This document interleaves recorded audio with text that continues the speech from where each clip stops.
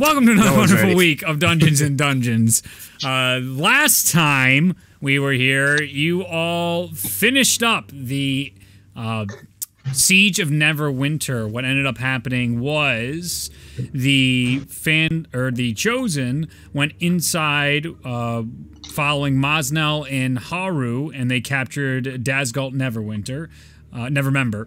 And outside, they reconvened. They helped heal up. Uh, Bellona as best they could, given her current crippled condition for her arm. And uh, Brian uh, came to the group, and they all discussed. Uh, basically, they wanted to have the chosen present never member to the uh, armies that lay outside the stacks. You guys went up to the wall. Uh, both Ralia and um, who was the other one? I think it was Bologna. Both allowed for a glow behind Mosnell as they presented Nevermember on his knees. And the crowds roared and cheered, and the names of heroes and nicknames were given to the groups.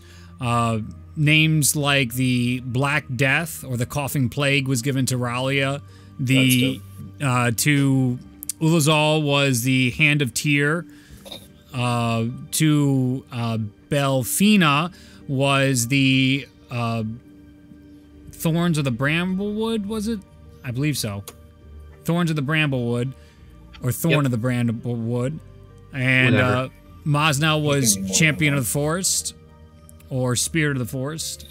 Uh, a Shadow followed uh, Ari for his nickname, and uh, Bellona was Kingslayer for killing Ascot Grandier.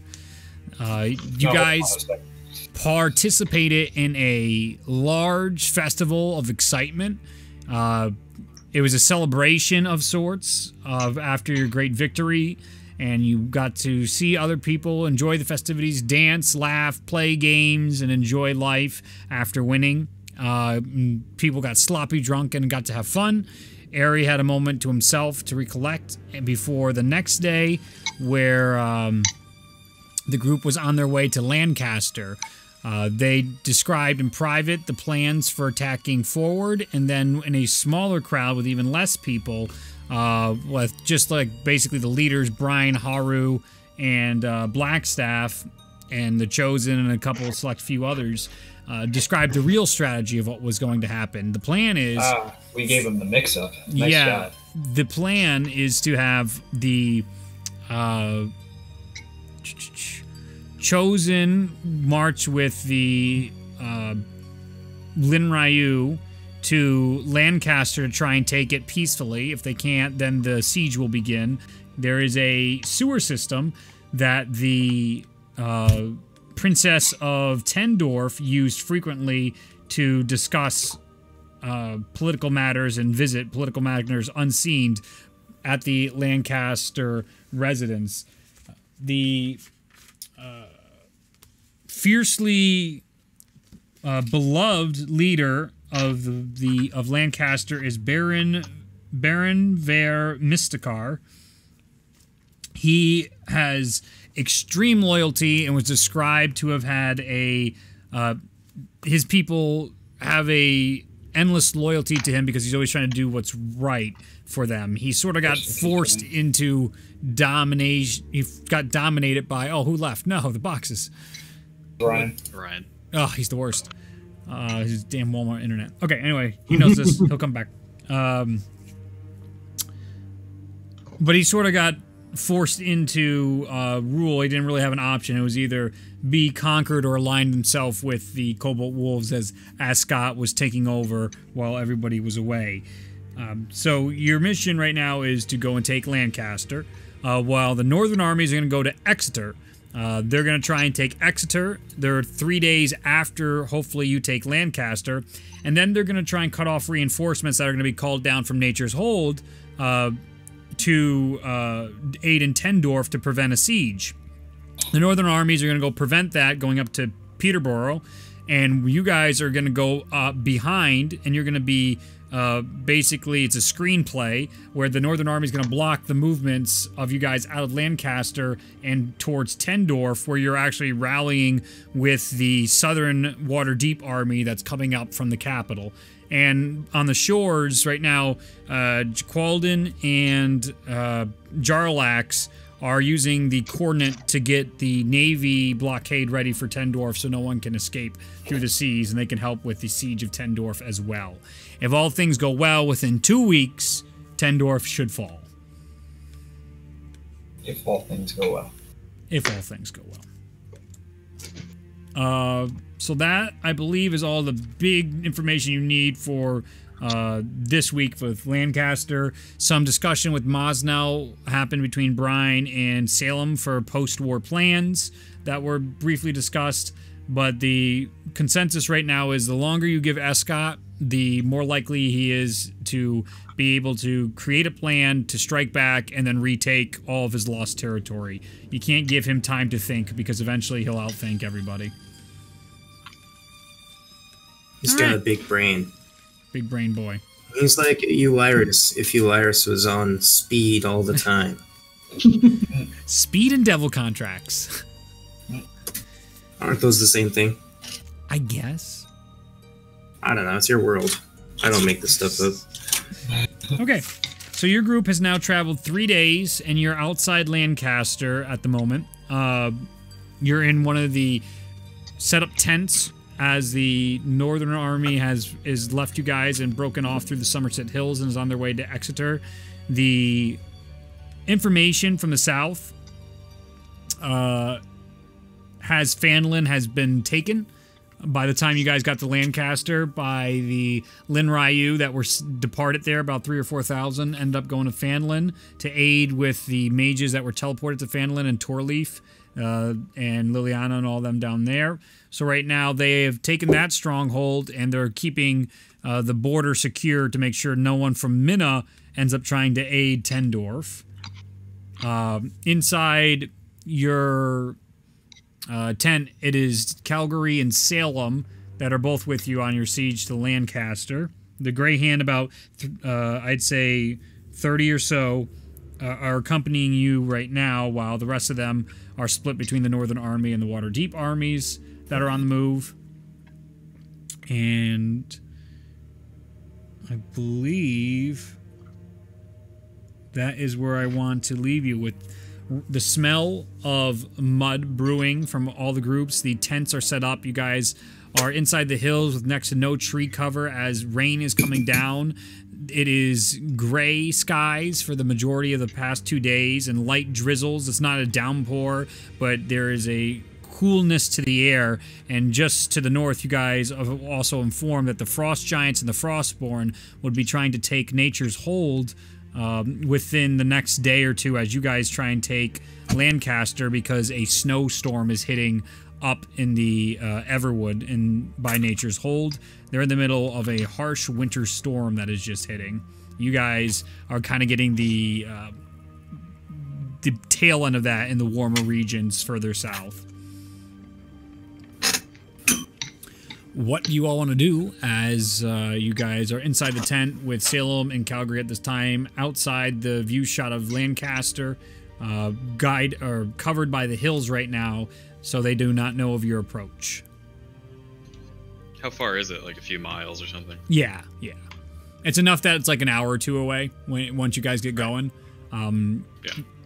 The mission right now from Salem to you guys is to try and get in through those tunnels, try and get it peacefully if you can, and negotiate with the Baron to uh, surrender, and then nobody has to die, and you guys can be on your way, hopefully, with a bloodless siege of Laencaster.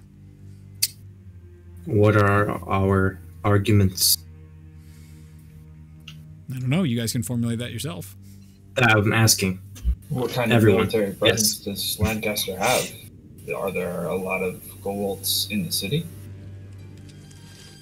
Um, Salem turns to you and goes, The Laencaster forces are made up of mainly Laencaster people, and there are a fair amount of Cobalt forces.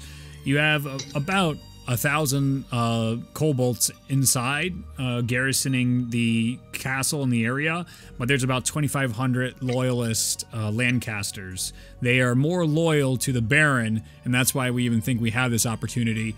Uh, they will do as he says. They are not loyal to Escott or the Cobalt Wolves. So all we really need to do is convince the Baron to join our side.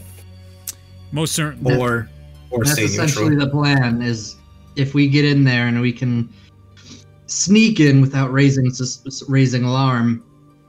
If we make it to the Baron, we can potentially convince him or intimidate him into surrender with the least amount of bloodshed. Didn't you know, Question. I know somebody who's really good at sneaking.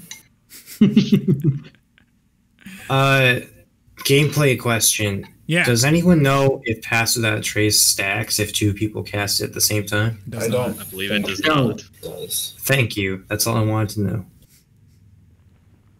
Um, uh, do we know of a barracks or something that the Cobalt Wolves uh, hide in within the city? Uh, if they have a specific lodging, or do they stay with the soldiers of the Laencasters? it is mixed lodging, so it would be difficult to, uh, as you bring the Black Death, try not to kill the Loyalists versus the Kobolds. But if necessary, it is what we will do. Very well. I figured we could uh, show a little force to persuade him, but uh, I would not rather kill his own men. That would probably be against us. I don't that's a think the, the, the idea is that these secret tunnels might be able to get us very close to the his central chambers.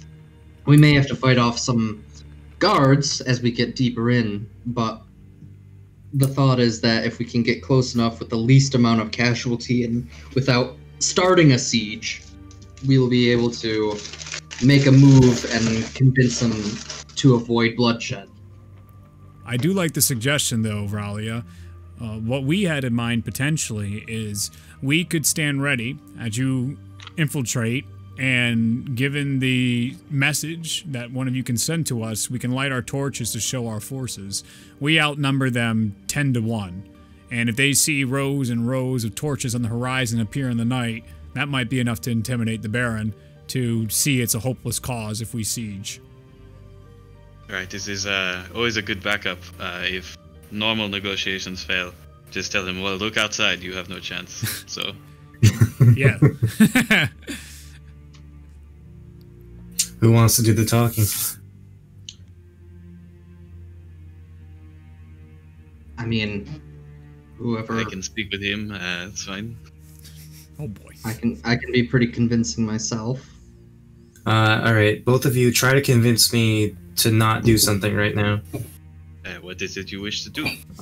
Um, hmm, I would like to shoot Ulazal in the face. Hey, I wouldn't That's a- appreciate That's a that. all not terrible my idea. friend. He's the one that heals us and keeps us alive. Okay. If Okay. he dies, where will you go? Hmm, those are both convincing arguments. You see, Oh, by the way, does uh, Bologna still have a crippled arm? no, No. you healed I, it. I healed. I used you to heal it. Yeah. Okay, that is absolutely okay. you I healed do, me. I do have regenerate. And you Yeah, also did. uh, you also met with the uh, the two individuals that were still uh, that you left in charge of keeping up the faith of Tyr inside Neverwinter, and you guys got to bond over the night as well. Your chapel. absolutely. His name, who I, I remember so so well. Yep. Because we were such close friends. Yep, definitely. Well, guys everyone who be- falls to you is close, right? We're all connected. Of course. Everyone knows that. Alright, um, okay. Jeez, I guess you guys can both just talk. I don't know. You got me. I'm good. So I put my hand on Bologna's shoulder and cast friends. Like, ah, there's nothing wrong. We can do this easily. Uh, it's a wisdom saving throw, I believe. Yeah, wisdom. Jesus. Uh, a natural 19 for 23. Okay. You resist. Well, Sorry about that. Look, we Uh, decided fine. to show up. you didn't have to cast that. We're, we're I already can also friends. be naturally charismatic.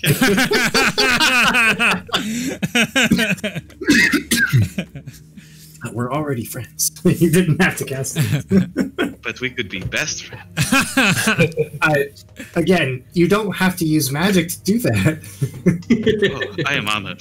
Thank you. Nobody has ever said that before, except for Oh. some of my skeletons. My.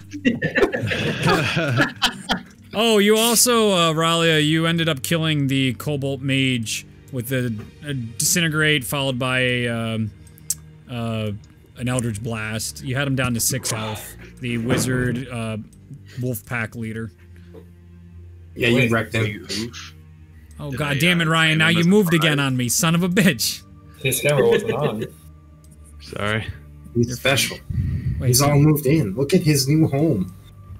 Oh my goodness! Look at that. Yeah, Let's go, Ryan. look at that. okay, It's like back. one side you can see things, and then the other side is just like this bright It's light. just light. Exposure. So this, so it's funny. Uh, this is an attic room. So there's a a uh, a window on on the like angle of the roof. Okay. Mhm. Yeah. Like, let's Skylight. go. How's the city? How's Burlington? I wouldn't know. Can't really Oh. go anywhere. I just meant like, are there people burning down Burlington, or is it Oh no, chill? it's Okay, super chill. cool? Good to know. All right. So Anyway. um, you're inside a tent about two miles outside of Laencaster. I've caught them up with everything from last session, Ryan. So you're all deciding on your plan of action to uh, to sneak in to try and convince the Baron to surrender. Right.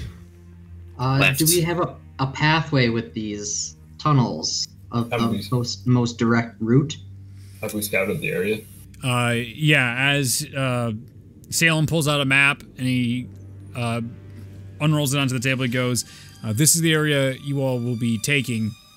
The Princess of Tendorf was able to draw these out for us by memory, so they may have changed some of the passageways throughout, but the general idea is it's a straight shot through a bunch of complex aqueducts, and you go straight through and then there is a uh, fork in the road that will come up, and you always go left in the fork in the road up until you end up seeing a symbol.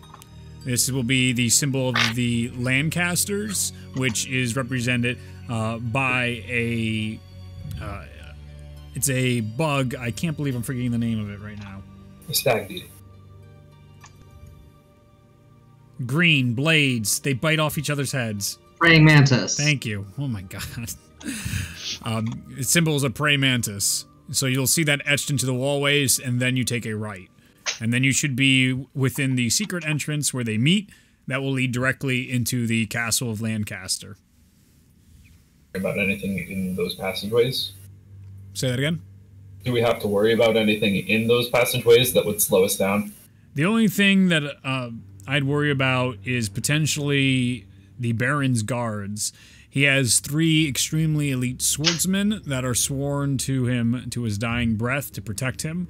Uh, they are beloved and treasured heroes of Laencaster.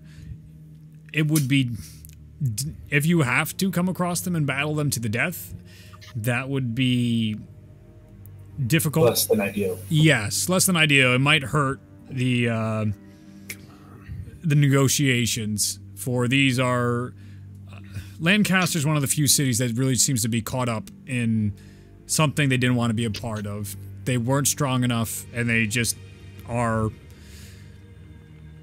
going with the flow, trying to just survive. We'll have to use alternative means. I'm sure we'll figure something. If you choose to. But that would probably be the best path for peace that we can see. Absolutely.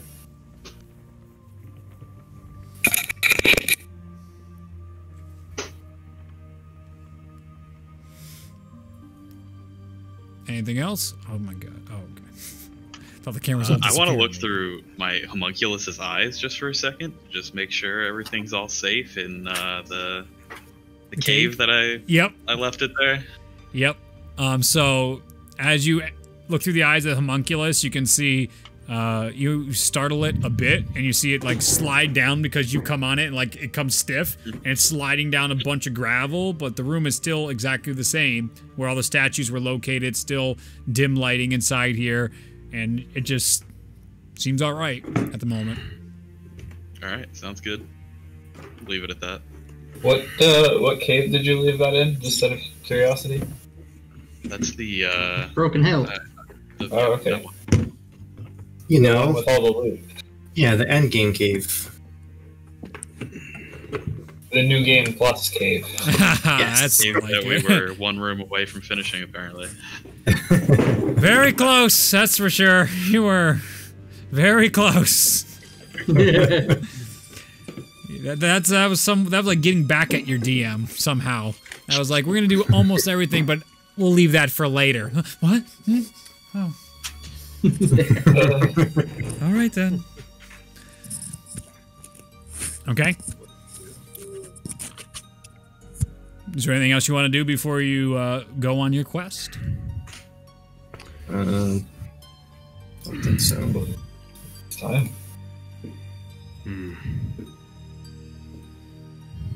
All right, give me stealth checks as you guys go. Your foot.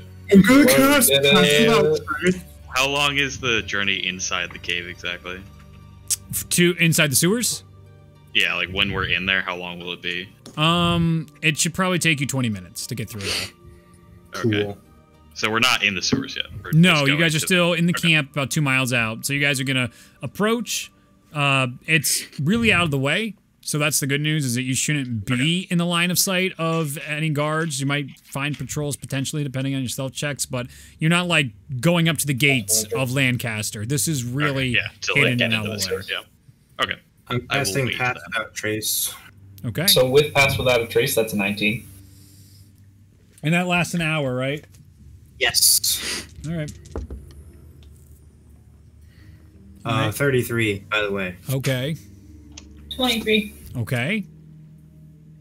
35. All right. Natural 20 for 30. All Let's right. go.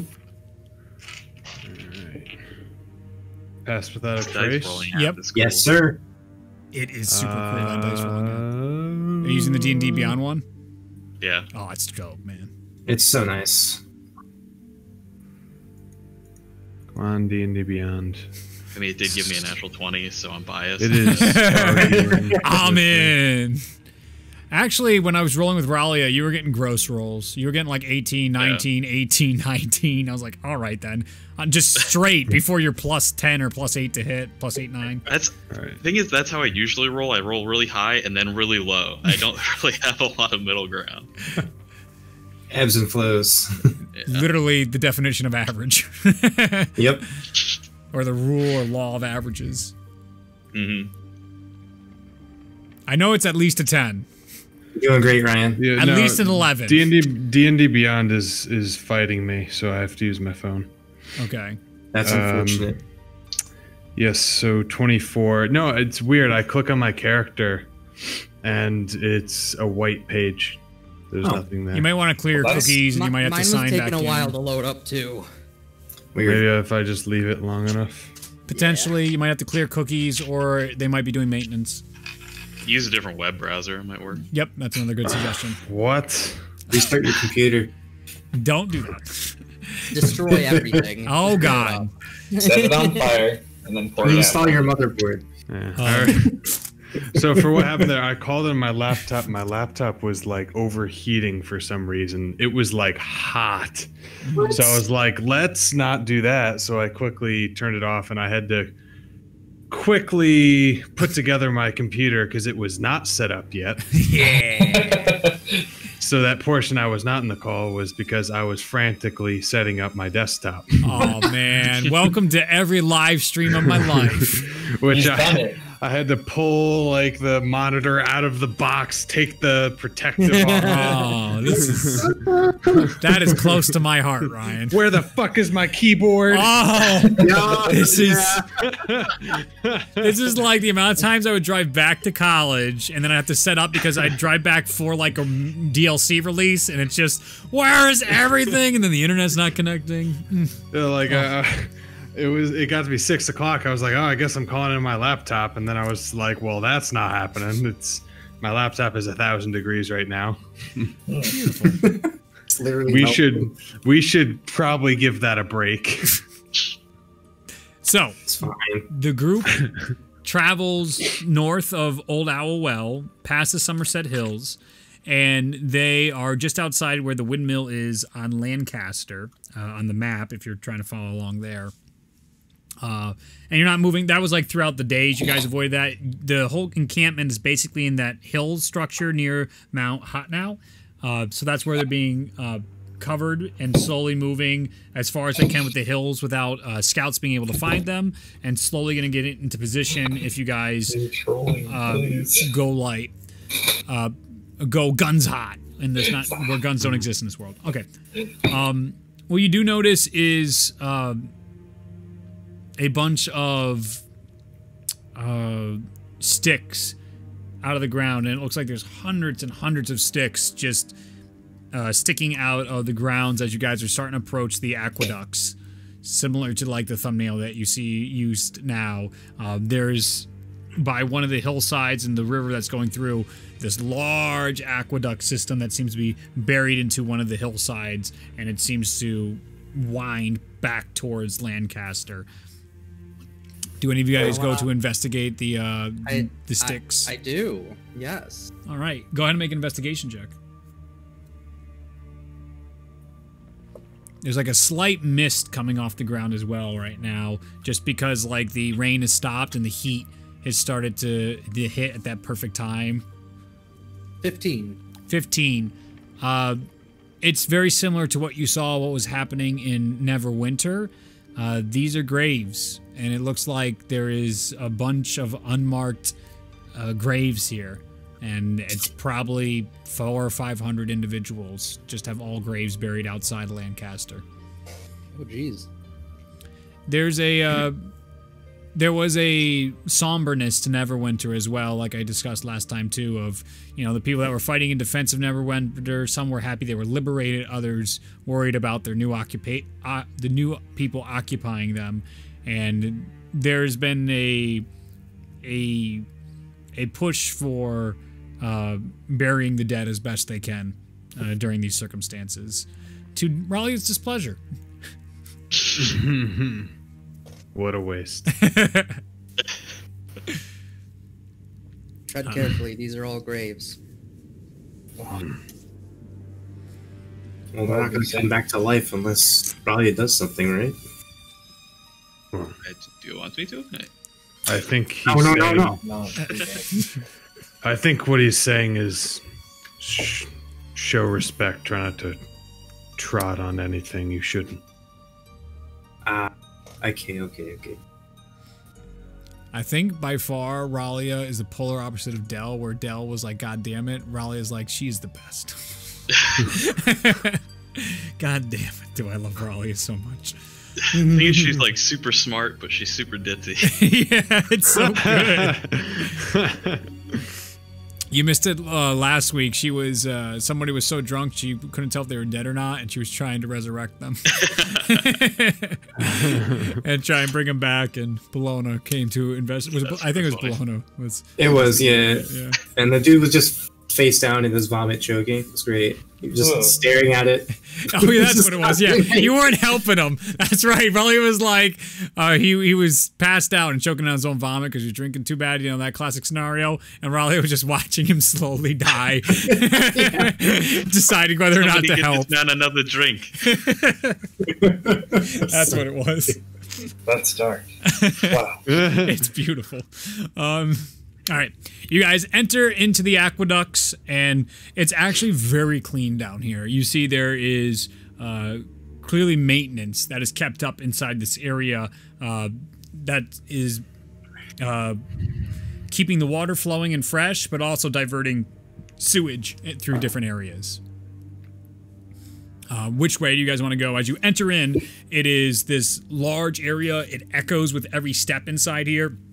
All stonework laid into the hillside, and it looks like it's a straight shot, as Salem described to you uh, from the map from the Princess of Tendorf. You know, I think we should go away from this city. That seems logical, right?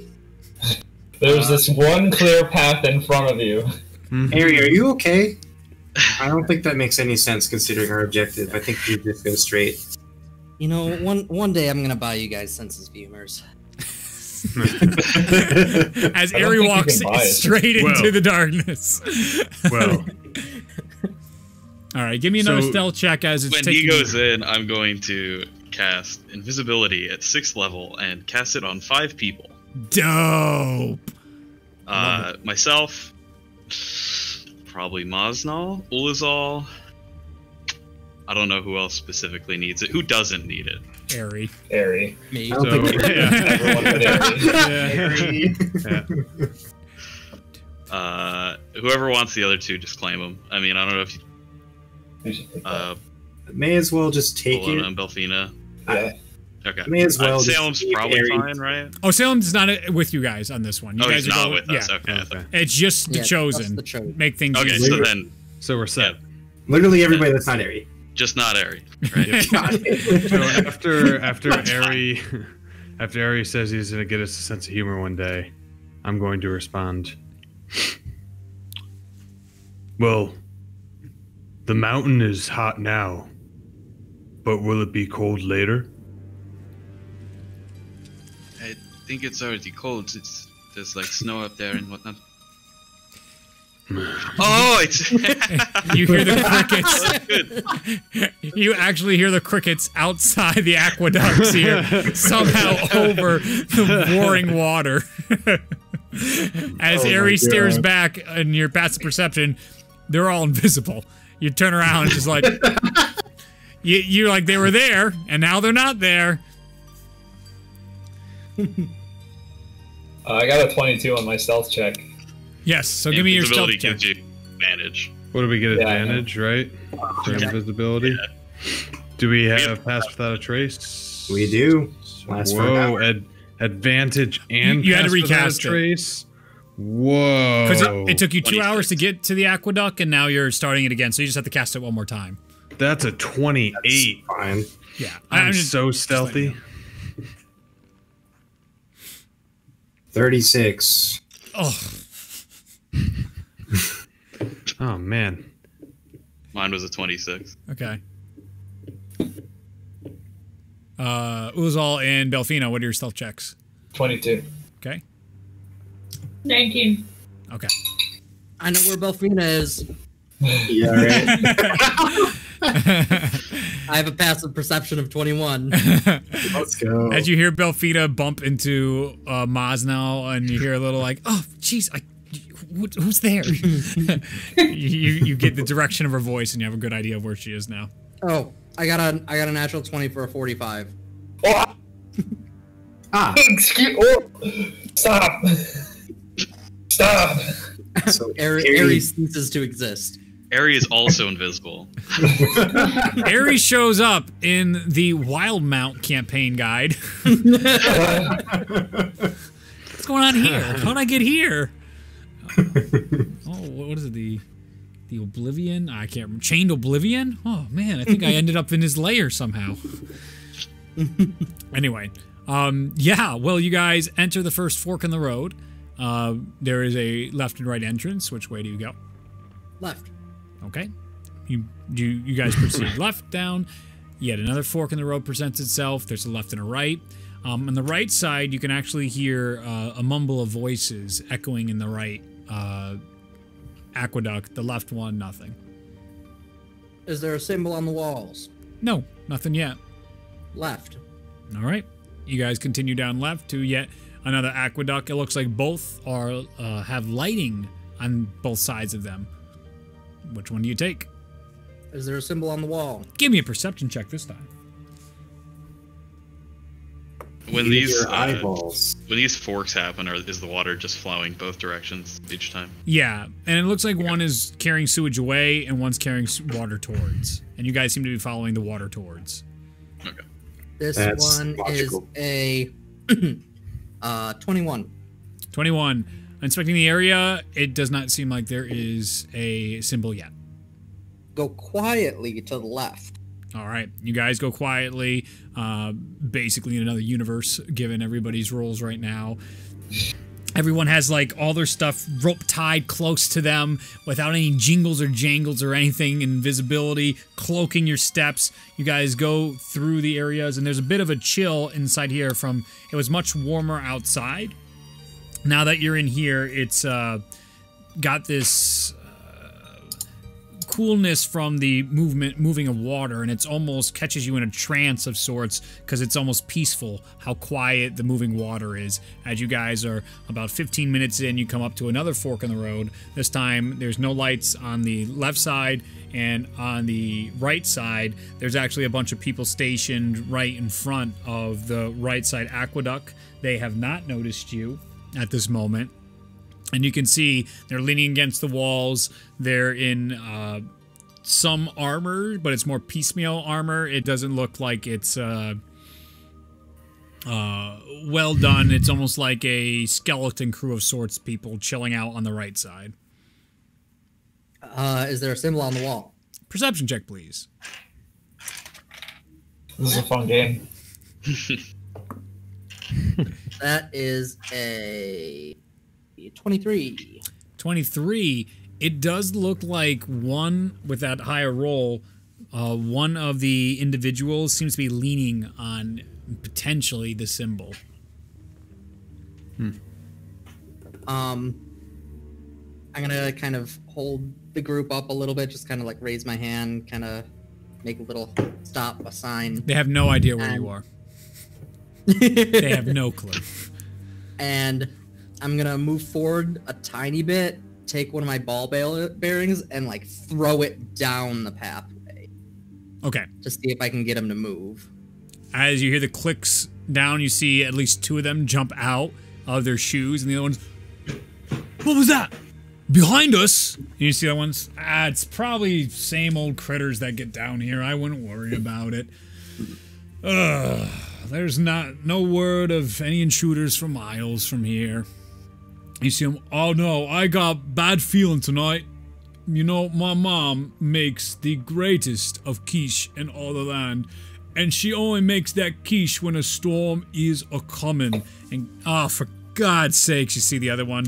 Enough about your mom's cooking in your stomachs. Like I am, I've had it to hear it with you, and they talk back and forth. I, you, you know what? Why don't you go check out what the noise was if you're so worried about the impending doom of ourselves? We all know the North's coming for the main capital city. We're fine out here. And you see him, oh, and he starts his way down, and he goes, "Mama's quiche is never wrong." As he walks down uh, the right side, the other Did the- two, yeah, Did the guy move? He from did. What? It, what was there a symbol behind him? it, there definitely was a symbol. It's a bit dirty and it looks like rusted over a little bit. Uh, but you might be able to take the risk. You can't quite make it out. You'd have to go up and like brush it off to see what it is. Okay. Like you, it looks like it could be it, but maybe it's not. All right. Oh no, he coughed and froze. Oh thank. Oh, he's come back. Oh no, I'm still here. Oh good. Okay. good. um, let's see.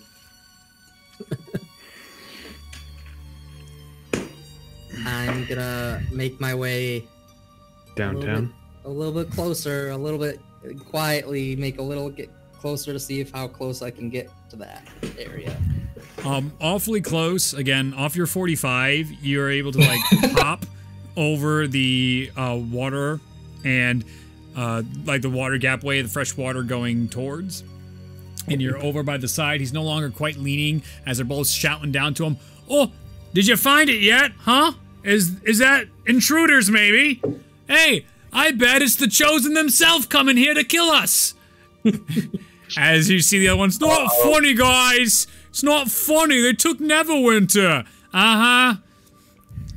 Um, you're basically, I'd say, two feet away from the guy leaning on the wall, and about the symbol's about one foot away from you right now, and you're like leaning on a very short edge on this side. The middles of the aqueduct what fork in the road you're at isn't meant to have a lot of space or to be stood on, but you're right now doing your rogue, classic rogue thing. Just like brush it a little bit to see if there's a. Give me a sleight of hand check. do it subtly. Twenty- 25. Easily enough. Uh, it is indeed the symbol. Okay. Um, I'm going to draw my dagger, Oh.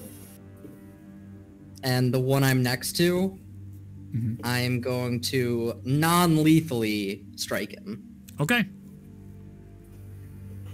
Roll to attack. Watch out. with advantage so dead. And with the uh, sneak attack.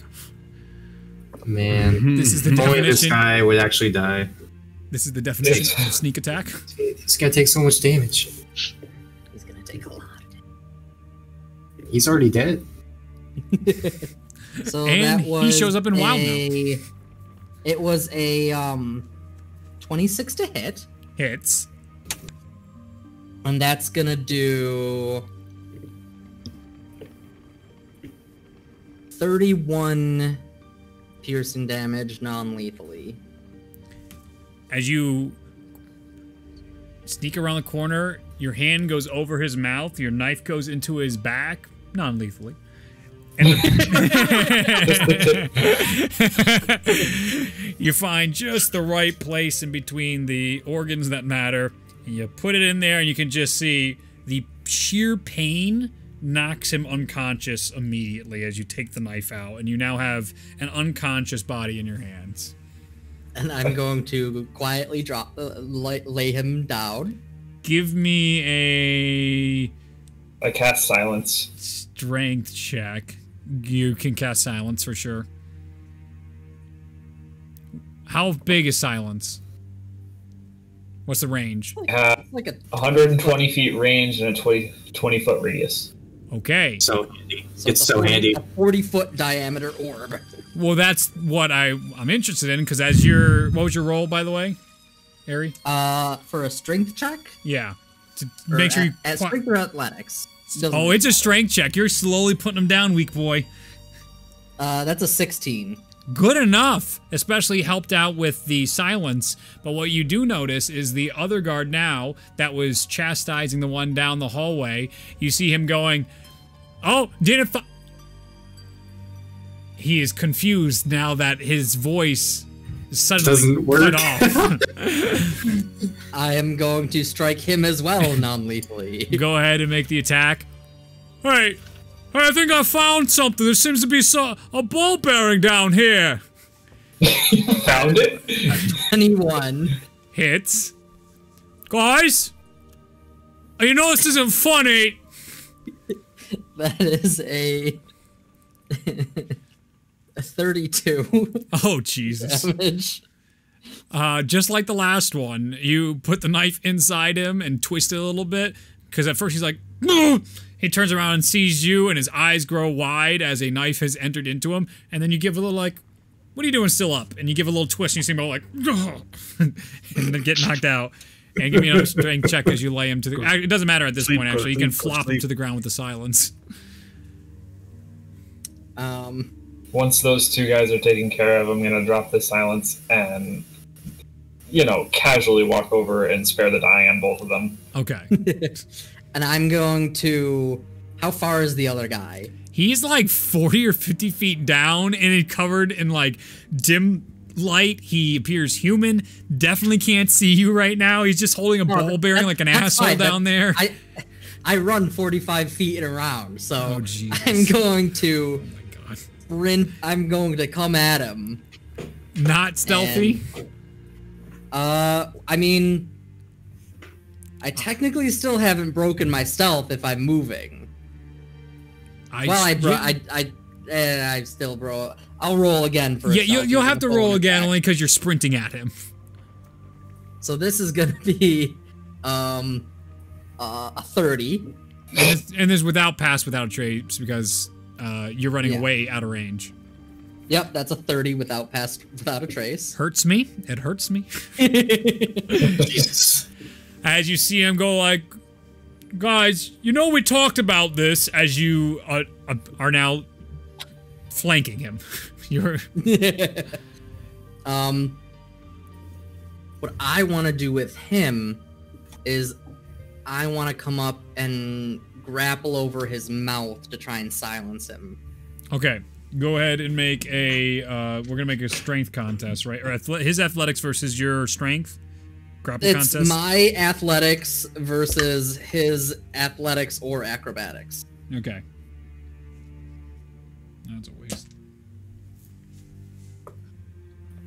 Ooh. Not very good. We got That is gonna be a six. That is hilarious because he has a six as well. so he resists, but like, but both Nothing you changed. Like you go you go to put your hand over his mouth and you see him like oh and this really sad looking struggle that the rest of you can now see for the most part between two boys that don't lift enough are like "Eh, ah," as they're trying to "Wha- what's going on? He drops the ball bearing and he turns I'm just gonna pull out my dagger and I'm gonna be like, "Don't move, don't scream." or oh. I okay Do you know who I am? no you look crazy Good. Uh, my name's Ari. I am one of the chosen. he looks over like, and you like just see him go through the chamber, like chosen, chosen, chosen. and, in, and instead of seeing terror in his face, you see him go, oh. He looks over, it's like, oh, fuck. But he's mouthing it. I knew it. I knew mom was right. As he's looking over. But you see him like trying to control and compose himself. And we just have to go that way, right? And I point kind of behind us down the pathway. for what? Y- you know why we're here. Honestly, I have no idea. I'm just pretty high on, on how right Mama's quiche was tonight. All right, let's move. Let's move this way. All right. He's giving I'll- up I'll- absolutely I'll no fight. Poke him so that he kind of goes towards back to where his companions are. As he goes back, you see him, and he's like, "Oh, Hagar!" Uh, he looks at the other one. Stole her. Not that big a deal. And then I'm gonna, and then I and then I'm gonna knock him out. All right, go ahead and make an attack roll.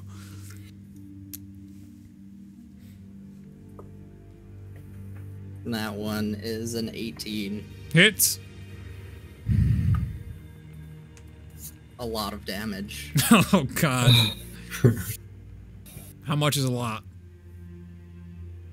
Um, Kill him. 33 non-lethal. We will see if he has brain damage in the morning as he comes out unconscious to the ground. Oh no. Spare the dying. You see the uh, three guards down here completely unconscious now. I'm gonna Uh, like make sure try to they're hide not like in the liquid. Just like set them up against the wall so they're not gonna drown. Yeah, so I'll do they're no it. longer I bleeding. want to try Do, to do hide. like do like a little tripod with them so they're all holding each other Sure. against the wall. Um, yeah, this is the way we go. Well, this is the way we turn right in the forks. You're talking to invisible people. I know where Belfina is. Very loud, just stomping around. Jumping in the water under right now. This stuff is fun, guys. Um, all right, so continue moving forward down the pathway after we've. Actually, I'm gonna take out some rope. okay. I'm gonna tie the. I'm gonna tie these guys up as well. Is this Okay. really necessary? You know, we don't know how long they're gonna stay unconscious. I mean, you hit them pretty hard. It's true, but they might wake up in an hour. You never know. Or they might never wake up. We'll find out. I'm gonna use a bit of Should my. gag them too. Not a full, not the full amount. Maybe like 20 feet or something, 15 feet. Can I try and make some gags? Sure. Nice. What do you have? I'm probably just gonna take like a bedroll or something and just make some cloth to stuff in their Sure. their mouth, their pie holes, as they call it. Quiche holes. Quiche hole, yes. Yeah, I'm just gonna rip up a bit Yeah. of my bedroll there. Oh, Do that. 15 Oh no. I have common clothes. cut it at that. off, tie it up. All Easily that. enough. Uh, what kind of check do you want? Uh, for a gag? Yeah. It's arts and crafts, do performance. Yeah, do a Performance, performance check. I like it. I like the fuck you guys. wow, 18. Get out of here. go. There it is. Easy. No modifier. Just straight roll. It's it's a gag. I mean, how do you fuck it up? I don't know. I don't- you never know. I mean, that DC couldn't have been lower, man. But here we are. Um, You never know. you cut off those clothes, and you have a gag, and you tie it around their mouths. You got You it. did it. Hooray! We Can they saved the city, Patrick. All right. All right, let's keep moving. Okay. We've solved your garden puzzle. as you guys uh, continue uh, into the area for about another couple minutes walking through. You can see it's getting nicer and nicer. The smell is getting nicer and nicer. And you enter into what is a um, a little larger but still compact chamber inside here. You can see some crests on the walls of uh, Laencaster. And uh, there seems to be a doorway that's open right now with three fully armored knights sitting looking to one another talking and you can see a ladder that leads up and they are uh, get everybody give me stealth checks as you enter into this room With advantage. Twenty-five. Wow. Uh, a measly 26. 24. Uh, 21. 28. What did is was all the stealthiest person here right now? What the hell? With pass without a trace? Yeah. Yeah, 28. Yeah. What the hell? belfina Natural one. Oh boy. all right With advantage? Wait, at advantage? Because you're invisible. That's funny. All right, natural twenty.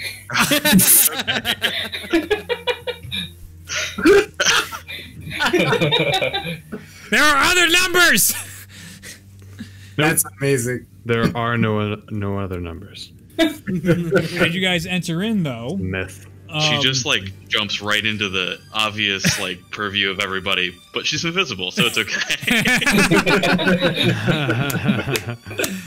she does do that and as Mosnell um you can like feel her jump out and you go like hmm, and go to grab her instinctually but then hold back knowing you're all invisible uh, but at that motion that you do in the little bit of breath you see one of the knights stand up and he he starts looking around Are these Cobalt Knights? uh give me a perception check Gladly. Yeah, I'm gonna inspect them too. 13. um it'd be hard Twenty-one. it'd be hard to miss their giant prey mantis sigils on their armor They're not Cobalts. um These might be those three fancy guards not saying this out loud. Yeah, but the one the one is up right now and he goes, I thought I heard something. He looks over to him. Do you want to do your you want to check with your visor? And you see him look at him he's like, I think it's very necessary right now. It's like you can never be too careful. And the other one's like, You worry too much. You worry far too much. As he's as he's listening, he's like they're all just ears right now, staring out. What are you guys doing? Like it is dead silence in here besides a little bit of the aqueduct, and they're all alerted by one of the other knights here, and they're all just listening. It's like that T Rex situation where you're just sitting there not moving at all.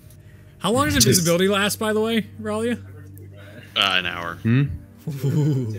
All right. We're getting close. You guys got 15 minutes. Yes. Give, give it a few minutes, you know? yeah, 15 minutes with Pass Without a Trace and Invisibility still on. That's fine. I'll probably recast that once it runs out. All right, uh, I'm gonna let them make another set of perception checks you, against you guys' stealth checks as you, everyone's standing still. This ladder just goes directly up, right? Yeah. Okay. 30. Hi. Like into the ceiling up, or is there like a like an opening, like a bigger opening, or is it just like a hole in the ceiling kind of thing? Um, like looking through right now, give me a perception check to see what you can make out. Because they're standing in front of it. And there's like two Right. crates that they're sitting on down here. Thirteen. It's tough to see with all these people as you're trying to get a look and you're getting a little too close. You can see, like, as you're peeking, one of the knights has taken a couple steps forward and you see him go, I smell perfume.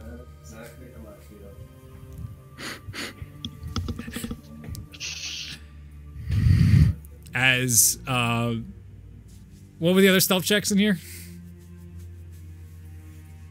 We Are rolling we using the same ones? You know, I need Oh, new really? stealth checks because you Oh, guys are all standing new. still. New Yeah. ones. New. Okay. New. Because stealth now one of them heard Mosnell, so now 30. they're all alert and they're now actively looking. I heard the 30 from Belfina. 26. 26. 30. Wait, what was that, Ralia? 30. Twenty-two. 22? 35. 28. 28?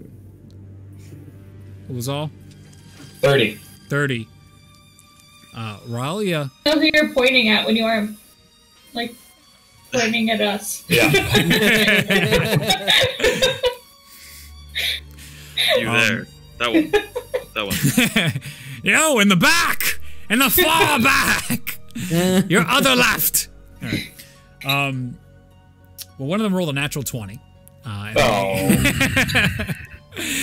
So you see the other one put the visor down, and he, he goes, "I think it's time we draw swords." As cast. I cast command at third level and command them all to halt. okay, uh, those are saving throws. Wisdom saves. Wisdom saves. uh, what's the uh, DC is 18. 18? Hey, Luke, is there anything that drops invisibility? Casting a spell. I cast a spell. Copy. So Ulazal appears. Wait, wait, wait, hold on. To be clear, Ralia is the one concentrating on invisibility. Yeah, Right. So she hasn't cast another spell yet, so I'm still invisible. you can't without Yeah, greater but you invisibility. can't cast that without saying anything. I Yeah. don't actually know how that works, but If, Oh, you- yeah, if I'm you're invisible, invisible, you, but I'm I pretty sure you'll become visible ca- if you cast a spell. Right, but Ralia is the one ca- concentrating on the spell. Yeah, so everybody else would still be invisible but you. No, Yes. because I am not the source of my own invisibility. Look, I'm looking up invisibility 5e rules, boyo! Well, It doesn't really matter. You're It's right. a Regardless, veil. they're still saying something, so it's not like they Yeah, won't do I mean. I, I'm revealing myself, but it's fine. This was this was just basic invisibility, correct? yeah, it's sixth level invisibility, but it, it should just be. I think the levels just give targets. I don't think it does anything different. So But actually, I- technically, you would have lost the invisibility with the silence. the target. Eh. No one noticed it. till just now. For a target. Okay, yeah, it's Yeah. not just me. You can cast. So yeah, the spell ends for a target that attacks or casts a spell. Yeah, Is the rules? Is it greater invisibility that's the other way? no, Yes. Correct. probably. Yes. Okay. Yes. Um. So, uh, with that, um, two of them save. One of them doesn't save. As one of you said, what was your command? Halt. Halt. So one of them, you see him just sort of stand still as one draws two blades and one has his shield and sword out. And you hear them go, Enough tricks, we know you're here. Here to cause a fight. We just want to talk to the Baron. Hmm. Give me a persuasion check. Persuasion, you say? I'm Yeah. okay at that. 24. You come cloaked in invisibility, hoping to just talk with the Baron.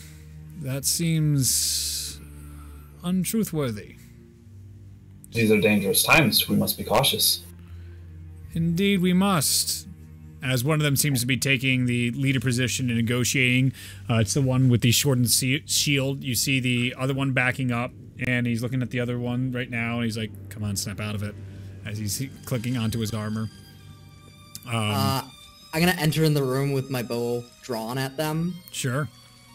but just still not not firing. Okay. You enter into the sight line. You can see they're not too startled by by this, but you you see that a seriousness is coming over their face, their eyes darting from other calculations going through their eye heads right now, as the other one's closing the distance between Ulazal and him as he looks uh, to Ulazal. So what is this business you want to give to the Baron? One of us could certainly maybe go fetch him, and go deliver a message for you. We would love to talk to him in person. We wish to just ask him to join the winning side of the war. We want to get rid of your kobold problem. It's, he looks back and he to the group and then looks back to you. Okay. An interesting proposition in dire times. But Laencasters don't turn don't treat turncoats kindly. It's not very honorable. Not our way. When we make a deal, we honor it. Can you really call coercion a deal? Now that's a dance of politics. I am only a knight, and I do as I am told by our baron. Whether I would love to talk to him. Well, let, it, let, let's we'll we'll put this in very plain terms for you. We are the chosen. We are going to speak with the Baron. We have no quarrel with you. We know of your renown within the city. We do not wish to harm the citizens of Laencaster. We merely wish to take down the Cobalt. Make a persuasion check. By the way, that whole how long does that hold person thing last? Or hold Uh, thing? command lasts a minute, I believe, but let me double check. Okay. You guys Probably are running down. Oh yeah, I'm sure it is. Uh, that is a 25. It lasts one round, so six seconds. Oh, he's then he's fine now. Oh yeah, he's fine. Yep. But we, we're chatting. We're Yeah, we're everyone's having chatting. You see a little bit of like a his breath comes back to him, and the the two of them come closer to um to their leader right now as the three all of you are talking.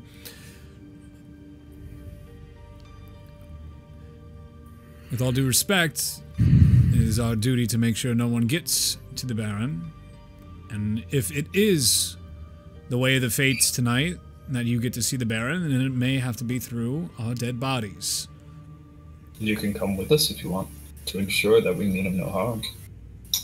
I would not be doing our job if we brought those to the Baron that are not invited guests. We wish no harm to you, to your baron, or anyone. In fact, we wish to regain him control of its city. Make one last I- persuasion check. I promise you, uh, if you do not move, there will be no body left for them to come get.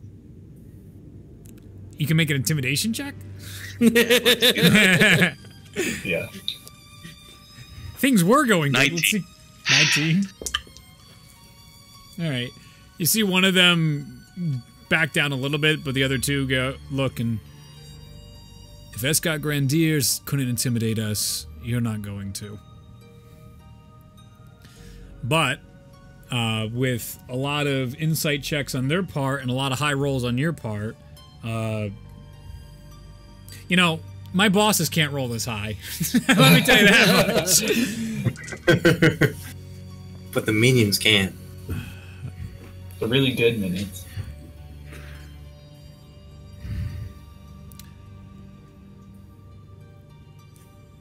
Let us. Let one of us fetch the Baron. Discuss with him the situation. How do we know that you're not just going to go alert the guards?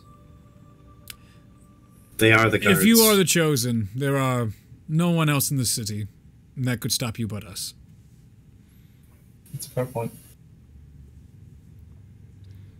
He looks at the other one. Go get the Baron. Bring him here. At least tell him the situation. Keep him safe. And the one nods and he goes up. Uh, Ralia, you got a better look now. It definitely is going into like a stone ceiling, and he climbs upwards, uh, putting his shield on his back, sword sheathed, and up.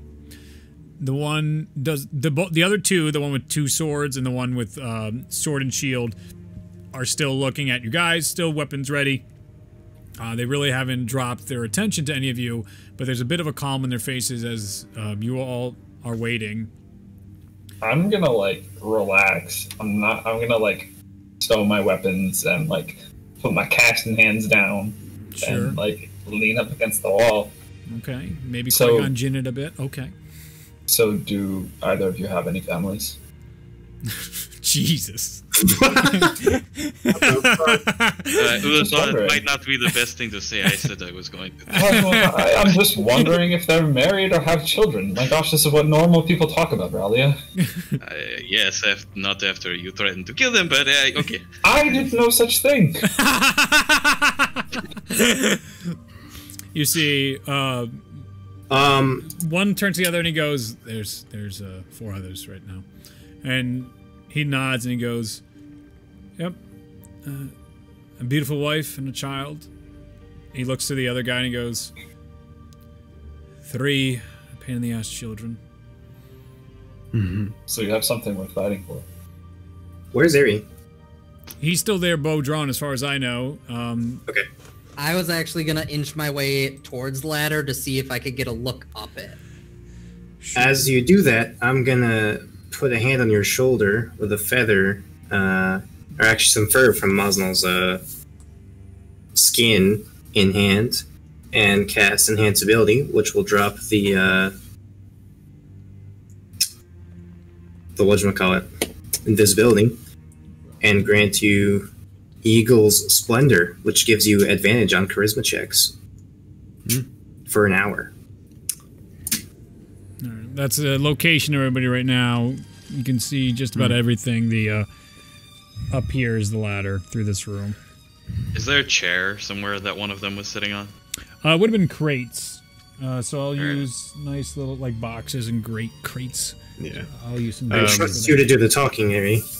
Before I become visible, I want to pull one of those crates to the side, sit on it. Yeah, I was gonna I was gonna go over to Ralia and be like, um, "Can I show myself now? I, I don't think this is necessary anymore." I just like drop it on him, Okay, drop the invisibility on him. you appear Oh, good. as the uh, crate slowly moves over, and one of the guards. They're not jumpy. They're not. They. De- there's clearly training inside here, and they're just watching as Ralia. You go and take your seat. Um, it's still invisible. Uh, Belfina's still invisible. Ari is sewn. Uh, everyone's sewn except Belfina and uh, Ralia at this point. Mosnell, you can see these uh, the two knights in front of you. Both uh, appear to have completely clean shaven skin. The way, like the outline of the uh, helmet, is like that of a like the the uh, arms of a prey mantis, the way like the blades come up around the helmet, and they have uh, similar like uh, kind of like the fuzz that's there for their helmets, and it's this dark green inside there, long green uh, cloak on it. Underneath, all the armor is tight, and it looks like it's the finest armor in the entirety of the city. As they're still both watching you, um, a little bit more relaxed, but then again, seeing the numbers and more people appear, a little on edge. Yeah, I'm not gonna have any weapons like in my hands. I'm just super super chill. You're muted, Justin. That's weird. I'm gonna keep my crossbows in hand. That's strange. Right on. Fucking weirdos. Yeah, I'm, I'm, st- I'm still playing. Nope. I'm not like super trained on them, but Sure. I mean, you just have them I- ready. I think a marksman of our caliber would be able to uh, put a put an arrow or a bolt between those uh, those helmet sight lines I'm. I'm I'm very intently listening to hear sounds from that ladder. okay. Uh, give me a perception check. I don't want to fight these guys. They seem cool. They have 21. families. 21, listening as best you can right now. Um, you're not hearing too much noise at the moment. Everyone has families, Zach. That's not helpful. You're all just sort of in this state of suspense right now as one's looking to I the just other. I just kind of want to shoot the breeze with them, you know, Okay. just like ask them about you know how old their kids are, if they're like, doing well in school.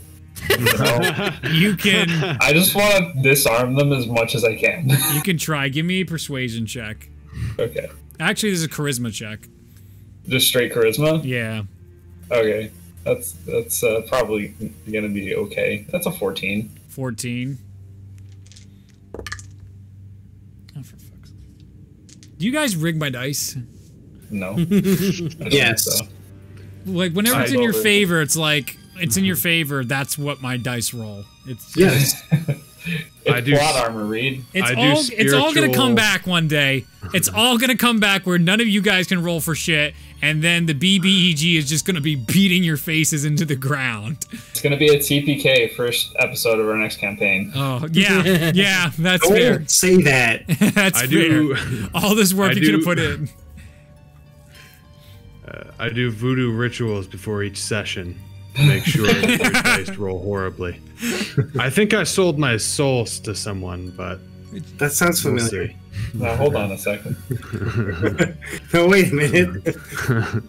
you, you're able to talk with them, and as you're talking with them, you do get the sense of um, these. They're straight arrows. These individuals. They're they're happy to answer their questions. They're not trying to hide things or jockey for politics or any nonsense like that. And they're very much about their duty. This is what they were told to do, and this is what they're going to do. Even if they know they can't accomplish it, they are going to do what is right by loyalty, by Laencaster, by their family. Love these guys already. If it means going down to the chosen, it means going down to the chosen. Hmm. I'd like not to do that. Yeah, I don't want to kill these guys. They seem really nice. You know, they're Eagle Scouts, I bet. Finally, one of the knights returns, and um, he comes down uh, without the Baron, and he looks to the other two, and he goes uh, up to one of the leaders. He whispers, and he looks back, and he goes. We are to escort you to the Baron. Uh, we advise you if you do wish him ill will, it is our honor bound duty to protect him. So we will have to fight you if this is the Okay. path laid forward.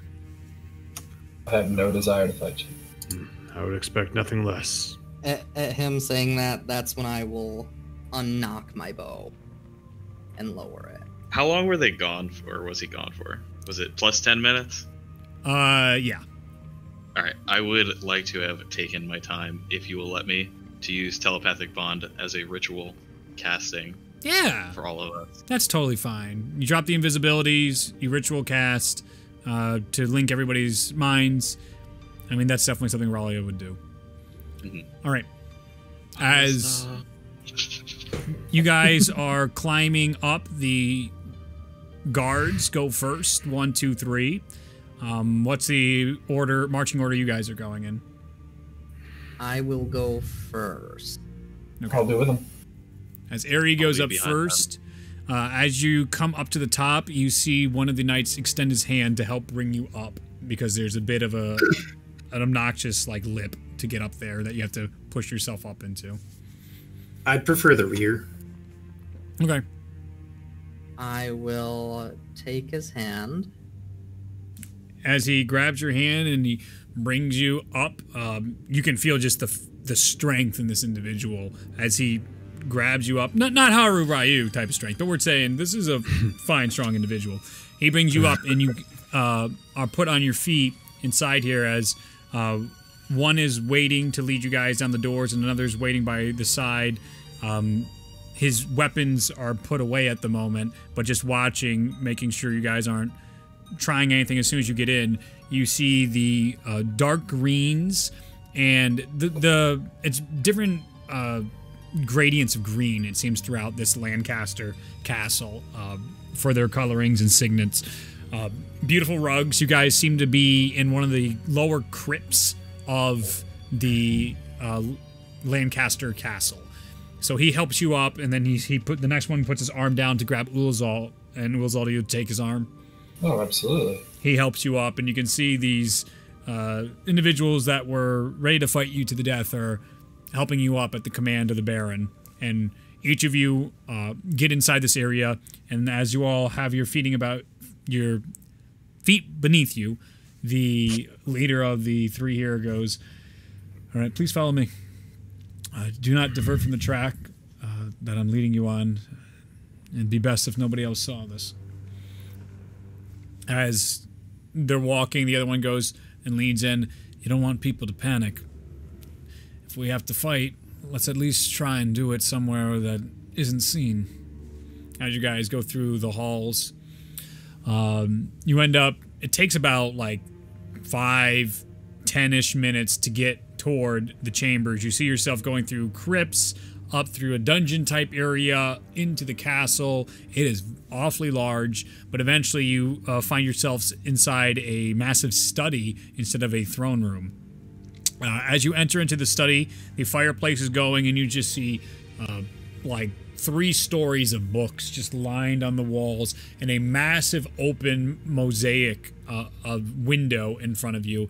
The mosaic is more on the sides, so you can see out in the middle, but on the sides, it seems to have like the history of the Laencasters all around and etched there.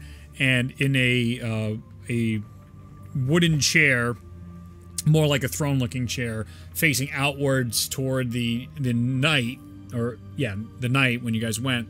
Um, the rain seems to have stopped. There's a little bit of the fog out in the distance, and it appears that the uh, Baron is looking out and towards the night. You can get a little bit of the shadow as the only light is from the fireplace at this point in time as you guys enter the room.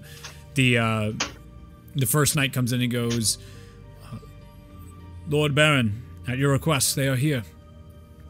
And you hear the the Baron. Many thanks, my knight.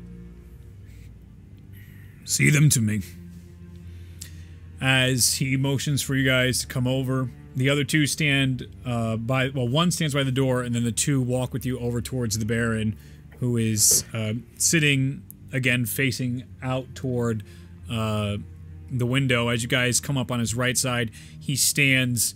You can see this individual has uh, long hair that goes down to about his shoulders. It seems uh, curled a bit toward the ends, but a bit greasy. A large beard. You can see um, like those steel gray eyes inside there. Uh, the beard is a, a deep black, but there seems to be bits of gray peeking through throughout the beard. Um, he seems not like an extremely large fellow. He's not muscle bound. You can tell he is older, probably 50s or 60 years old. He has uh, just very plain looking greens on right now. Uh, he's got his basically slacks.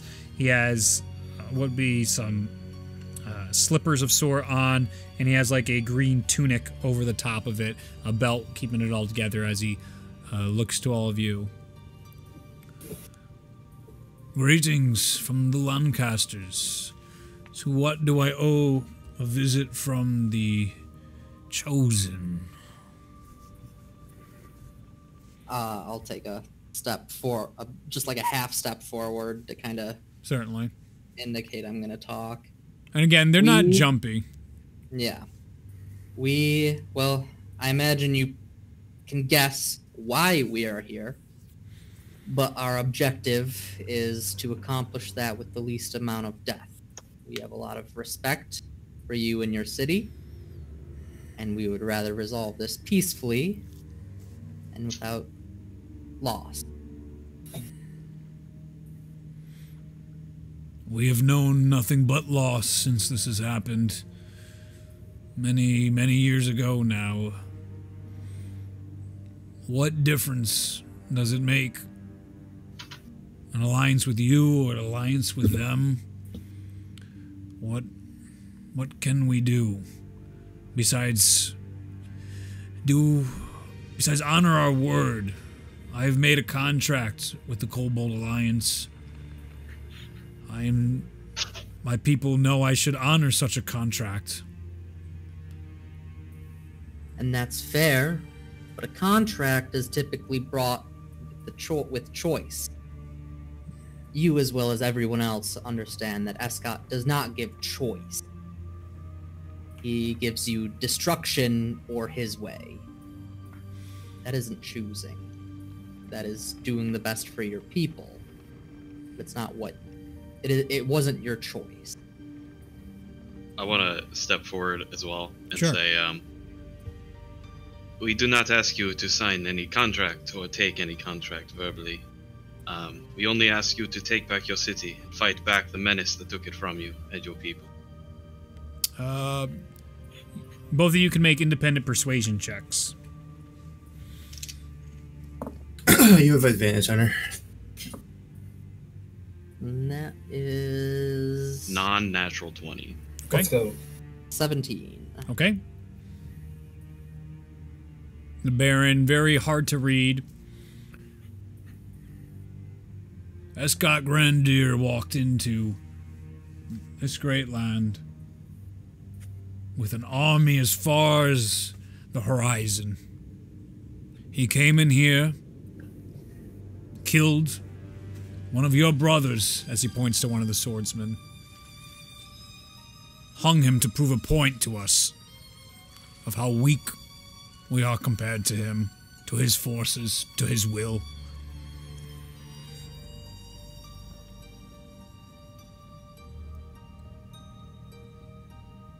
As painful as it might be to admit, we were strong armed into a contract. What assurances do we have that this life will be any better than the one we're experiencing now under the Kobolds? Well, first of all, you go back to how you were. We have no interest in what your affairs here are in Laencaster. We just ask that you don't fight us while we destroy the kobolds.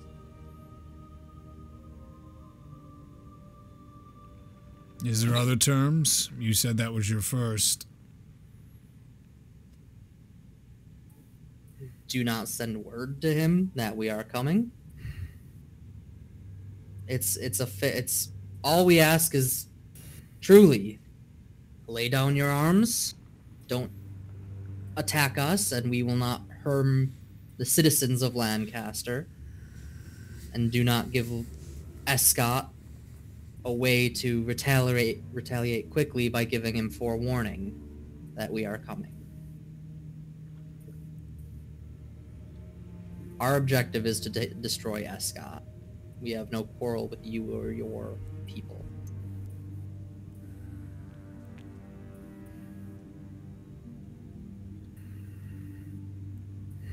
I understand there is a battalion or so of Kobold soldiers uh, in your city. Um, I assure you, we have plenty to aid uh, to remove them if necessary. I do not know uh, what your capabilities are of uh, imprisoning them or whatever, um, but we are more than welcome to aid in that.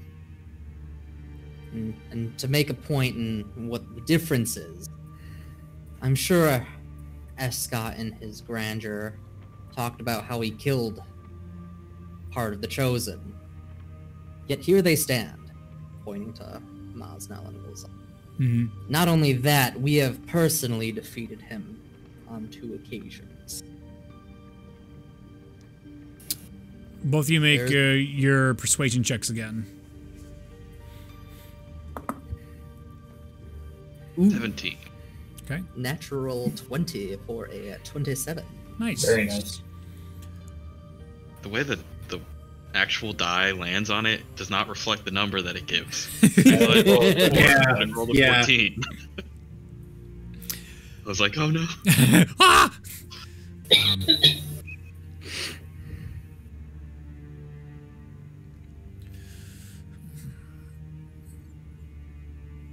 My duty is to save my pe- my people's lives, to enrich their lives, to make sure they live a life that is possibly full of meaning and fulfillment.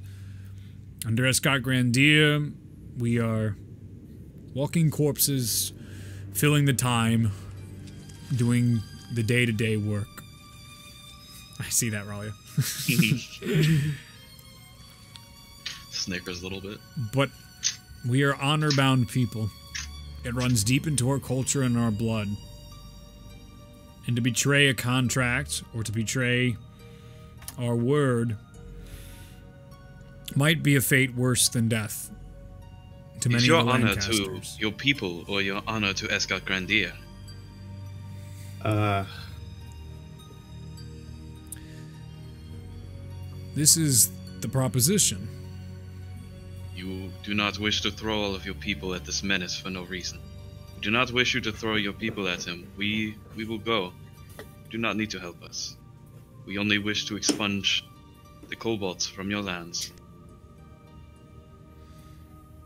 Reed, before you answer that, do we we have the telepathic bond? Yeah. Yeah. Yes. All right. I'll just mention to Ari and Ralia telepathically. Uh, could we get some clarification on what this contract is? Because potentially, uh, we could just ransack all the kobolds, and they could just, you know, stand by and do nothing. That might not uh, harm the contract, so to speak.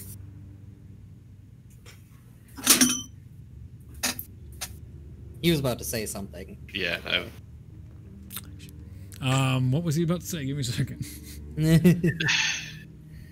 Sorry, I totally Uh, derailed that. That's why I said uh, that we don't want him to necessarily help us. We just want him to expunge the kobolds out of his lands. Right, right. That his honor is to his people, not to Escott Grandier. Yeah, yep, yep. Um, he was saying uh, that is the proposition, isn't it?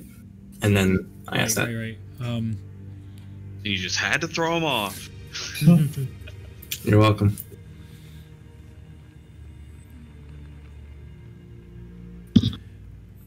Your words speak true, and I believe your intent. I am just stuck in a difficult position not to cast away the honor of the Laencasters for generations, to protect our people and protect what their meaning of life is.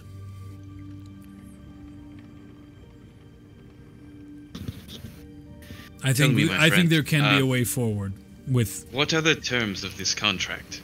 Uh, is there such a way that you can uh, be idle and allow the kobolds to be drove from your lands? Uh, does the contract uh, call you to action, or is it only to submit? Only at summons, we are to report and let the Cobalt Kobolds know of anything of importance that threatens the security and progress of the Alliance. We are to send them resources and aid and soldiers in return for protection and guidance and a spot inside the Alliance. And in what way do they send these communications? Typically, they show in the form of uh, either by pigeon or by cavalry. Hmm. I see. I mean, if you never got a message, you could not help them. Most And, certainly. Unfortunately, you tried to send a message to them, but the enemy forces surrounded your city and intercepted it. You see him give a smirk to his face. It would appear so. Let's go. As, Pigeons were shot from the sky. as he goes and he sits down and he starts writing something, he starts writing out the communications, rolls it up, puts his seal, blows on it, and then you see him uh, go over to uh, uh, one of the areas and goes to the opens the door and he goes Grinwald and you hear this like shuffling. "Uh, Yes, yes, sir. Yes, sir. Yes, sir. I would like you to send this to the Cobalt Tendorf in three hours from our south station, South Tower. Send this out. Yes, yes, Baron. At your service. he hands it through and closes. It would seem I've done my task of letting the Kobold Alliance know. It would seem a message and word will be sent from our southernmost tower by carrier pigeon in exactly three hours. In the dead of the night. That I was given an ultimatum of sorts, and that we were horribly outnumbered and need reinforcements at once. Now that's what. Now you have done what you can. Um, we occupy this city and uh, ask you to surrender so that we can free you after. you drive a hard bargain. it appears we're outnumbered as he looks over to the other knights inside the room. Don't you say? As the other one looks, he's just kind of the leader looks at him and goes, Yes, Baron, it would appear they outnumber us six to four, and you're not much of a fighter. Seems like it's probably more like six to three at this point.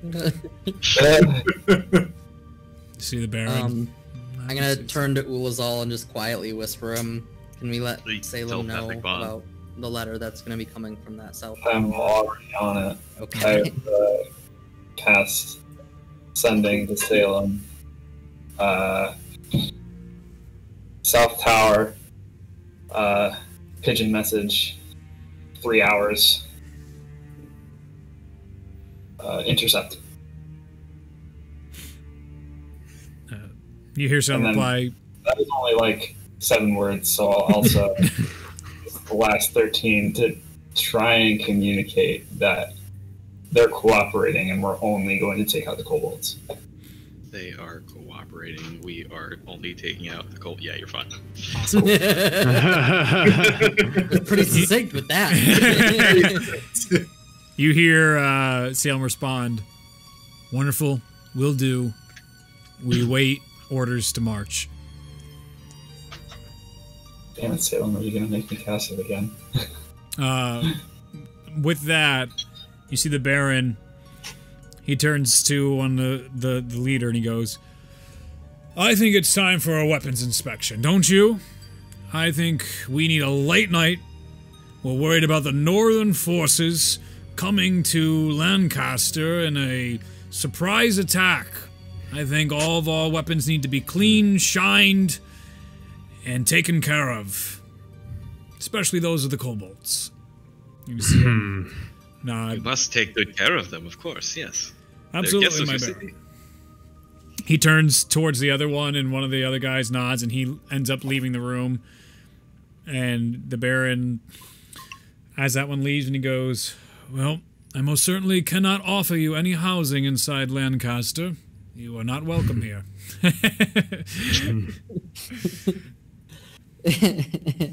That's okay. Now, as as one of our demands, uh, I would we would certainly like to know where the kobolds are stationed within the city so that we can understand where the the, the forces lie.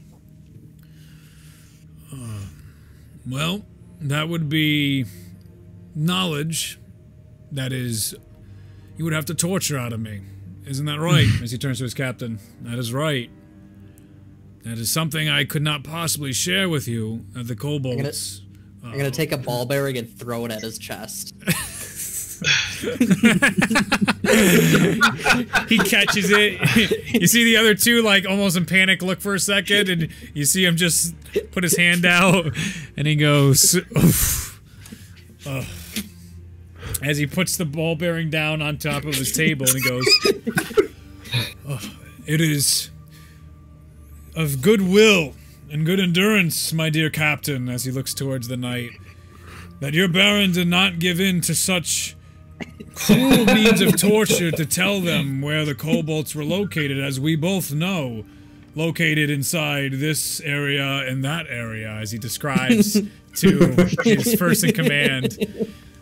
And, he, and his first command goes, absolutely not, my sir. I mean, it would, you, I mean, from the sounds of it, we should be reinforcing those areas. I, I believe that is what I'm telling you right now, Commander. That we should be reinforcing those areas with our men to keep them protected at all costs because they seem to have some strange interest in them. Give me a wisdom saving throw, Mosnell. Uh oh.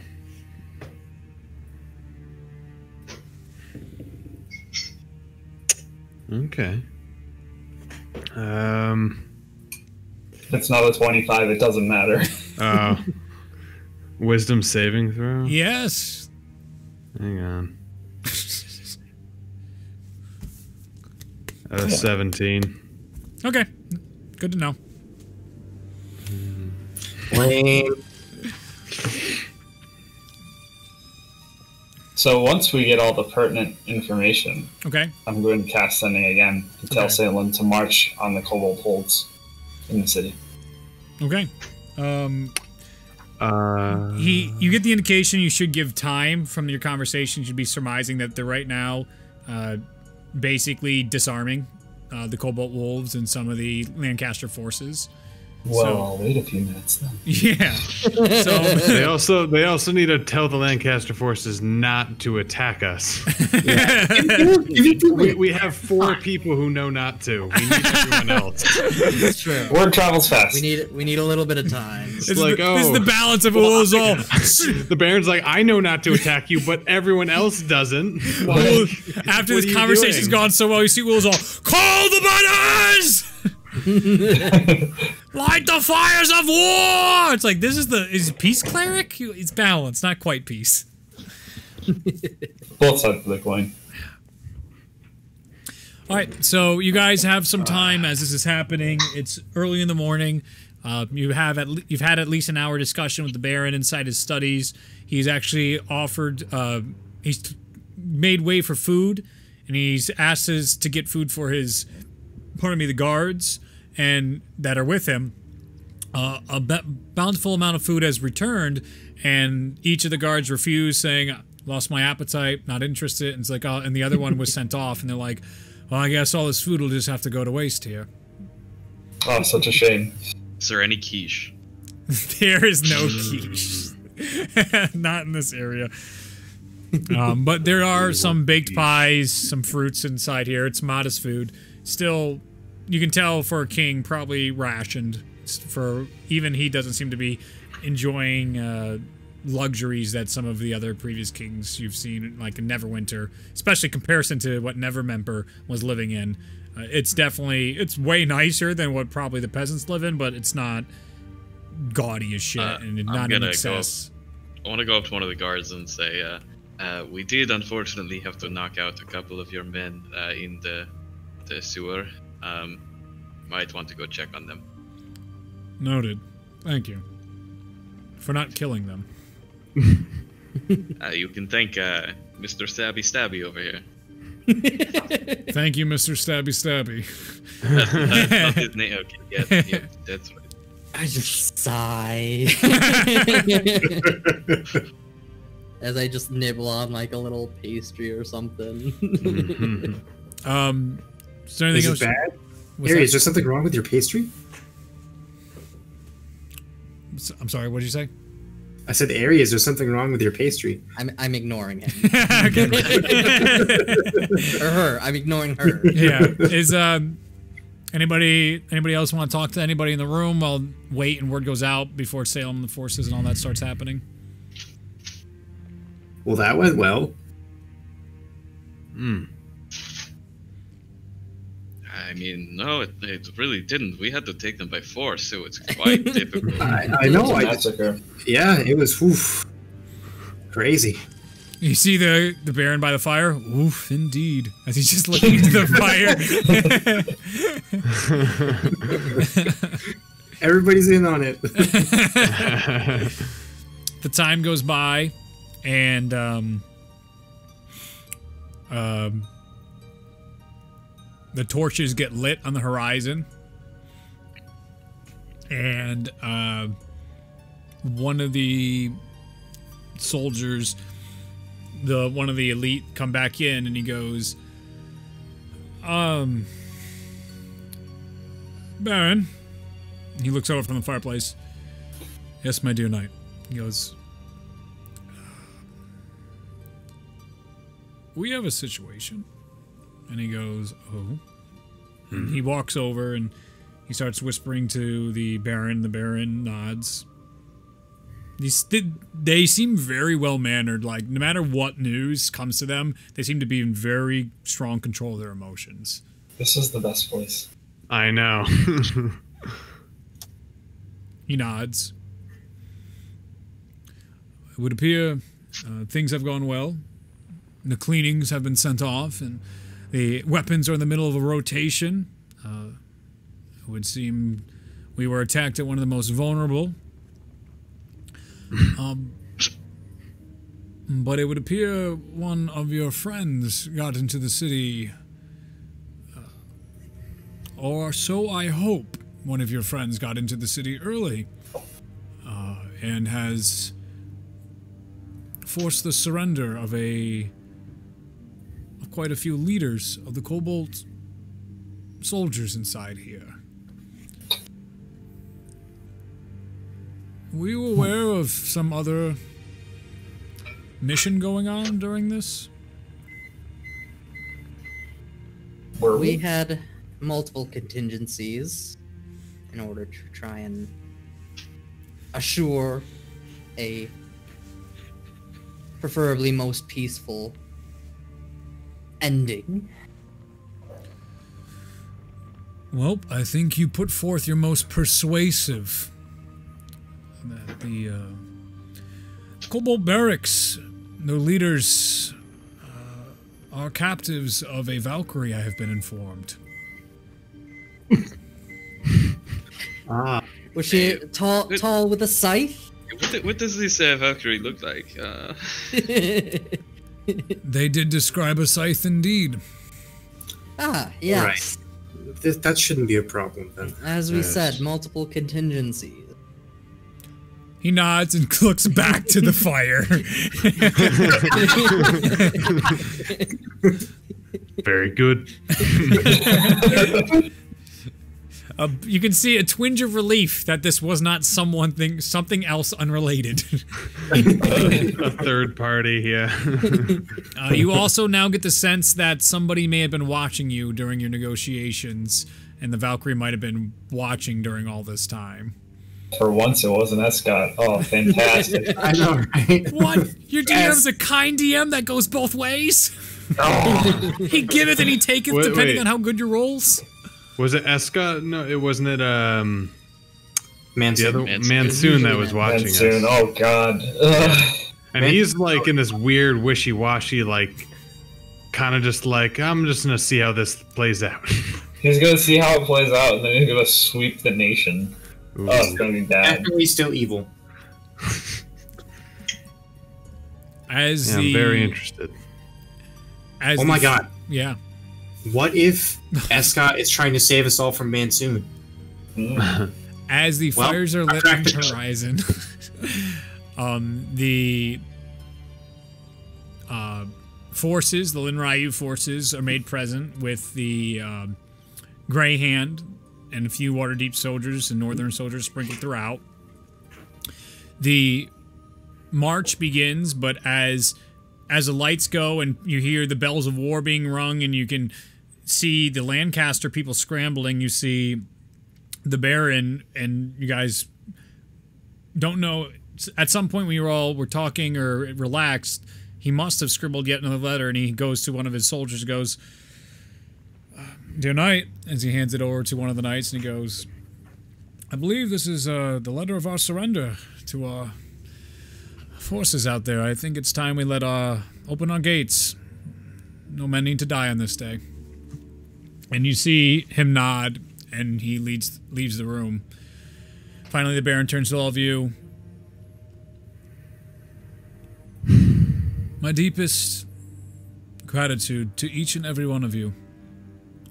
If you prevail in taking down Escott Grandier and the Kobold Alliance, you will have an ally, ally here in Laencaster for whatever the world is afterwards. You have spared my people from bloodshed and shame. And that is something the Laencasters will never forget. I just give him a nod of my head and kind of make my way towards the door. All right. We look forward to a free Laencaster once again.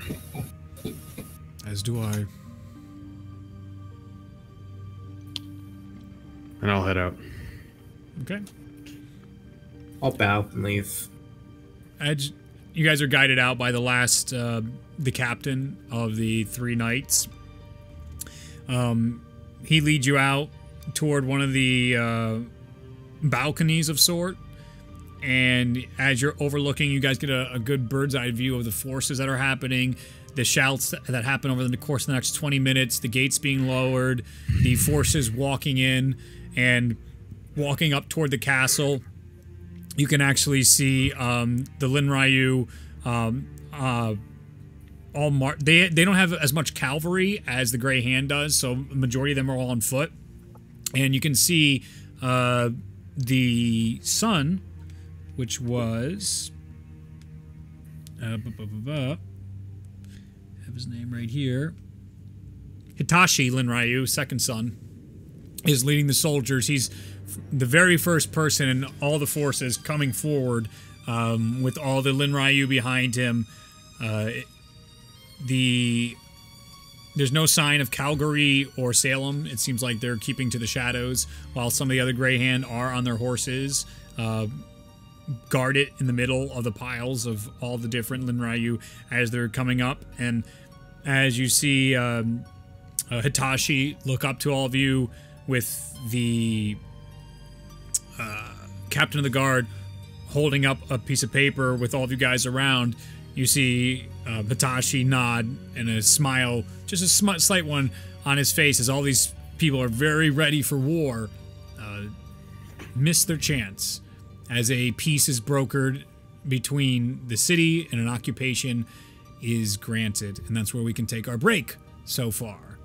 And Excellent. everybody Hooray. levels up. I haven't eaten dinner yet. Sorry, what was that? Everyone levels up because you were able to get a peaceful transition. More Uh-oh. power! More power. Because we were able to peacefully acquire the city. Yes. Excellent. Good thing I uh-huh. get absolutely nothing at level 10. Welcome back. As you guys have taken the city peacefully at this point, um, it is up to you if you want to go see what's going down at the barracks or uh, further see what uh, I believe it's Hitachi has to talk with. Was it Hitachi? Yeah, Hitachi, who is now talking terms with the Baron right now. I'm gonna go see what the Valkyrie's doing. Okay. Yeah, I'm going with him. Yep. That sounds important. Okay. As you guys go through, and you can see the as you walk through the Lin Ryu army, they like part ways, very unsully style, and they're like presenting their shields to you on the inner side, but the outer side is still like shields out, ready to fight anybody around them. So you're you're basically being protected as you guys walk through the streets toward the uh, barracks that are surrounded right now, and you can see um, swords being gathered up into piles, and the Laencaster soldiers being uh, pushed aside as prisoners of war of sort. Same with Kobold soldiers. Um, as one of the Lin Ryu uh, motion to let you guys in to see what's going on, you enter into one of the barracks, and at this point, it all the beds of the barracks have all been pushed aside, and you can see uh, sitting on a pile of uh, Kobold soldier armors and helmets is the Valkyrie, and you just see all kinds of Kobold soldiers basically in their undies. Just surrounded right now as she has her scythe out in one hand that's right around the necks of three of the Kobold leaders on their knees. And she's just sitting right now, and they're all just trying to comply with what's going on as you guys walk into the room. As I see you took some initiative. Greetings, Chosen. I see negotiations went well. They did indeed. That's good to hear. You hear that? You've lost, and there's nobody to bail you out. Maybe you should contact Escott. Get him to come here right now. You think he'll save you? Do you think he cares for you? Someone comes over and bursts out. Oh, fuck. Wait, what was his name? Oh, I got it now. Sorry. I forgot the title they refer to him as. Sorry. His grace would save us if he had the opportunity, but he dares understand our sacrifice at this vile evil in front of us. She looks over. Hmm. Do you know how many days you have left to live? he sort of starts to recoil a little bit. It looks like hours to me. Hmm. You should be careful. He starts to recoil a bit as her wings give like a flutter a bit inside the room and then motion back. Hmm.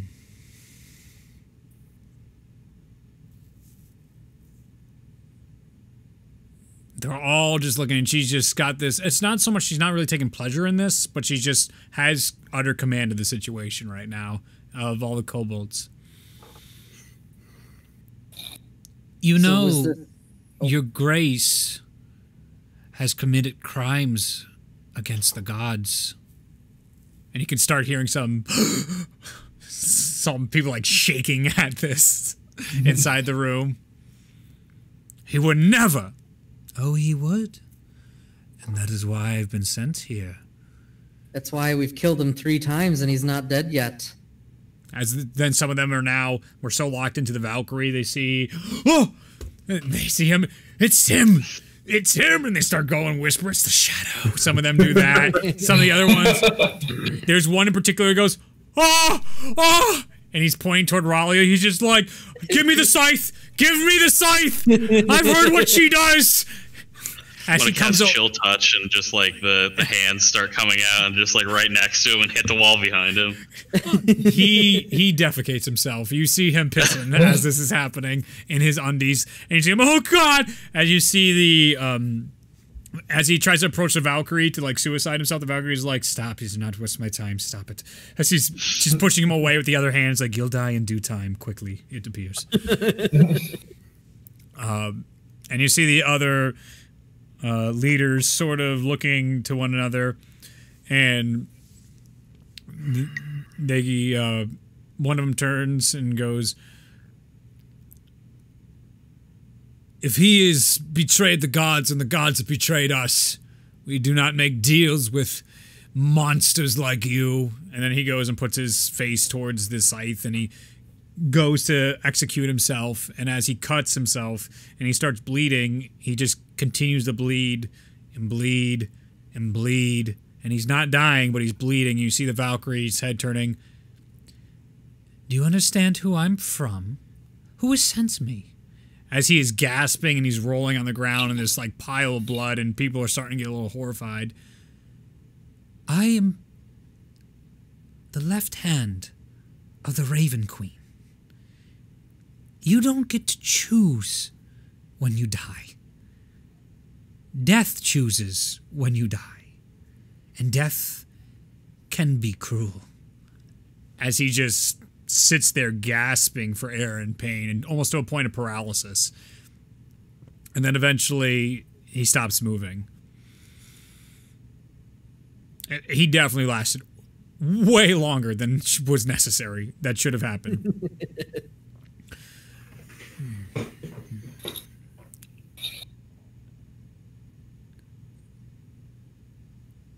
Which one of you would offer your king for the good wills and the good graces of the Raven Queen? I want to cast animate dead on the dead guy. Yeah, go for it. Just want him to like do like a sit up. You know, he's back up on his butt, but he just looks at them, tilt his head, get the periwinkle eyes, At this, a, just ma- staring at them. a majority of the Kobold soldiers are on their knees at this point now with that. They they are cowering, they are scared, and the other two leaders are just like wide-eyed at what's going on.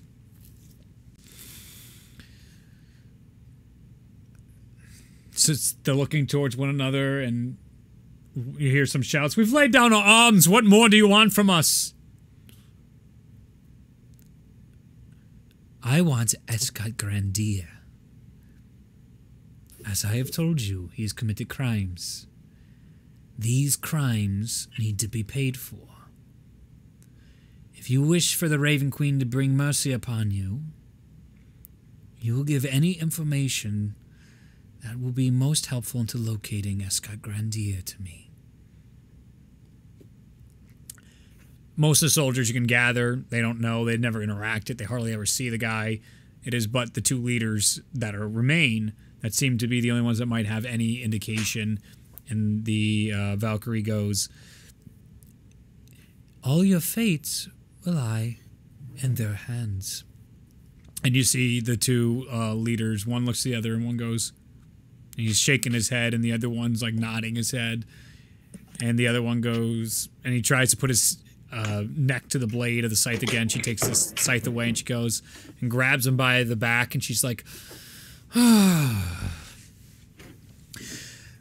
admire the strength to try and decide when your time has come. But alas, a lesson that has clearly not been learned. And as she's holding him by the back, he just starts to dissolve into dust. And then she drops, her, uh, releases her hand as all the dust flies away of the body as a like Loki disintegrate. As he dies, I want to use my reaction Yep. to cast Soul Cage Yep.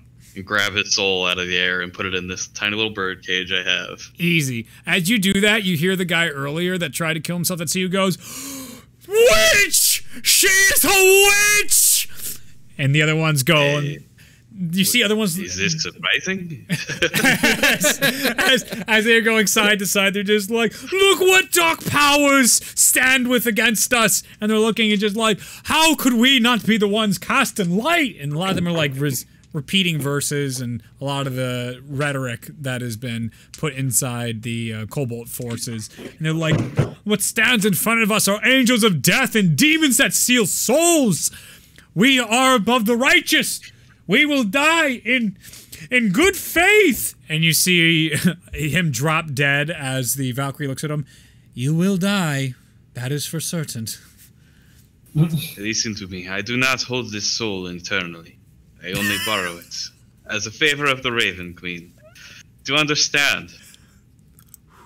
You Give must me- understand this. Your leader has become uh, one with undeath. Uh, the Raven Queen does not smile on this.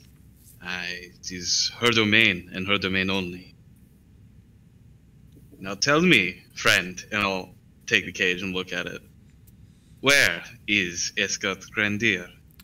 I would like you to make a persuasion check with disadvantage for all the people in the room that just watched this.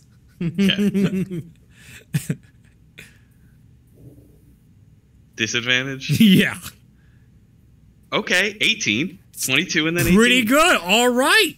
Much better than I thought. So they are scared, but some of them start like nodding their heads a little bit, being like, you know, Raven Queen, Death Valkyrie, they're making some points here. People dropping dead, bringing them back to life. Maybe there's something to this.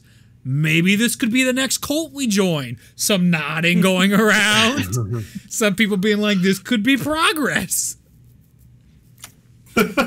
um, Next cult. So, So uh, the individual in the cage, uh, he tells you, uh, His grace can be found inside the wolf's den. I, I don't know if that means anything to me. Probably can- not, Does right? that mean anything to me? You can make a history check, both of you. okay. Oh, Keep like reaching for No, dice, but doesn't. yeah. seven. Not really ringing a bell at the Uh, moment. 15. Yeah, you've never heard of shit. All right. You're not I'll, from uh, this continent. I'll just uh, ask a Valkyrie. So, uh, do you know where that is? I do not know of All right. such pet Uh, hey, buddy. Uh, where is this wolf's den? Inside the castle of Tendorf. That makes sense. You see some of the other people in here being like, it does make sense. They're just agreeing with whatever the hell Ralia got the Valkyrie are saying. And the others are looking like, yeah, yeah, yeah. Of course. Uh, I'll look at the Valkyrie and say, uh, "Is there anything specific that you wanted to uh, to know?" I mean, he is yours to take. You see her looking. Nothing piques my interest right now. He is yours to take from this world to the next. Awesome. Uh, so, what is each one of these guys' greatest fears? There's only one left, uh, leader Okay. wise. um, and uh,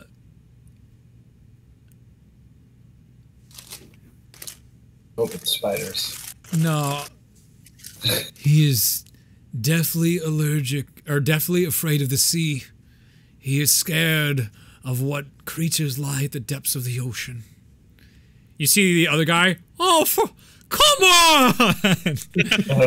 I'm half naked and about to come on as he's on his knees in front of the Valkyrie.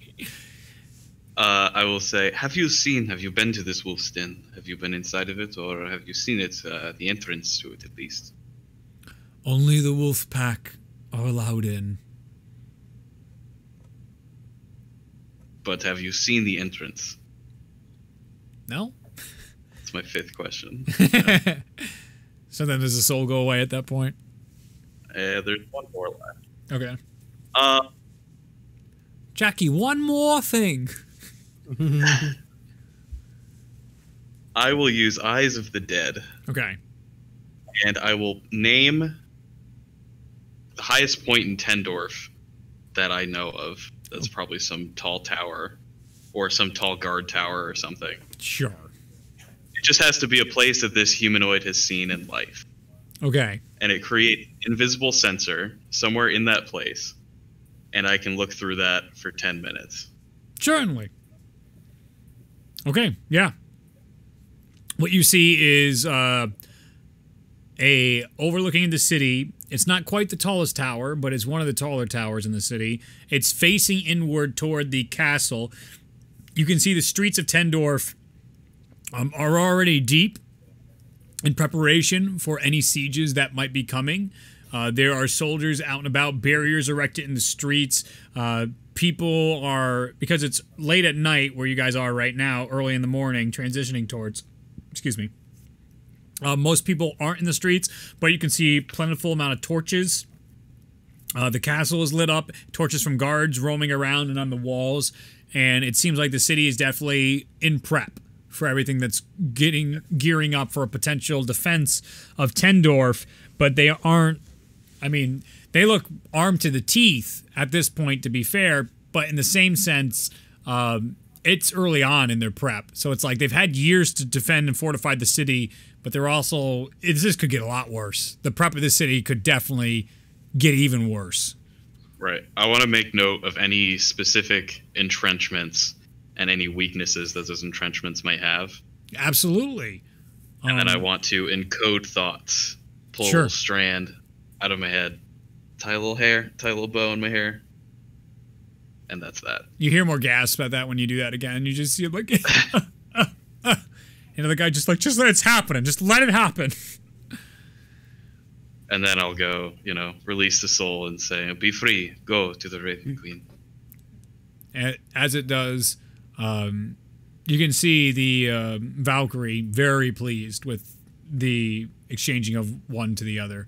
As you are very familiar with, you you are like on this fine line where you are in the good graces of the Raven Queen, and she allows you to continue like allows you to bring some undeath back to this world, but it's only temporary in that pursuit of life and death and the understanding of its role in the universe.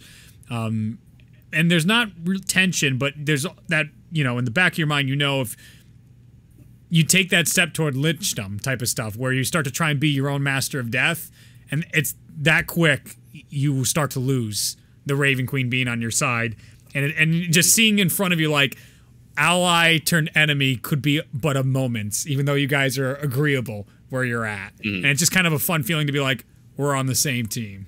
We we we got the same person watching over us.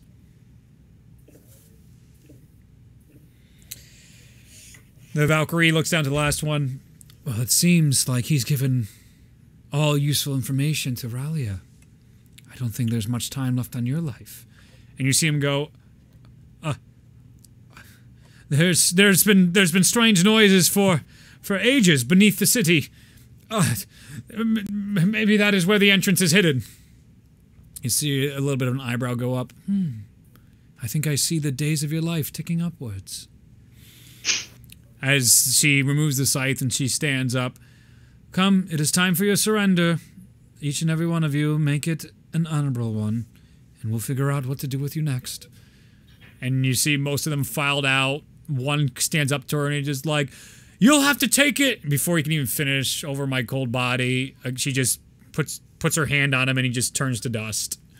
As she continues walking through um, uh, outside into the early morning, a lot of the uh, Linryu are putting them into uh, rope. They don't have enough chain, but a lot of rope right now, uh, tying them up and marching them towards whatever uh, prisoner of war holding that they can right now, and trying to outfit that stuff in a less fortified position than the barracks was, and try and make them more vulnerable and take them as prisoners of war as best they can.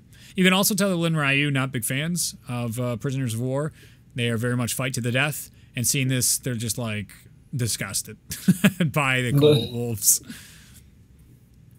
and a little bit of the Laencasters. There's a little clash of their the honor bound going back and forth, but there's a little bit of like they get that they were told to stand down, and there's like this little bit like, all right, your guy said to stand down, your guy's weak as shit, but like I see you.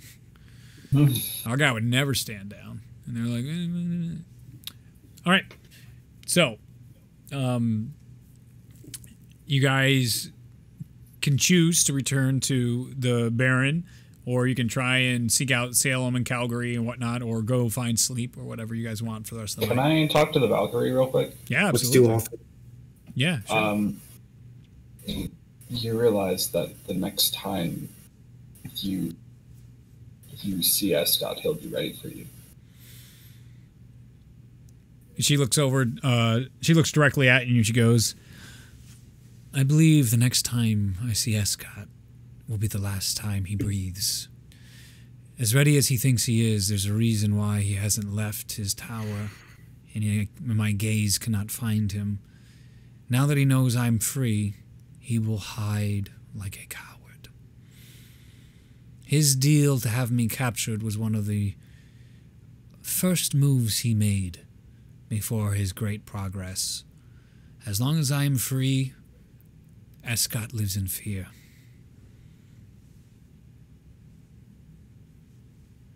I believe you, and I don't doubt your skill or power for a second. But I also don't fully understand our enemy. So please be cautious. That is great wisdom that speaks beyond you years, Ulazal Uto. Promise me this. You kill Escott Grandier one more time, and I will finish the job. We'll do our part. She releases her hand from your shoulder, and there's a twinge of like you didn't even notice it get there, and now that's released from you, like ha. Because she turns things to dust quite often with it. Oh boy. Yeah, um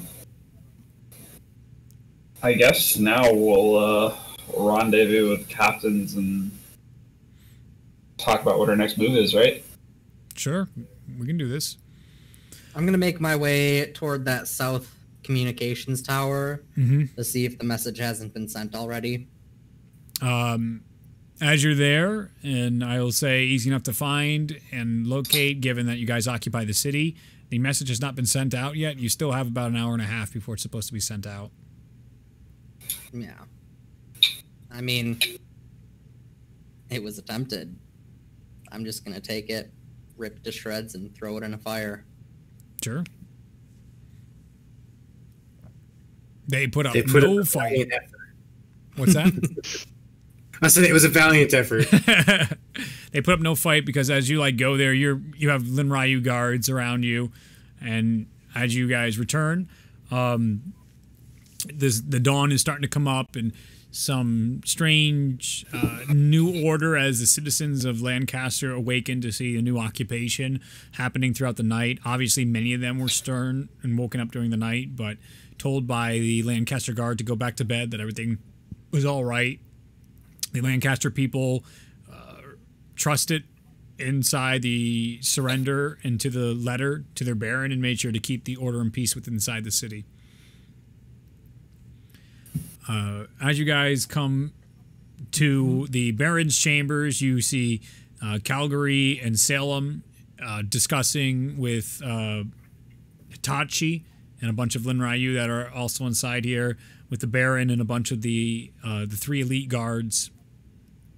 Uh, just discussing over a table in a different room. They're no longer in the study. They are in a uh, a more formal area inside the throne room, which is less modest. It's more imposing, and you can see lined with uh, coats of arms all across the walls of swords and shields, all with the emblem across, uh, banners down from the ceilings inside here and a long green and uh, dark black, like uh, embroidery around the outside of it, leaning towards the uh, throne that uh, appears to be like made out of wood and oak, and there's bits of stone engraved into it as well.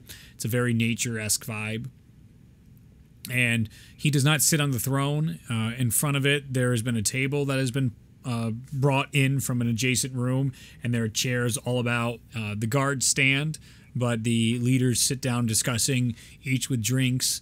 Uh, Salem hasn't touched his. Calgary is drinking out of his. Uh, Lin Ryu has, or not Lin, uh, Hitachi Lin Ryu has barely sipped his, but it has at least made the gesture of good faith as well as he has drank his. And all of them are pretty solemn in their faces, but it looks agreeable as you walk in.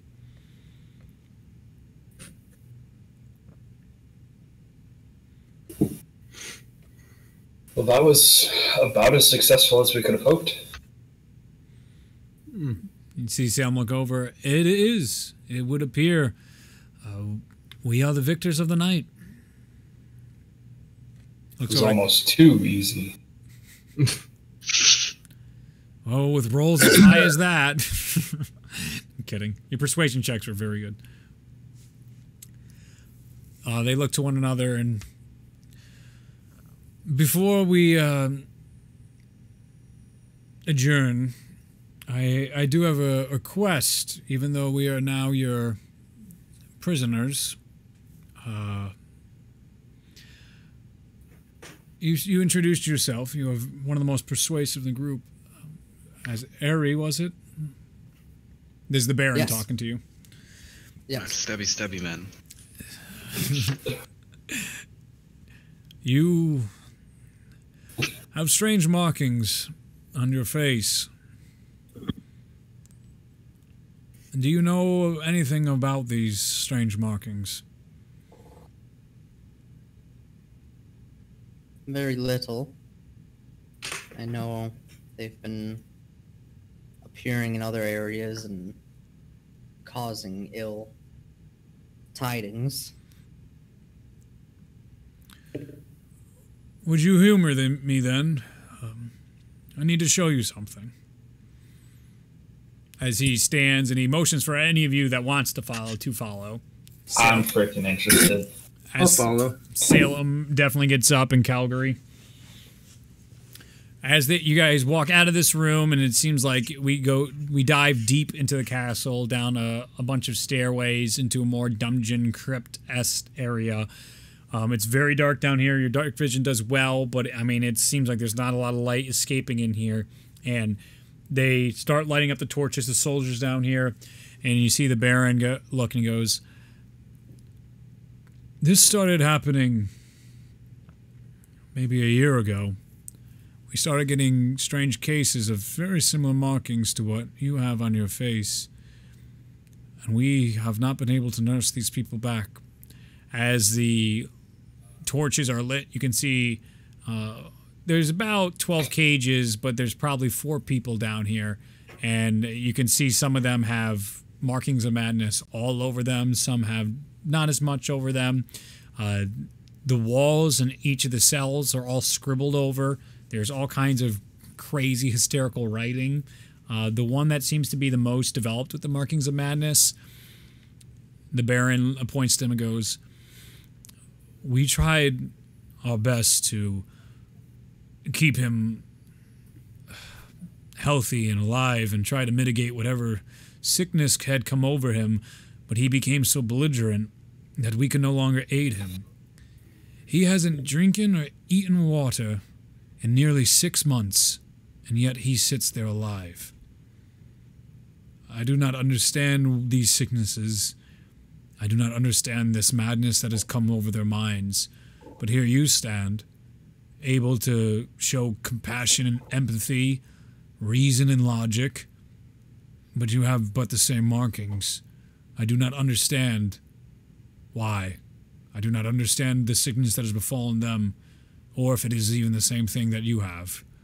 But I was curious if there was something you could do or knew how to do to maybe save these people. Ulazal, Re- oh. Redolf taught you the recipe for the the elixir, correct? Um, out of character, I don't, I don't know. I believe he I'm did show sure. it to you. New music. Oh. Oh boy. New music. Oh boy. New um, music. Oh, I I thought he did the last time when we saw when we saw him the second time, because he gave oh. us more potions, and I thought he kind of briefly okay. he he kind of instructed you on how to make more. I'm pretty. I sure was not. I wasn't there for that session, so that's why I don't remember it. Uh, I'm pretty sure he did.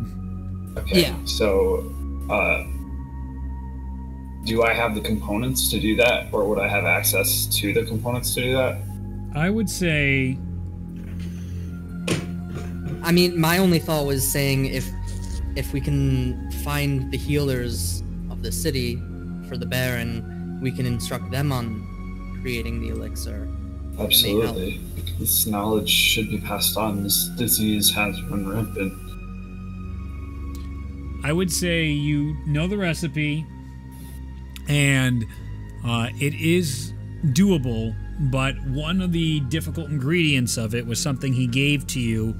Um, you need uh, ground up uh, lizard folk teeth for it.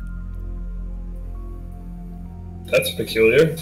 Um, but there's okay. uh, some more typical ingredients are stuff you would normally see in basic alchemy. So how much, how much of the lizard folk teeth did he? It normally takes uh, a full tooth of it and like one of the large like canine esque lizard folk teeth. Yeah, would have to ground into dust to mix in. Okay, how much did he give me? Um, he probably showed you. He probably used everything he had to save him at the time, so you don't have any of that spare components. But I believe you still have like three or two of those potions left. Okay. Yeah, I have two. one, and I gave a couple to you. Yeah, I know you used one on Eve at one point. Yes. Yeah.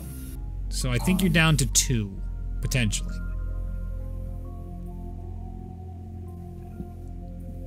Ari, when you took this, what did it do for you? It gave you this lucidity, correct? When I get the potion? When we were in Phandalin, you were unconscious for a significant amount of time. We were worried that we were going to lose you. And once Rudolph gave you the potion, it still took me some time to wake up, I believe from what I've heard. I didn't wake up right away after receiving the potion. Um,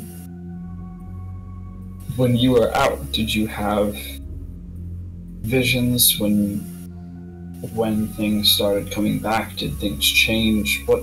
I guess I'm just trying to figure out what the effects are. Uh, I I still don't fully understand what this is. I want to know what's causing this, who's doing this, if it's a another being. Just because right now it feels like we're we're just plugging a hole in a cracked dam. It's just going to give way eventually.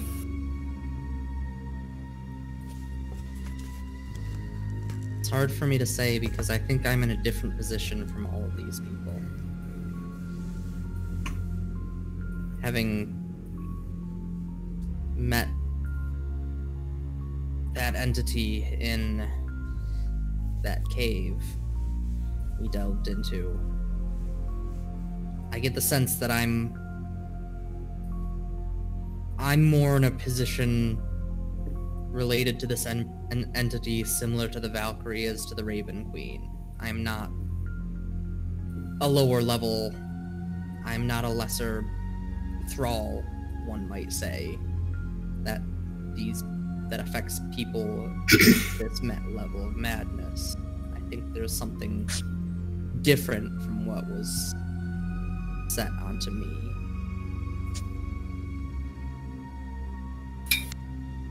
My concerns from a whole nother level. But the one the one that the one the the other that we met that was lucid he called himself a champion and he just he he he seemed to view me as if i was the next looking at the guy who's in the cage, he's just sitting up. Is he awake? Yeah, oh, they're all busy. Each of them seem to either be mumbling, writing on the walls, turning and pacing. They're they're all up and atoms, baby.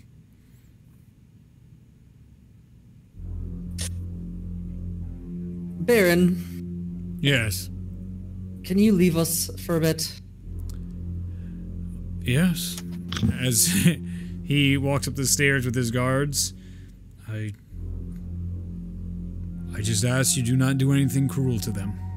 As he continues up the stairs. Salem and Calgary Uh. are here. Mosnell, Hmm. can you can you stand by me a moment Okay. i wanna i wanna attempt something but i'm not sure what the effect will be I'll go stand next to him. Okay.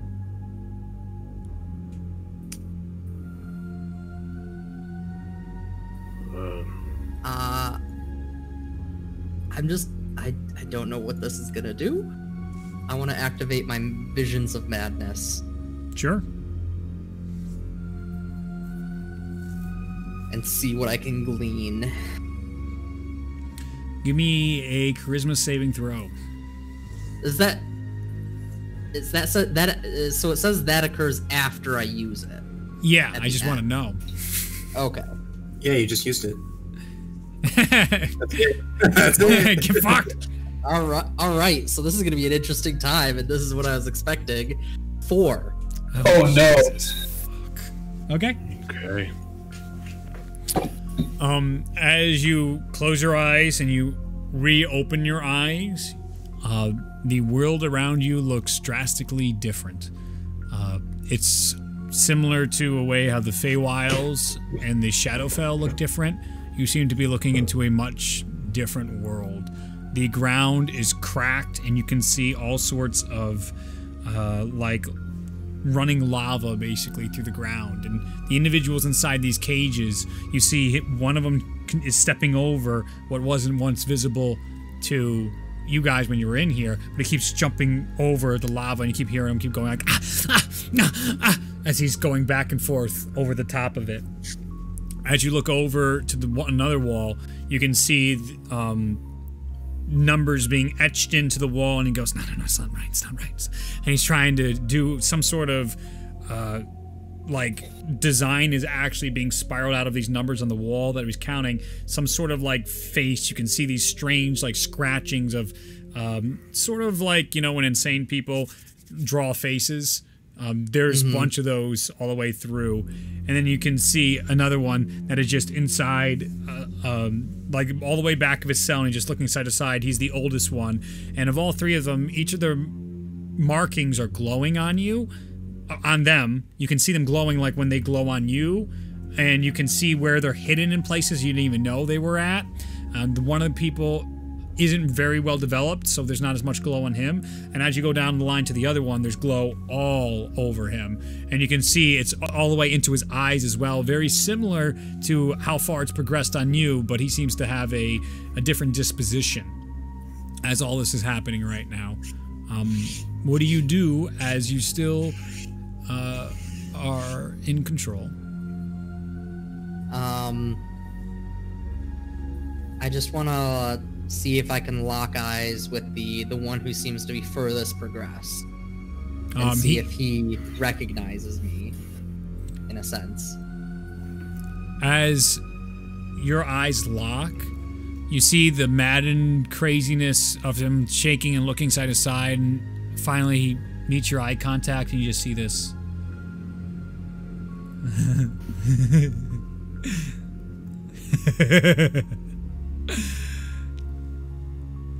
With you.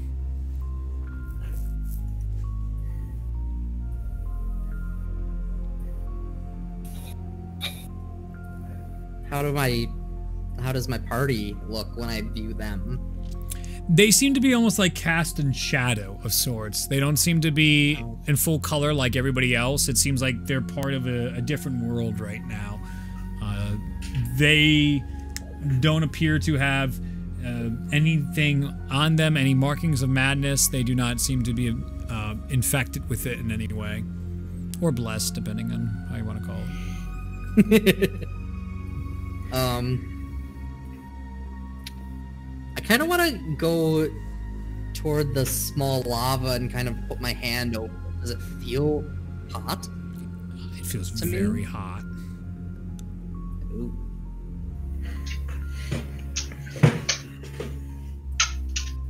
Um. All right. As you put your hand down, you can see that blob, and like as Mosnell is like fo- staying close to you, anything they're saying is like deafened out. Like Calgary and uh, Salem, you can just hear these like mumbles. You can't really hear anything they're saying wherever they are. Like you know they're there, you just can't hear it. Yeah. How does he look to us? Um, all of his markings are glowing right now that are visible, but I mean, he doesn't look sick. He doesn't look erratic. He just seems to be like his eyes have gone completely purple, and he's glowing with his markings of madness. And he seems to have calmed during this too. A whole bunch of them, like the one stopped jumping over back and forth, and another one stopped for a second, and the other one smiled when they locked eyes. So you see that like he's calmed them with whatever the hell he's doing right now. Hmm. I'm gonna look upwards. Okay. And Is it just the wall of the the ceiling of the chamber?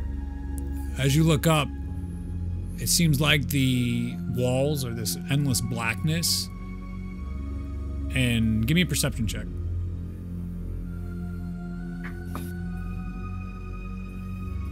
Twenty-one. It appears that there are two purple eyes watching you. There you are.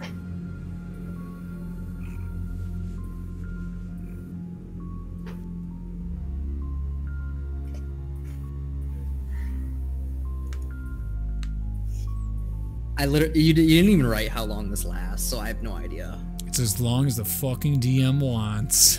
it's baby.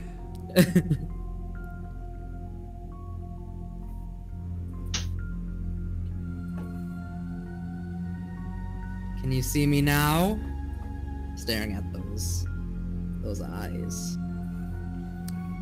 Um, as you hear Ari say that, um, you you all kind of like, okay, he's saying something strange. Um, Ari, you black out, and the you see Ari walk over and open up the cell, Ha, poor Uzal. And he walks inside. Oh no! Oh, it was Hunter! Oh, it's even worse! That was Hunter. Ah! He blacked out.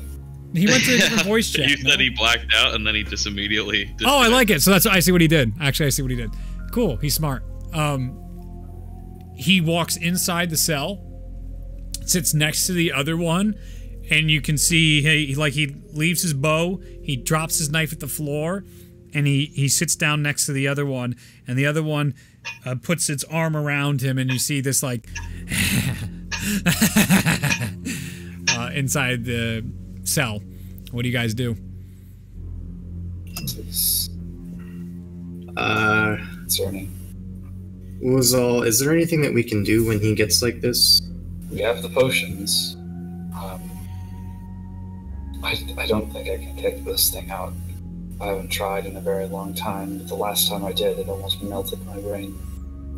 All right. Uh, maybe we just let it ride it out. I don't know. He's not doing anything I dangerous. want Yeah, to. so I, I was gonna stay next to him throughout all of this. Mm-hmm. Mosnell, if there is even a hint of violence that begins to happen, I want you to restrain the one who's not Barry. and I'll get area potion. No problem. Okay, um, so are you inside the cell with the two of them? Yeah. Okay. As I'm you, at the door.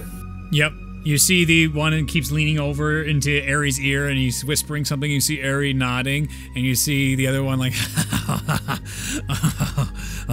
and he whispers in again, and he comes back. And back he out cast sleep on it. on The what? guy. The other guy? The guy. guy whispering. Yep. Um,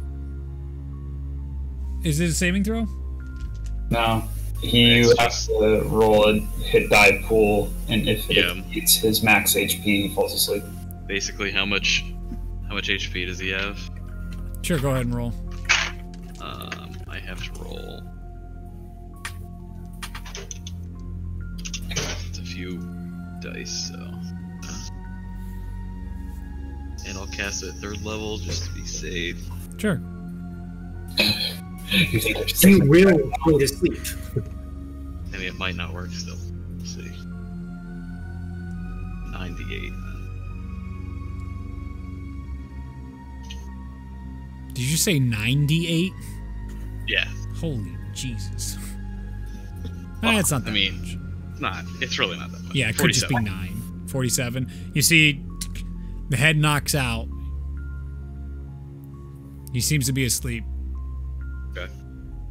Just let that be for a minute.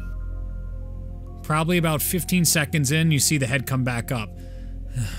And he just continues his conversation. Are they like? What are they saying? It sounds like fucking mumbo jumbo, dude. I mean, this is no words? language you've ever heard. It's a language. Okay. Maybe. I mean, these seem like the ramblings of whack jobs, wackadoos, and Harry is responding. There is a language though that they're speaking. Like it seems like it's a formed language. It's not just like You can try.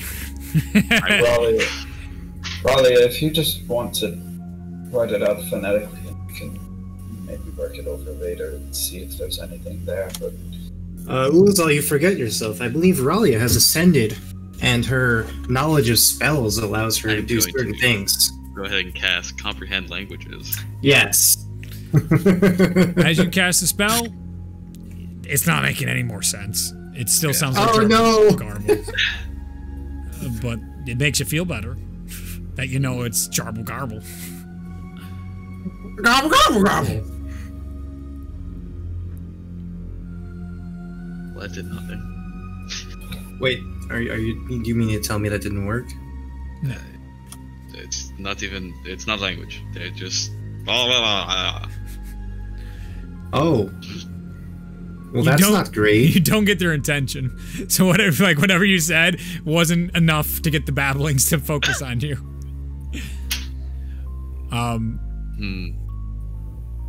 you see now the Ari puts his hand out and this individual's like tracing something inside his hand. Well, this is really weird, and I think I'm just gonna let it happen. I would like to cast Detect Thoughts on Ari. Okay, um, describe that to me. You initially learn the surface thoughts of the creature, what is most on its mind in the moment.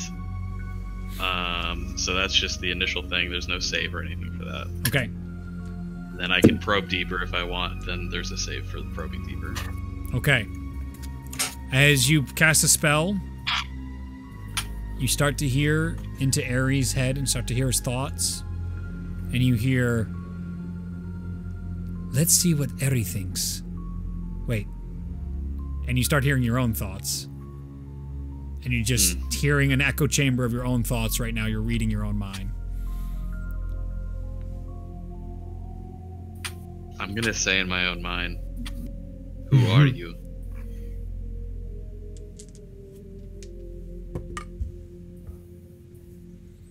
No response. I know that you can hear me. There is no doubt in my mind, as I'm sure you can tell. I'm gonna try to probe deeper into his mind. Okay. It's a wisdom save. I don't know if that's for Ari or something else, but Things are getting juicy. I am concerned. I am enthralled. No, I don't have Athena. Harry comes Who's back to this guy? consciousness. Be back. Ari, you find yourself sitting down next to the individual inside the cell, his fingers in your hand, and you find yourself disarmed. Your bow is not on you. Your sword, you, your sword or rapier is tossed aside along with your dagger, and you are sitting on the floor. Mosnell's right next to you, ready to jump in at any moment. And uh, Uzal's in the doorway of the jail cells. They're all watching you, sitting next to this individual. And uh, give me a wisdom saving throw, Eric.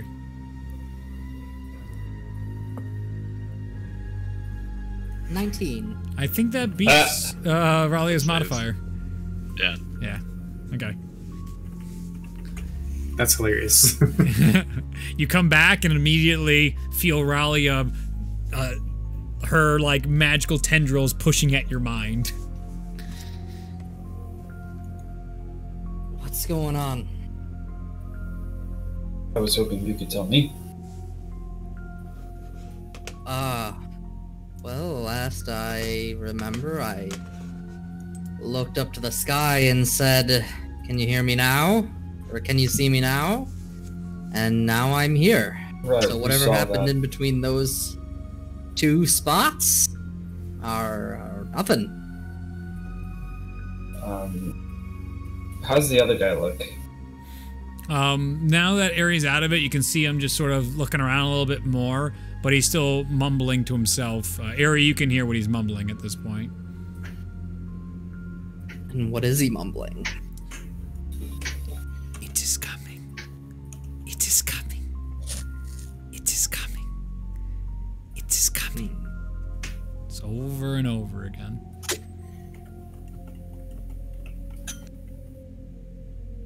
Why is my stuff on the floor? You put it there. you dropped You it. dropped it. Give me a uh, intelligence check or wisdom. Ah, wisdom check. You're feeling this one out.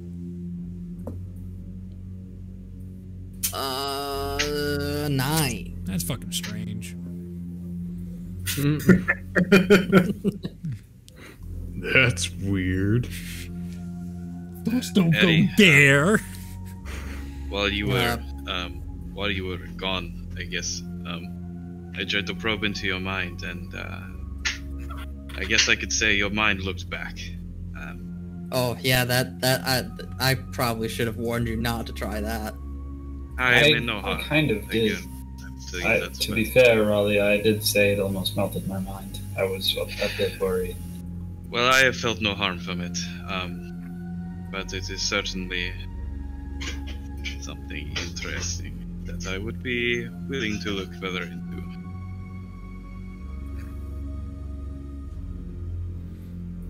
I'm gonna go pick up my stuff.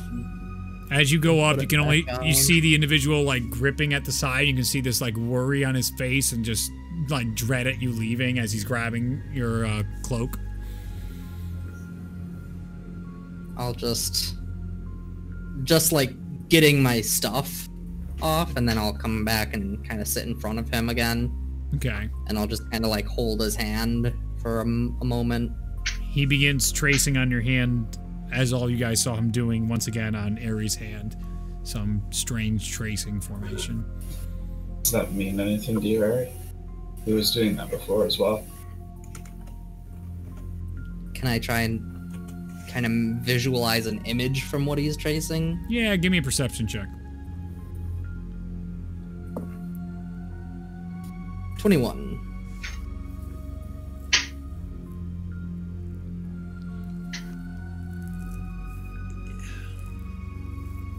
It's a strange shape. It definitely.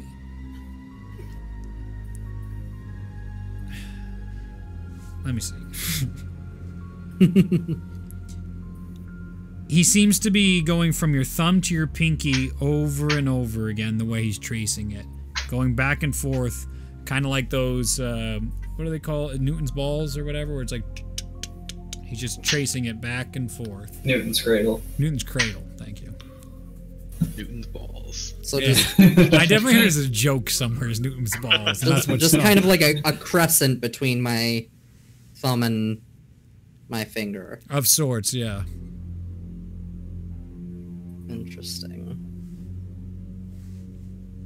Uh, Ari, um, I might be able to put you into his mind if it will allow. Would you wish to do that? Uh, I'd be curious. Do not know what danger that poses you. But if you are willing, I am willing to try. We can Plus, we can see what happens. I'm interested in seeing. Alright. I'm gonna cast sleep again on this guy. I have to get my dice roller. I don't know why I got rid of it. Wait, did he try to cast sleep on me? No. no, the other guy. Okay. Okay. Yeah, you can't be put to sleep normally because of your 42. heritage. Yeah, I can't He's- put elves he's to out. sleep. He's Alright, out. and then I will immediately cast Dream. So I will put Ari, uh, as long as Ari does not resist it. Yep. Um, I will put Ari into his dreams, and he can, I can shape the, cu- cre- the creature's dreams, or just let him do whatever he's gonna do. Um, as long as he's on the same place place of existence. Uh, yeah, Ari goes into a trance-like state and goes into this guy's dreams, basically. what happened to the Whispers channel? I don't see it. It should Still still, there. be there. It's right there. Yeah, it's At the bottom. I yeah, I, I can't see it for some reason. Ari can also shape the I environment of the dream however he wishes and create his own image. He can make himself look like anything he wants. He makes, he controls the spell basically at this point. Alright. Okay. Ari.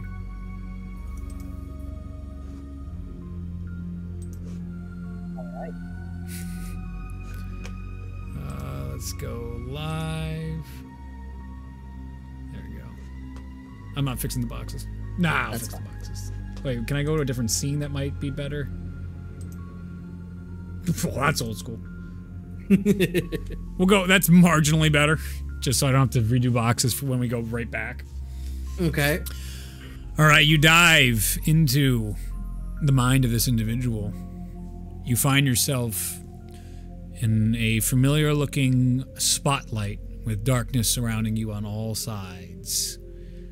You can see the individual at the center of this light um, shaking and looking side to side.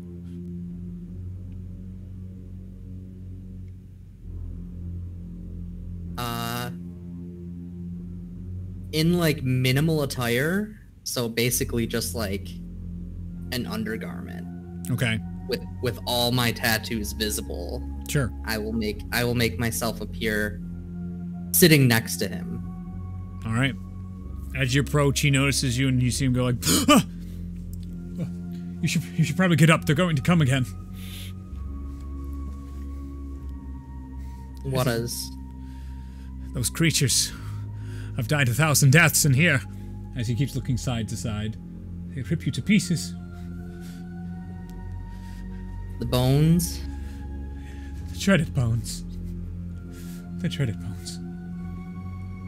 You can see the panic in his eyes as he continues to look side to side. Well, I will help you. He looks over at you, finally looking at you for the first time. I don't, I don't know if I finally lost it, but I will take any help I can get at this point. They'll be here any moment. Are I'm you gonna stand up, Okay. and like Ralia said, I can kind of shape the dream Yeah. as I wish. Yeah. I'm gonna I'm gonna make myself in all my full battle attire, Okay. and I'm gonna outfit him in like soldier's attire. Um, slowly, the armors come across you. Your bow comes back into your hand, and you can see this excitement from him as he looks to you, and you give him this like smile of "I've got your back" in this. And as that happens, and he has his own uh, sword and shield in hand, you can feel how close about they're about to penetrate from the darkness into the light. And they seem to be getting closer and closer until finally you see one of those large four prong claws hit into the white of the light, and then another one, and then the long triangle face comes through. I'll crack my neck a little bit. It's like round two, bitches. All right. Um, as it starts coming closer, what do you do? Uh, I'm gonna take a shot at its. Face. Go ahead and roll for an attack. That is a twenty-nine. You pull back. Is it Kageyume or Kageyusha? Kageyume. Kage, Kageyume. As you pull back, you release the arrow. The darkness arrow goes through, and he leans back and brings his one handed attack down with his sword onto another one that has appeared on his side. And then, as the arrow begins to pierce into the creature, you see it fade. And you look down, and all your armor's gone, his armor's gone, and the darkness has come even closer to you. You can see the eyes above. Why don't you come down, come down here and face us yourselves? I got a bone to pick with you. As that happens, you feel the on your neck, and uh, and you see him get bit too, and you come back awake. Ah, But the north is mostly just due to Mothmal, so that's pretty good. Well, boy, howdy. How you how y'all doing? ah. Ari, No, no! Ari, Oh no! you take 65 points of psychic damage. The heck, dude! As Ari wakes up, and you can see blood coming down his out of his nose and down his face. What the hell? What happened? I'll just cast a little cure wounds there on my guy.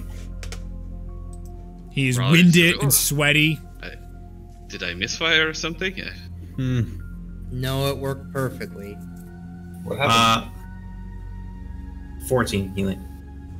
Ooh, nice. Uh, that was a fourth level, so it's really not nice. I feel it's that. actually horrible.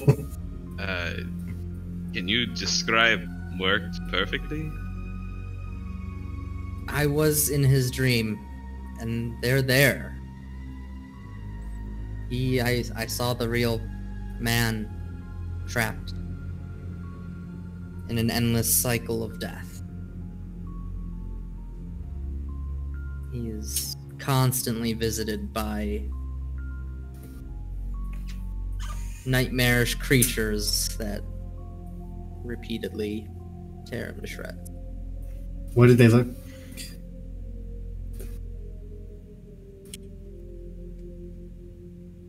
entirely made of bones. Oh Triangular God. faces. I am the wrong character right now. I don't like this. Um, four legs. Sharp, sharp serrated bones on the face and the claws. Does this sound familiar at all? You can make a history check. I Anybody's will do welcome to. I would. I will. I will get in on that, but I feel like I have a pretty good idea of what that is.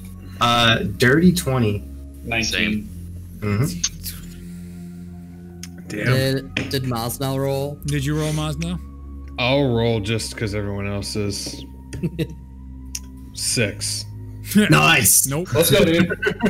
Um, Uh, what he's Probably- described, you have definitely seen before. Uh, because Synoptic. who had the who had the twenty? Uh, Ralia and I both did.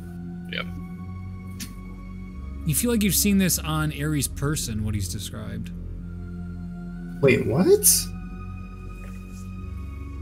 Um, Like a Ari- tattoo. Ari, can, can you show us some more of your tattoos, please? what? That, descri- that, des- that description's jogging my memory. You that's see all. Calgary, Yo. so I'm like, what? Guys, guys, get a room. La- ladies, please.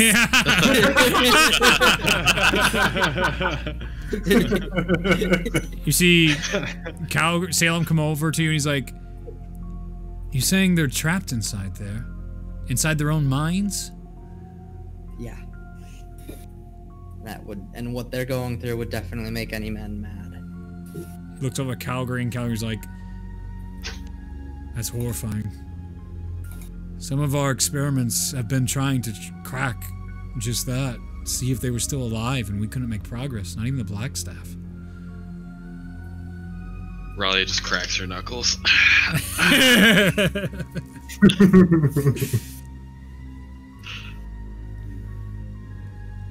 I imagine it'd probably sound very familiar to Ulazal because I've already described this exact thing before. it does, but he rolled a what? I rolled a 19. 19. Oh, you rolled a 19. Uh, This is a whisper that doesn't need a call. Okay.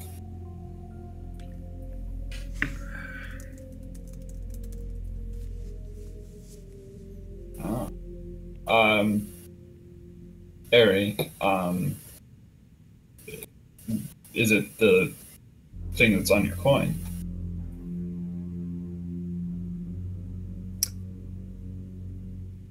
Yeah, it's that. That is exactly what it is. And So, I'll pull out the dark coin. And both Ralia and uh, Bellona, you guys are like, oh yeah, that's it. That's where I've seen that shit.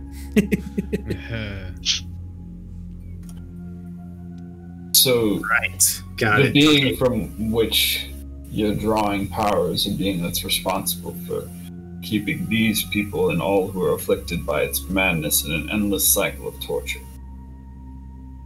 That sounds kind of judgy there, tier guy. Calgary That bursts out I'm sorry, laughing. did- Very Did I did I say something that was incorrect factually? no, it was right. It just, I don't know. You had like a toot about you. I am just not a fan of demons. Look, we can agree on that. I don't necessarily think this is a demon. What would it be? That's also good. See, so it's fine. There's nothing it, to has, worry it, about. has, it has never exuded a fiendish nature, from what I've gathered. Would you consider its nature to be chaotic? Most definitely. Yeah, that makes sense. Hmm. Ev- everything it does has been chaotic in nature. Ulazal, we don't deity shame around here. Calgary is like laughing his ass off, and Salem's like, "Get yourself together." And Calgary's like, "I, I mean, this is, I gotta make light of this. This is crazy." Well, it's called the madness, so yeah. But with that experiment, that actually gives me a very interesting theory towards Eve. Uh, whatever do you mean? Well, what if we give her the elixir and then enter the dream? Uh, we as in who? Just you? Because you have I mean- some sort of madness abilities that we're unaware of? I, I don't know. I mean, me, of course, but possibly others. Because maybe if we utilizing the potion tips the favor to the consumer in trying to break the cycle. I don't see how we could all get into a dream. Uh, it, it is not that difficult to uh, concentrate on. I can do multiple, multiple Oh, at once. also, um, it was quick. Remember, like 15 seconds to put the guy to sleep before he woke up again. So it was 15 Yeah. seconds in your time. Ari, it felt like probably a half an hour went by in, when, Yeah. where you were. It definitely seemed a lot longer in your time. Yeah. Do we want to test that? Not right now. Feeling the the fatigue setting in. Promising. Do we know where Eva is right now? Yeah, she is. Uh, She's in the frozen fortress. Yeah, inside the frozen still there. fortress. Okay. I can bring us there at will. Uh, if we want to go. You see Salem looks like we do have a few days before we're on the move again. Calgary looks and is like I can run things here as need be. Prep for when you if you come back. You can be Well, back we just we just need a way to reconnect. We need a way to come back quickly. I can come back. I can go either way. Did Really? someone learn I thought you- teleport? I did learn teleport. Some of the most powerful beings in all of Zenya now. Ooh. Only mean, do it. it's- I can do it twice per day. Hmm. Takes Okay. my level spell slot. Yeah. I mean, I am going to find some clerics. I'm going to give them the formula for the potion. Hi.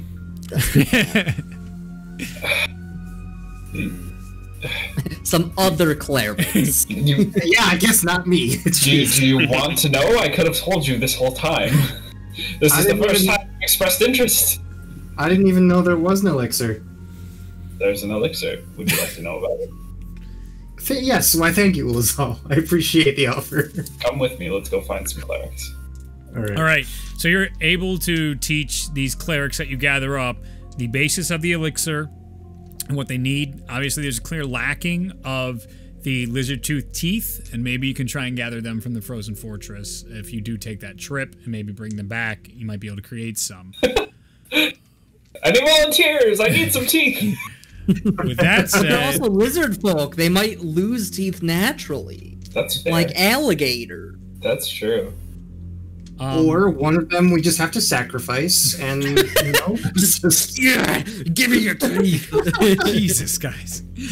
um, so, anything else you want to do before you peer off to go review with clerics while you're inside here? Any other ones you want to talk to? Anything you want to do? Anything you want to talk of Calgary and Salem? Whatever's in here. Both of them, like Salem's very much giving the indication of you guys can find any information, that is good. That is something that we should try and get as much information as possible about. If, Um, if it's not at the cost of risking your lives or anything dangerous like that, then it is fine by me. Oh, yeah. So I never really explained it. So what I did when this all kind of started, I I did acquire I I I I, I was shared knowledge of a new ability and it let me peer into what uh, almost like a different realm. And it's what these people see and it is incredibly real to them. It's almost a world of shadow with rivers of lava and blandness. Like, a Like that one, and I, I point to the one that's hopping Mhm. back and forth. Yep. He he is he is quite literally jumping over a river, a stream of lava in his mind. And that one, he pointing to the one that was drawing the symbols. He's making some sort of design with numbers.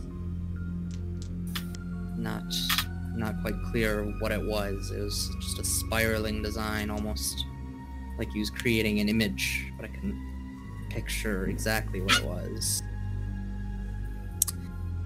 And then the the mysterious one itself is peering down at all times from above.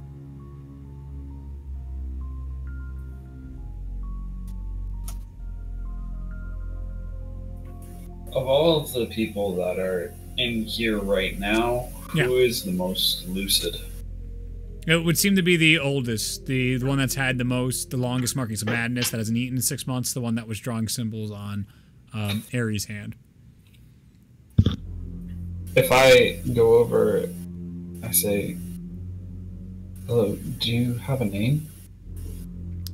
Does he, You hear him repeating, "It is coming. What is coming? It is coming. When is it coming? It is coming."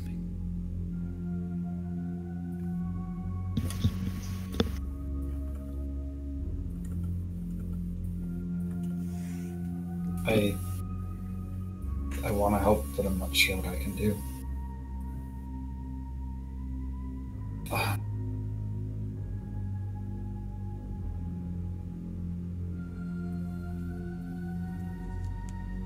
I am hesitant. Last time I tried something didn't end well for me. Let's see what you're gonna try. Fucking Ralia try Okay. some bullshit and nothing happens to her.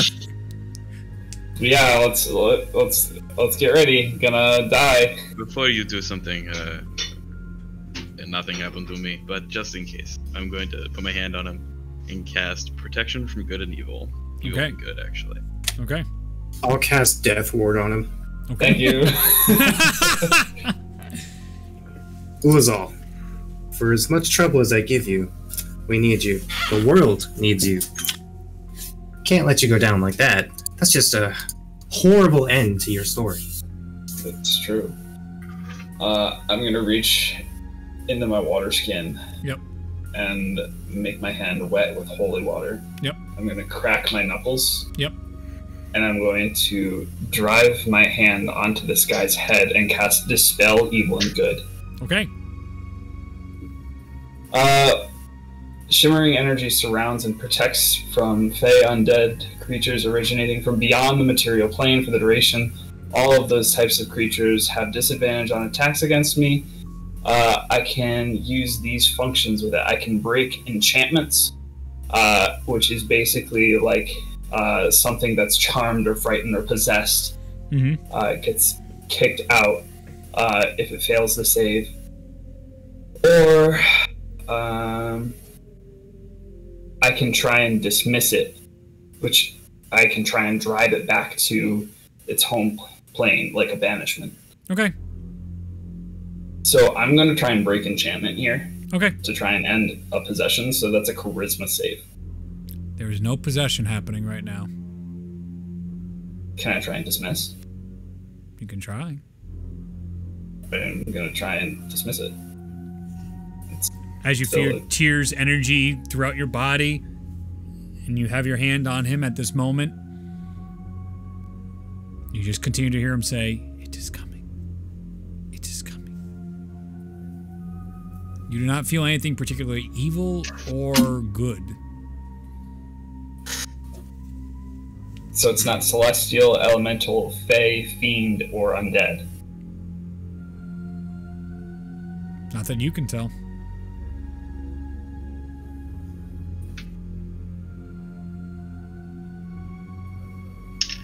I'm gonna look into his eyes and I'm gonna say, I am going to find you one day.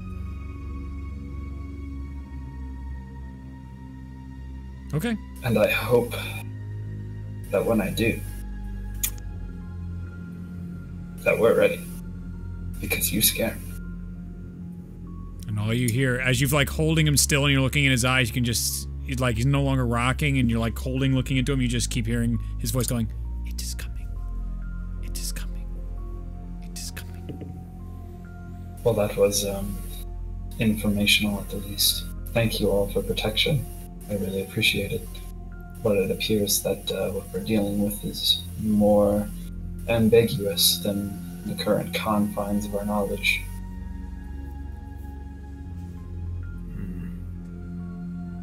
We're not going to be able to be much help here. Let's leave. All right. Salem, this isn't like any ship we've ever seen before. I'll just tell him all of the information that I learned from that spell, from that attempt to Okay. exorcise him.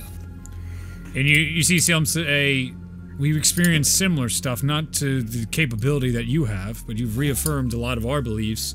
We've had these, this madness, uh, infliction pick up. Uh, your counterparts, our champions of Waterdeep, they picked up a few of them when we defended Waterdeep against uh, the kobold attack. And we've had occasional cases of litter, lizard folk pop up here and there. Uh, we've been dealing with that as best we can, and it is something we don't understand at all. Seems to be a lot of that going around. It's very frustrating. Deeper and deeper questions. I worry if this was some tool used, maybe a counter to some of the horrible devices of war we've created. As he looks over to Calgary, and you see Calgary give him this look of war's war. No. This is this is something entirely different. Is the, the the sense I've gotten. I think this is there's more to this story, but it sounds in the brief interaction I had with Escott the first time, he made it sound like this entire war, his entire plan to take over everything, was in fear of the coming madness. I think this is something that is ancient and waking up. Couldn't have happened at a better time. plague to be cast upon all of us? And Calgary looks and says, Escott did say those things. He was, in a matter of words, worried about the madness in the world. Taken literally, he would definitely mean the madness that we're experiencing. Figuratively, he could have meant the people around us, the laws he doesn't agree with, the order of the world, whatever rhetoric he meant. Based on the knowledge and the way he spoke to me discussing this, I do truly believe he meant it in the literal sense. I think the madness is something that will need to be addressed. I believe Ari on this one. And you know, we've we've heard our rumors, we've heard our share of worries. Salem nods.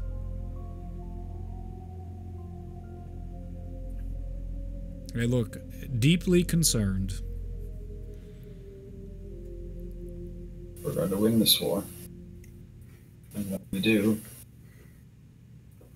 I'm sure we won't have too much time until we have to deal with the next thing. That might be so.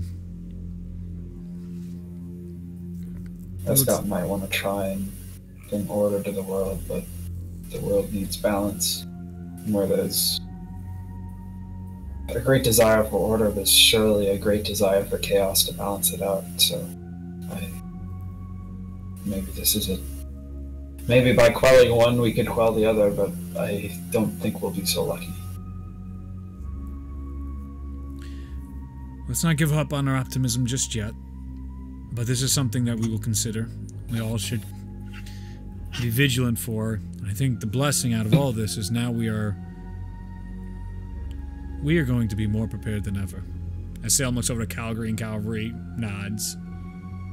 There is no chance while I'm still alive and I'm going to let our world be unprepared. We experienced Orlith, and we were unprepared. While we were gone, Escott tried to take the world, and we were unprepared. We will be prepared for whatever this might mean.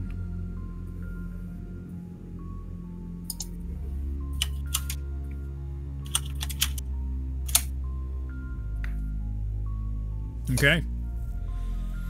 So, do you guys, in the early morning, the dawn has risen at this point. Uh, do you guys want to leave? You can take your long rest and then teleport to the frozen fortress if you so choose. Up to you what you want to do. With the, you have three days as the uh, three days before the excuse me North attacks Exeter, and one day after that, excuse me, before the march on Tendorf begins.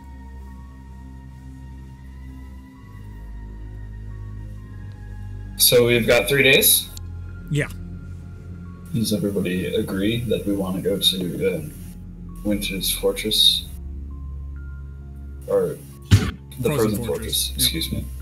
Um, do we want to head there and see if we can help Eve? Because if we can save Eve, she can bring back Shalmir. I know that means a great deal to our allies. Who's Shalmir? He um, fell when we tried to, when we um, were fighting Orla. He was Ralia, have you heard of this guy called Shalmir? No, I don't. Uh, if he fell, why didn't he stand up? he got turned into dust. You see Salem, and he's like, he was an excellent friend and a courageous warrior. It sounds like somebody we want on our side then. Most certainly. Yeah, definitely. You see him look over to See why we- Calgary. Someone of extreme importance as he looks over. He did some incredible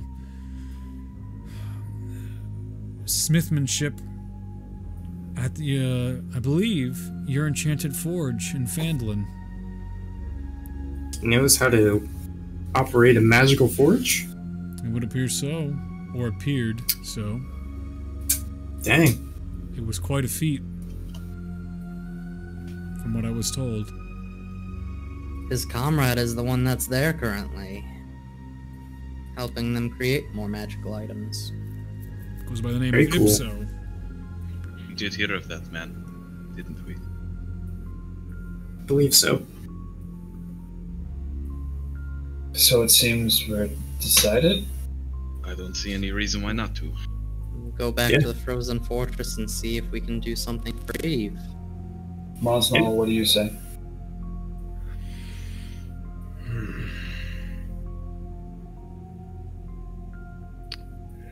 So we can either go to the frozen fortress.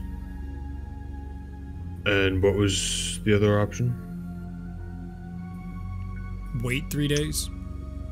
Yeah, that is the option. Prepare, rest, get supplies, whatever you can. Hmm. Before you go march on Tendorf. Do you think the trip to the frozen forest will be long? Uh, Ralia is teleporting. Yes, but I'm talking about how long they're going to be there. Gotcha. Okay. I mean, Maybe a day? yeah, it's.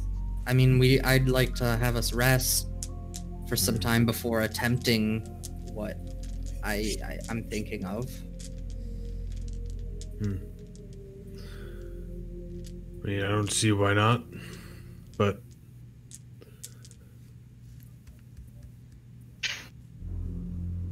To settle then. yeah. So is, And- is it the morning now? It's the next Yeah, day. you guys can take your uh, long rest, and then it can be uh, probably evening at this point because you guys Oh. were into the dawn uh, talking to the madness individuals. Well, um, when we are ready, I can bring us. I'm Everyone ready? Uh, All right. Is Salem going to come with us. I'm us? ready. Uh, stop it. That time.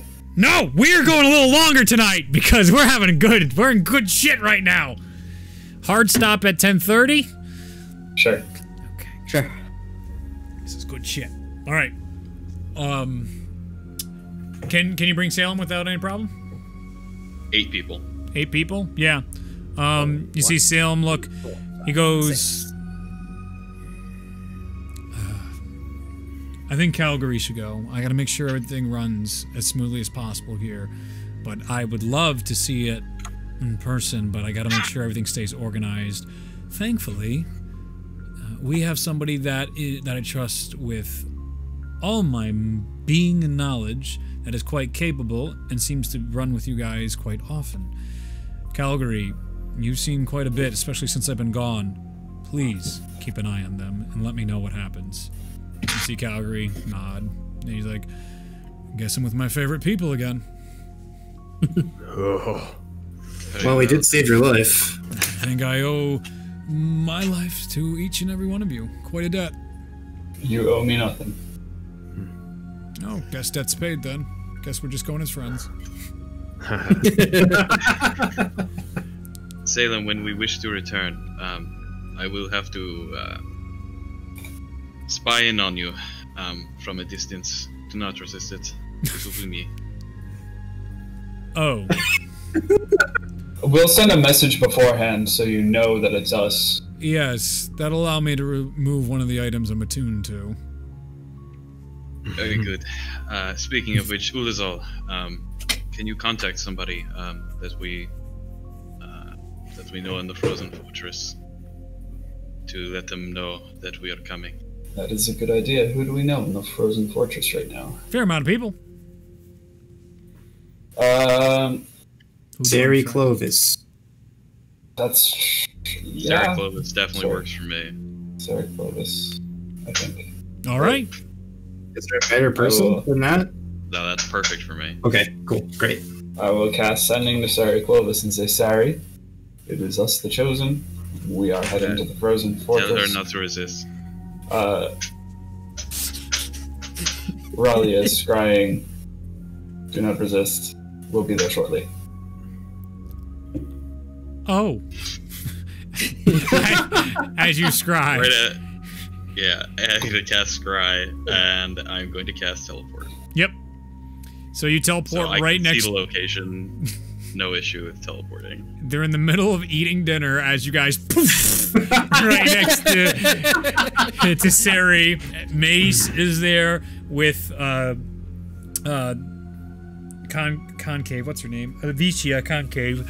And uh, a bunch of the other nobles are, are there as well. You can actually see Lin Ryu sitting with them inside the frozen fortress, and uh, you see her oh, like she's just finishing the O as you guys get there, and she's like, "That was quicker than I thought." I appreciate it, sorry.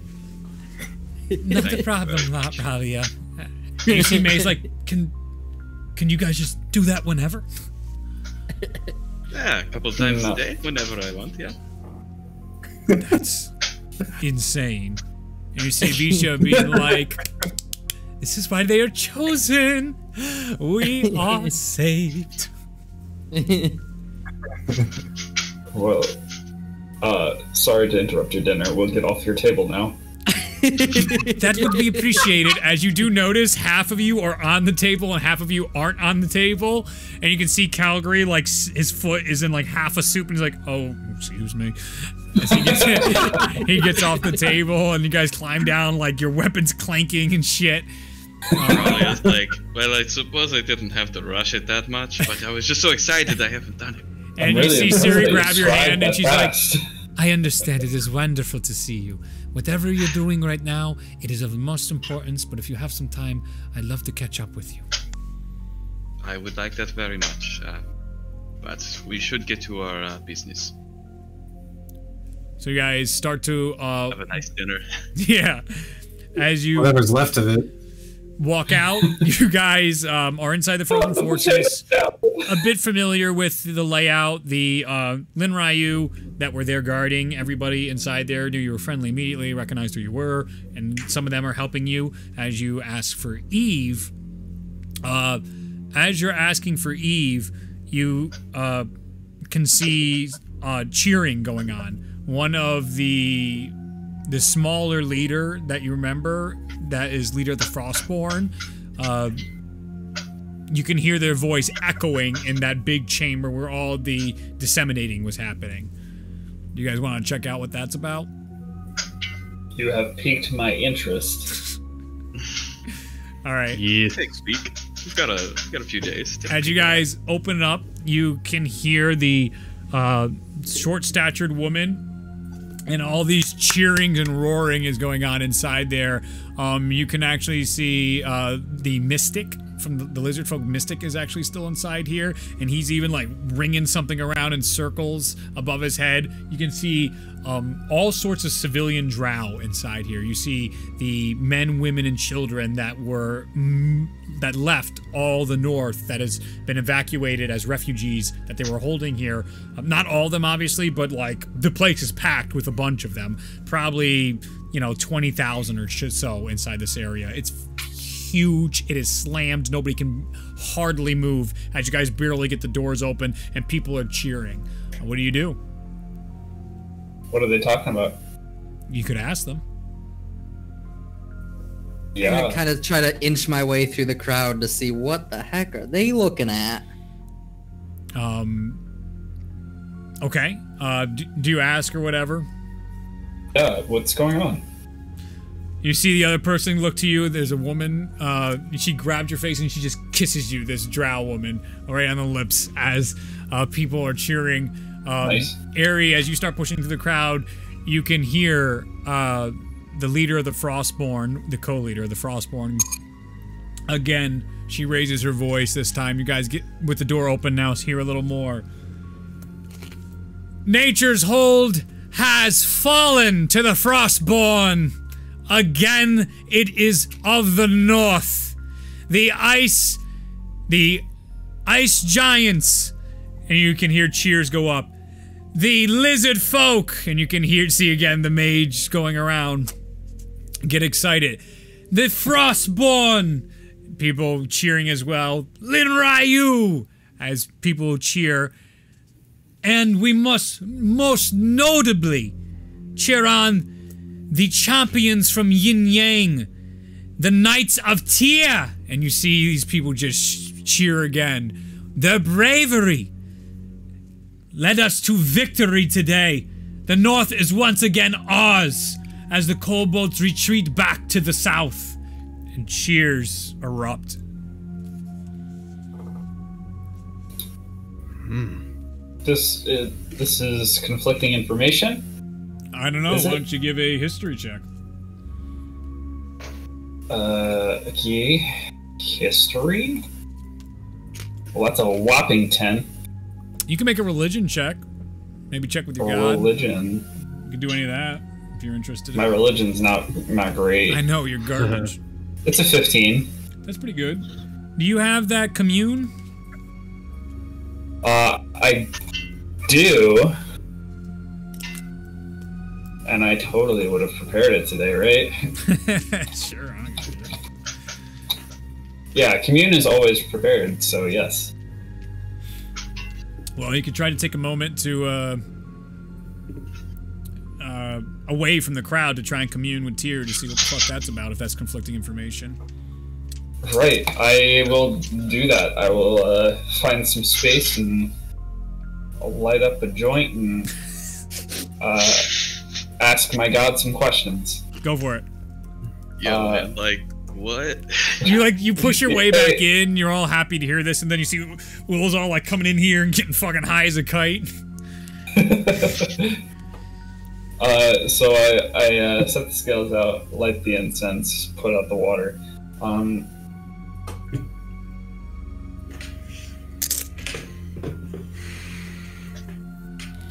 were these were the ones who took back nature's hold on our side. You feel the warmth of a yes. Do we know them? You feel the warmth of a yes. Uh.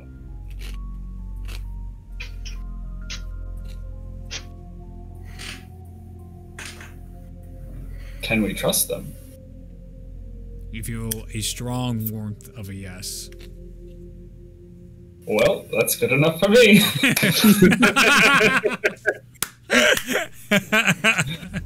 I believe we knew the the the ice giants and the and the um, Frostborn were going down to retake it, right? Right, but I, I want to know about the Knights of Tyr. They sound pretty cool. Yeah. Uh, I am interested. I feel like to, yeah, I don't re- I don't recall hearing about these people. Yeah, You Yeah, guys I could start asking around.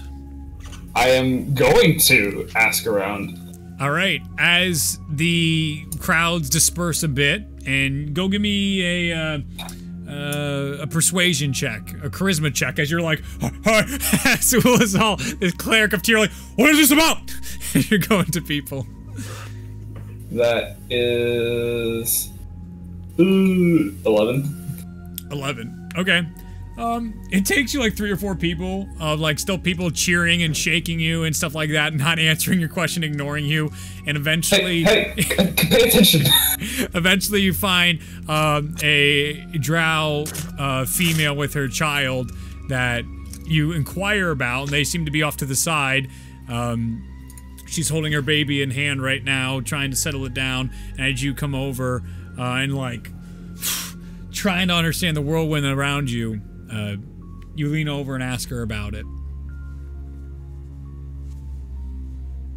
I know most of these people, but I've, to my knowledge, not heard of the Knights of Tyr. Who are they? She's looking down at her baby. You haven't heard about the Knights of Tyr? Man, the war is vast. It's the. And she's not looking up as she's holding the baby. As you can tell, the baby's like her full focus because it's like on the verge of like, I'm gonna lose it. And she's like, no, no, no, it's fine. The baby's like, no. Oh, I love mom. Oh, but I'm gonna lose it and start screaming. Uh, so she's right there. Um, they are a, a group, uh, a mix of deserted kobold wolves and the soldiers that fought at Yin Yang. Did you not hear about the miracle of Tyr?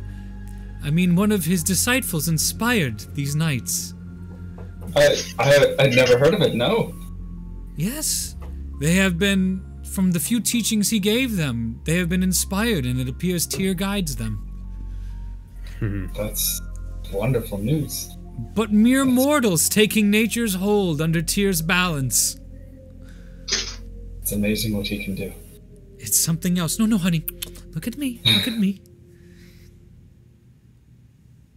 Well, I'll uh, tap her on the shoulder and give her guidance to help her with her uh, mothering needs, and then I'll leave. You see, it it helps. The baby starts to fall asleep.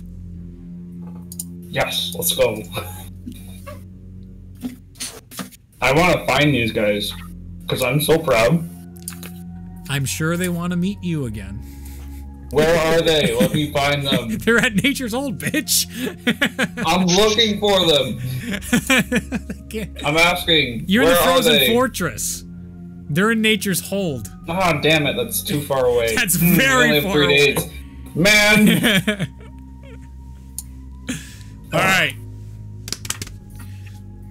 Then, uh, returning from this, you guys can go uh, find Eve with the healers at this point. Kane is not Yeah. present. Kane was fighting at Nature's Hold. Yeah, I imagined he was. Let's find some lizard folk and Eve. All right. You find Eve easy enough. The uh, mystic is actually shows up halfway through as there's a couple lizard folk with the northern clerics here, and you see the mystic like hobbling over. He's got uh, his his big Rafiki like staff as he comes in, and he's just like, I heard you were back. And you, you oh, hear Oh, this no. in really broken common, but he's a quick quick learner. Yeah. we we we have a we have a theory. Oh, We want to try something to see if we can wake Eve up. Tried you might. She's like a sleeping rock, and he starts bashing Eeg with his with his Rafiki staff. oh, wake up, lazy! You are lazy! We are dying out here! And you just see his body getting smacked by the staff. Please stop. Good Um, for nothing. Question. Uh, how do your teeth work? You see him take two steps back. Ar- I- I have some. We don't need to. Wait, you have actually. Oh, No, you don't I have any have- teeth. No, you don't. You have. I I still have a few potions. You do have the potion. Oh, yes. yeah. But you see him. Lizards We're with here teeth. They are sought after alchemical items. Very rare. Much rarer than those stupid stones you picked up. I could. It, I guess what Ari is ju- trying I to ju- ask. I just ask if if they're taken, do they grow back? I Or don't know. Given, I should say He- more accurately. If they're given or they fall out, Oh, do they, they fall come out? back? You see him grip his uh, Rafiki staff and whack a lizard folk in the mouth next to him, and you just see see like oh oh, and he's like ah, ah, ah and he takes and he rips one out. And you see like oh. Oh, as he goes to the ground, and you see see him go into his pouch, and he brings something out. He's like, and it goes on. And he's like, oh, oh. He's like, yes, yes, yeah, stop being a little bitch. And you see him has the tooth, and you see, hmm, they do come back, but it takes time. Something like this would take hmm, months to come back. Oh, months. oh, that's okay. You see him put it in another pouch. You see him like, hmm, I needed that. Thank you. And you see him like, oh, oh, he- he's like high as a kite right now. Well, um, Anyways, back to our plan. Yes, yes. as it turns out, um, your folks' teeth may be a critical component to the elixir we're using. And we're certainly not going to walk around ripping people's teeth out, but uh, if there are any people who would voluntarily give some, so that way we can start giving this cure out more frequently and hopefully helping some people who have been afflicted, that would be extremely helpful. This is a reasonable proposition. It is considered. Let's see if it works. Good idea. You Uh, I'll magic. administer. Like Eva's already had a dose of the potion, but I'm going to give her a fresh dose, Sure. just in case there's any kind of time limitation, restriction, or anything like that. Sure. I'm just going to give her some more. I don't see how it can hurt. So, Sure. fresh dose. So I only have one dose of potion left. Yep. And then, all right, Ralia, how many of us can you send in? That's a good question. Um, She is already. No! He's already in! uh, right now, four. If she's already asleep. She is already asleep. Yeah. Hopefully Hunter joins Already back. asleep. Uh, the, Oh, the oh. screen's just frozen, but I can still hear all you. Oh, good, he's back. There you go. I can do four at at this moment. You Okay. were you were in the last person. Um, do you who do you think is best suited for the job? Uh, Mosnell. Hmm? Mosnell will be very helpful. Potentially. All right. Um, I'm tempted to say you as well, Ulazal, but I also know every time you've delved in, it, uh, it hasn't really taken kindly to that. Yeah, it doesn't Not- like me very much. I'm not sure if it's the best to have you there. Um. Hmm. Will we be fighting anything? Um, very likely if this goes as I'm hoping, in a sense. I will say after I do this, it will be very unlikely that I will be useful in combat. Yeah. Um, question. Guess that doesn't leave you many options, does it? what we're fighting, will it be? It does Any- not fly. That's good. Flying's cheating. Oh my god. Uh, but no, that wasn't my question. Will there be spells cast at us? And then also, or is anything we're fighting like super evil demon stuff? It's not evil.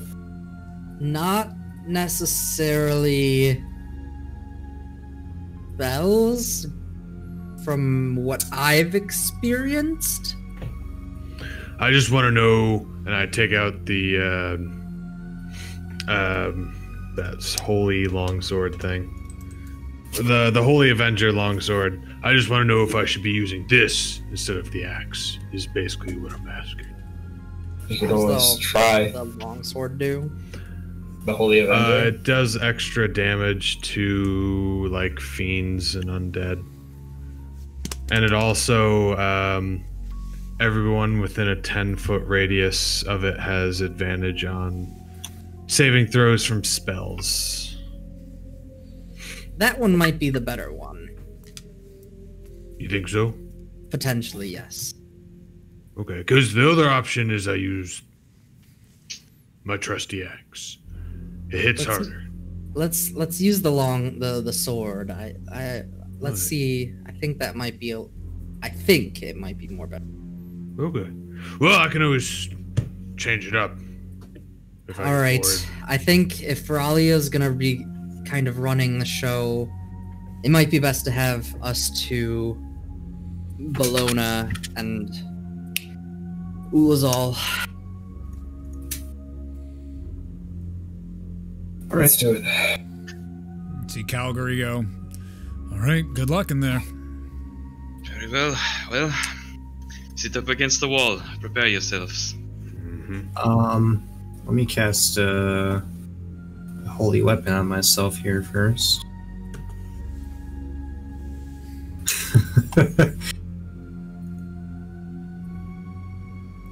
All right, you guys ready? I am now that I buffed myself. Yes. As you go into somebody's Whoa. dream. Okay. Uh, sure. Whatever you say. All right. Hey. Sits down. If it works, it works. I'm Takes just out her gonna spell book. sit cross-legged, across, right next to Eve. Okay. Takes out her spell book. Yep. Sits in front of everybody. Reads a few things. Puts her hands over everybody. Oh. And sleep. I'm not gonna make Luke since he would be the only one not here. He gets to listen to this. I'm not gonna black him out on this.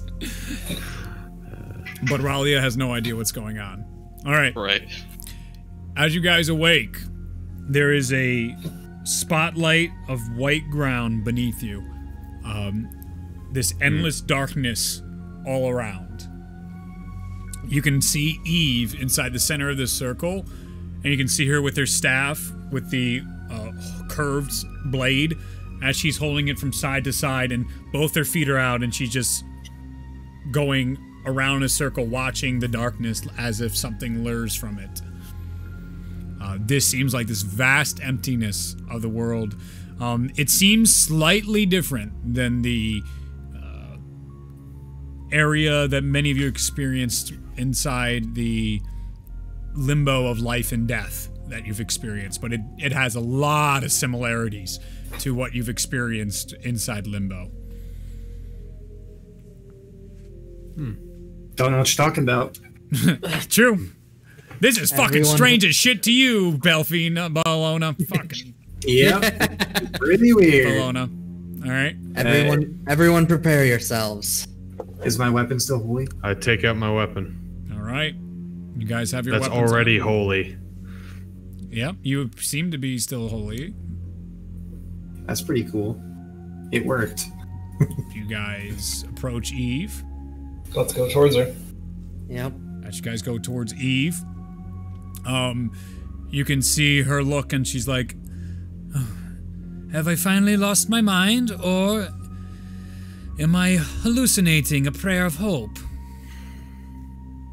We, you're not either. We are trying to wake you up. Hmm. I. It is. It's really us. We are here, and we're gonna try and help you fend off the beast. I don't know if I am more concerned for your health now than my own. But if you're here to save me, you have my eternal gratitude. But I do not think this is a beast any of you can take. It is something I have been fighting since the moment it arrived. Perhaps Well- together. We're gonna try it together. Together. Ari, do you want to make a perception check for me?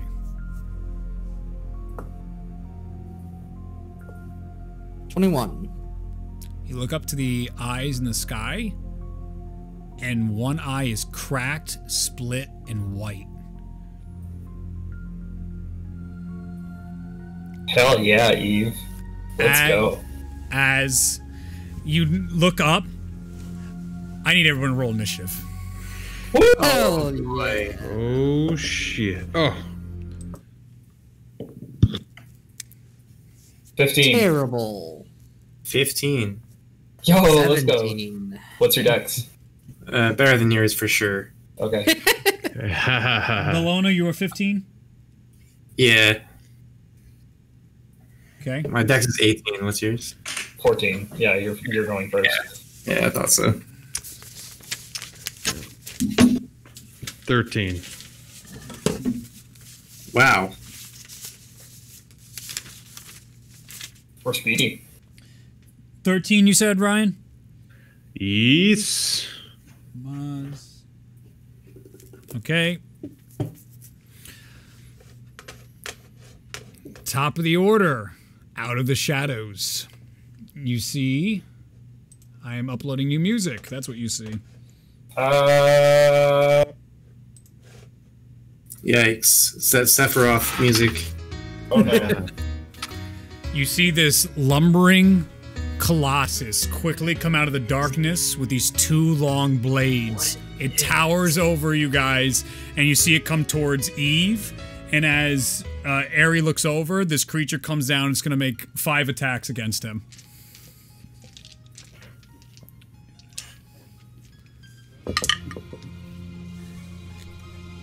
That is a natural 20. Oh no. for a 35, 25, 23, uh, 24, and uh, 22 to hit. Ah, every single one hits. All That's a right, big owl. I need you. He just rolls these d4s, right, for his damage.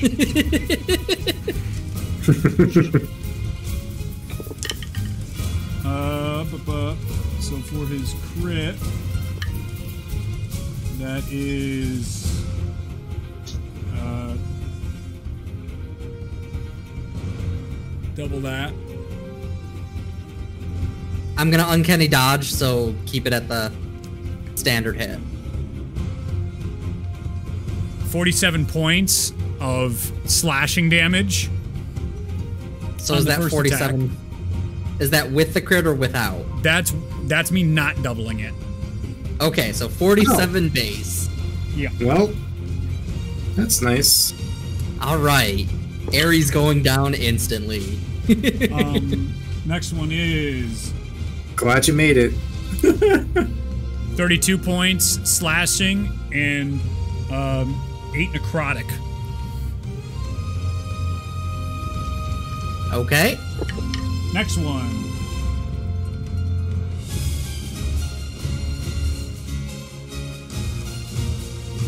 Twenty-four slashing, uh, eight necrotic.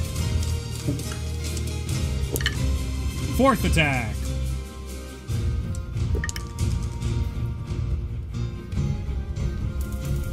Thirty-three slashing, um, eight poison. unconscious. Um, at that, Ari, you wake next to Ralia, and you have one hit point. Ugh. The rest of Oh, you, you see the Cast next healing attack. word on him immediately. The I, I next assume attack it's gonna be like a, a thing. right that- towards uh, Eve, and that is going to be oh, fucking shit roll. This is ridiculous. Poor Ari's got his ass kicked. 18 points. 18 points slashing. That was that was literally the lowest. Oh, dude. that's the lowest it could roll. That's so funny. Plus eight poison. You After see- seeing uh Ari like damage, obviously it's it's like a different time period frame thing, Yeah. whatever. So after seeing Ari damage coming out of that, uh, Ralia is just gonna be like stand, sitting there waiting for anybody else to come out of it, holding spare of the dying. you got it. Um, it is now Ari's turn, who's no longer here. So now uh, Bellona's turn. As you see this massive hulking creature, just all these like shadows coming off it, and Ari's just gets crushed out of existence. Oh jeez. Oh boy. Alright. It's not great. Uh I guess I'll just make I'll just Slayer's Prey this bad boy and start shooting. Okay, go Uh, does- I guess is- I'll just start blasting. yeah, it's holy weapon. So, is holy so weapon anyway, I active? started blast. Actually, Yeah. Ralia, can you send me back in? I'm out of spell slots. Ah.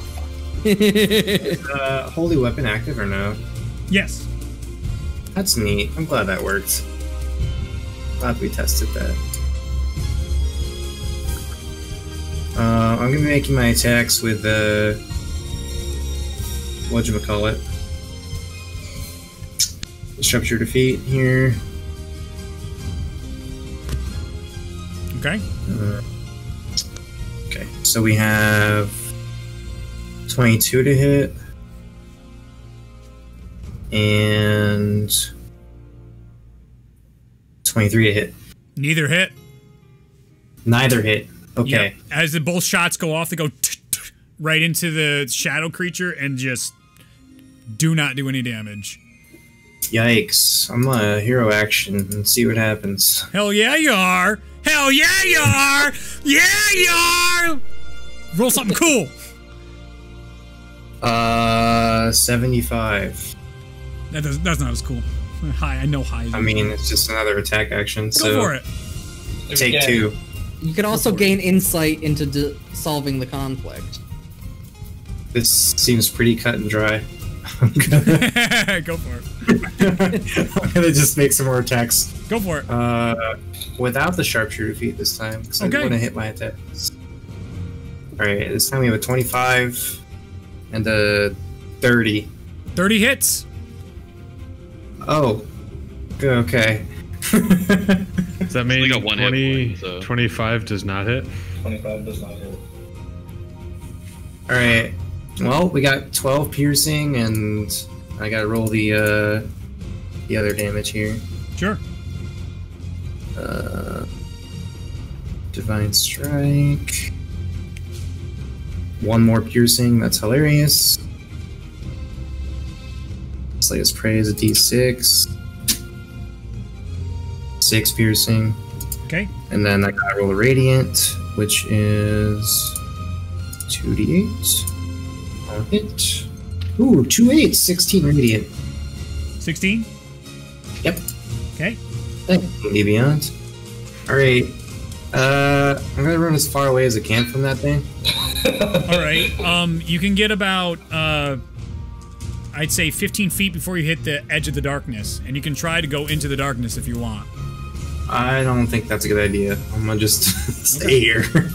All right. You as the arrows go in, you see you can hear this these strange mutated grunts come out as those arrows enter into them and do that damage. You see your holy weapon, you know, the lights shocking inside him, and you can almost see like a highlight of the insides of this creature.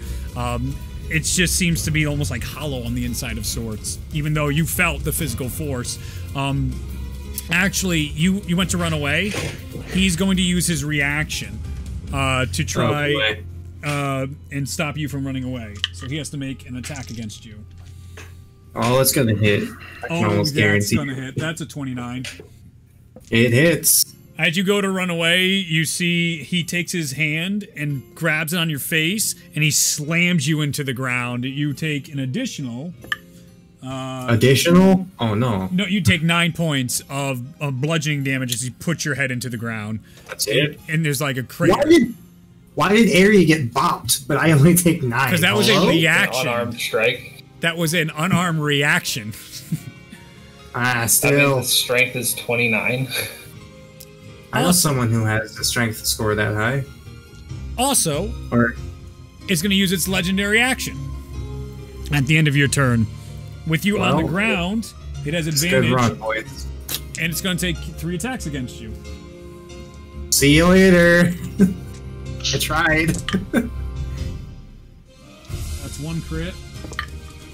I'm gonna say I go down. Can I just say that now? No, I'll see.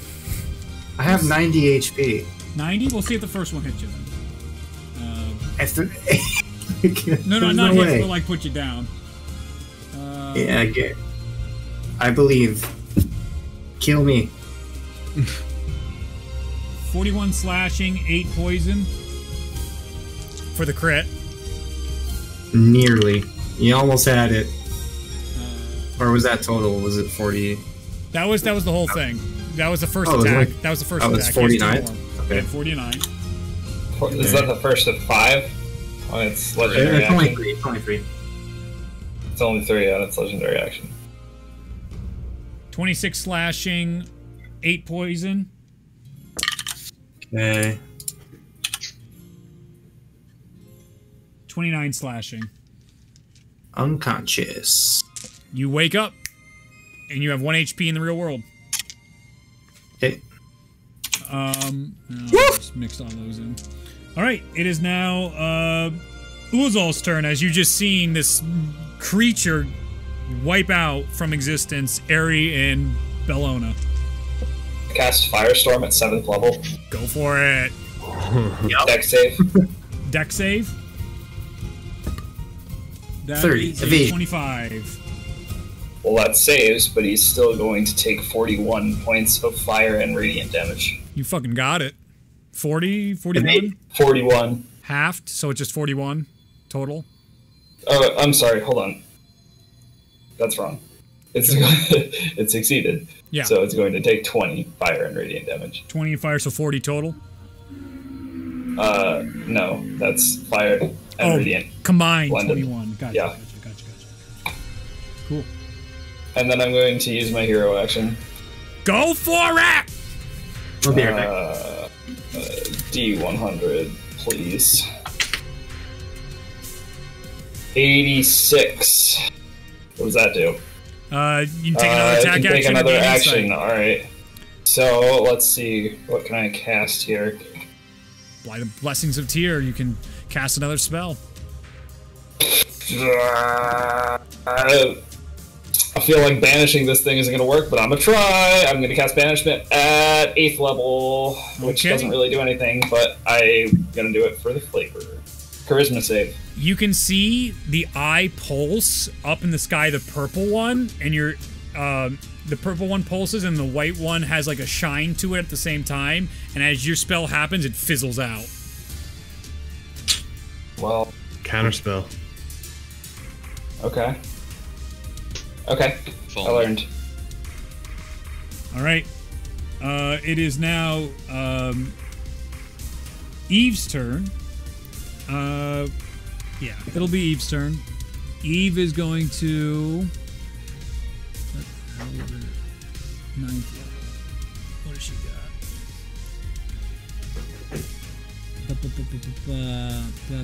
None of that's really great. She's just a healer. You're such a healer. You don't do damage. You're a proper. If she's a cleric. cleric, she has banishment too. She does. But you just blew your banishment, and you can see her being like, I've tried that many times. Good thought, though. Well, yeah, but he burned his reaction, so I mean, if you do it in the next six seconds. He burned his reaction pinning Bellona.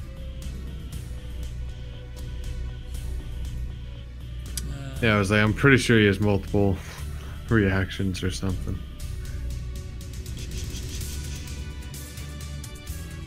No one's hurt. Damn it. She was she was gonna heal Ari and Bologna. Everyone who got damaged just got completely Knocked annihilated. They're gone. If she's looking for damage, she has Guiding Bolt, Inflict Wounds. She has uh, Firestorm. She has Guiding uh, bolt! Guiding bolt! Yeah, you can upcast upcast the crap out of that one. That one scales really well. 26! Ninth level! Oh, That is 50 points of radiant damage, bitches! let's go, Eve. We're toasting it. As you Are see you still Eve in there? crack her staff and dig into it as it starts to carve into the creature. You see this light above it start to shine. You hear this like, uh, and the light just hits down onto it. And it's very familiar though. Uh, the colors and it's like this water that cuts through it. It seems like it's uh, through the um, deity of Mugdis cutting into the creature in front. Very cool. Mosnell, it is your turn. Hit it. Uh, I Go go for into rage. All right. And I'm gonna run at him with my holy avenger. He's on you. You don't gotta run, my guy. He's in melee range. Oh, perfect. I'll just uh, start yelling. Storm goes out, and I'm just gonna start swinging. All right, everybody gets a temporary hit points. Then they're all close enough to you. No, it takes a Right. bonus action. to Do I get JK. 5, 10, It, it, it, Your it body's goes not there with, anymore. It goes with my rage every Oh, very time. cool. Oh, Every cool. time the aura goes out. I Thought so. This 4 HP is gonna save my life. In- Could be. including the uh, the the initial rage. All right, go ahead. Okay. and roll. Okay, uh, reckless. Go for it. You'll need it. I know. 30. Good lord. I think AC is 20, All right. 25. So 26. that is twenty-eight. Hits. Yeah. Seeing seeing what normally hits from Bellona, shocked to see her disappear, you hold nothing back as Mazo rams his axe. I'm using the sword. Sword! He rams his sword, cuts across and slashes the creature. Okay, and that's going to be, um, yeah, 11, 14 points of slashing damage. You got it. And then I'm going to swing again. Go for it. Okay. You guys are doing Does that, good. have, does that not have any extra radiant damage? Oh, it. Hang on.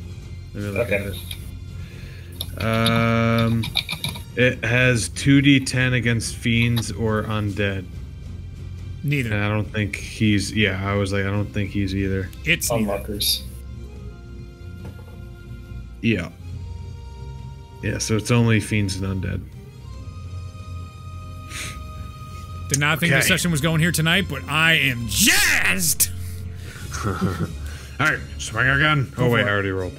Uh, so it was a twenty-seven Hits. and damage. Okay, that is uh, fifteen points of slashing damage. You got it. Rar. As you cut into it again, you see it lean down towards your level, and its mouth opens up this maw, and you just hear this awful alien type scream of these sounds you've never heard before just towards you. Um, I need you to make a charisma saving throw.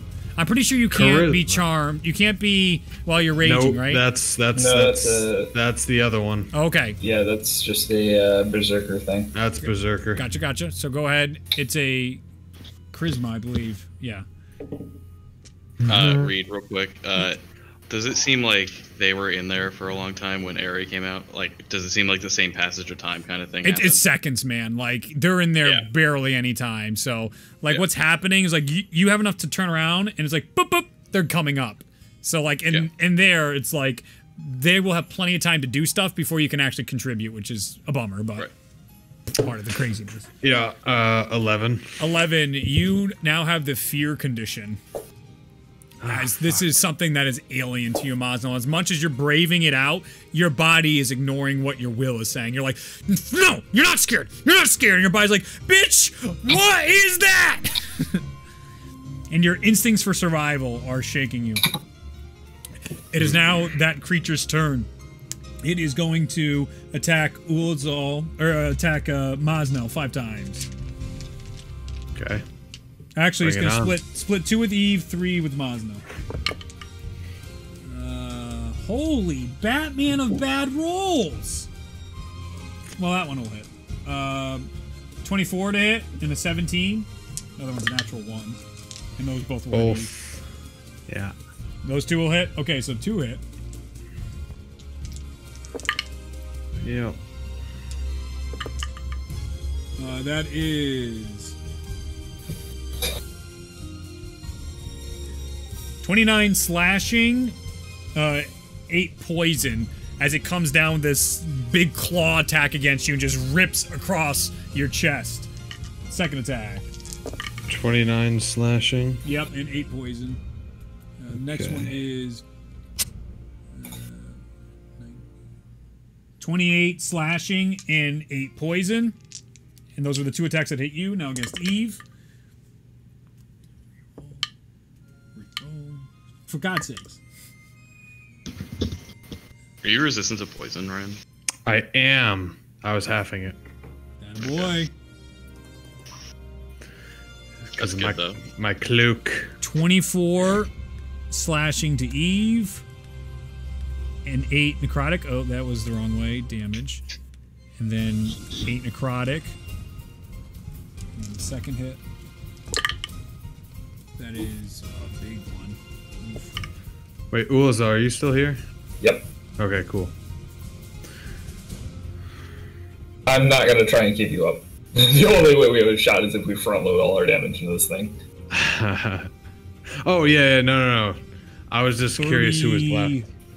I don't expect any healing to be happening. 36 Damage, slashing, and then another 8 necrotic. You see Eve just getting torn into, and she's starting to look real hurt. Um, and that will end its turn. Uh, it is now Ulazal's turn. Oh, that came up quick. Well, Uh, two people are dead. Everybody's I'm- gone. I'm rolling for divine intervention. Go for it! this is like your cat's cradle. Didn't work. Shit.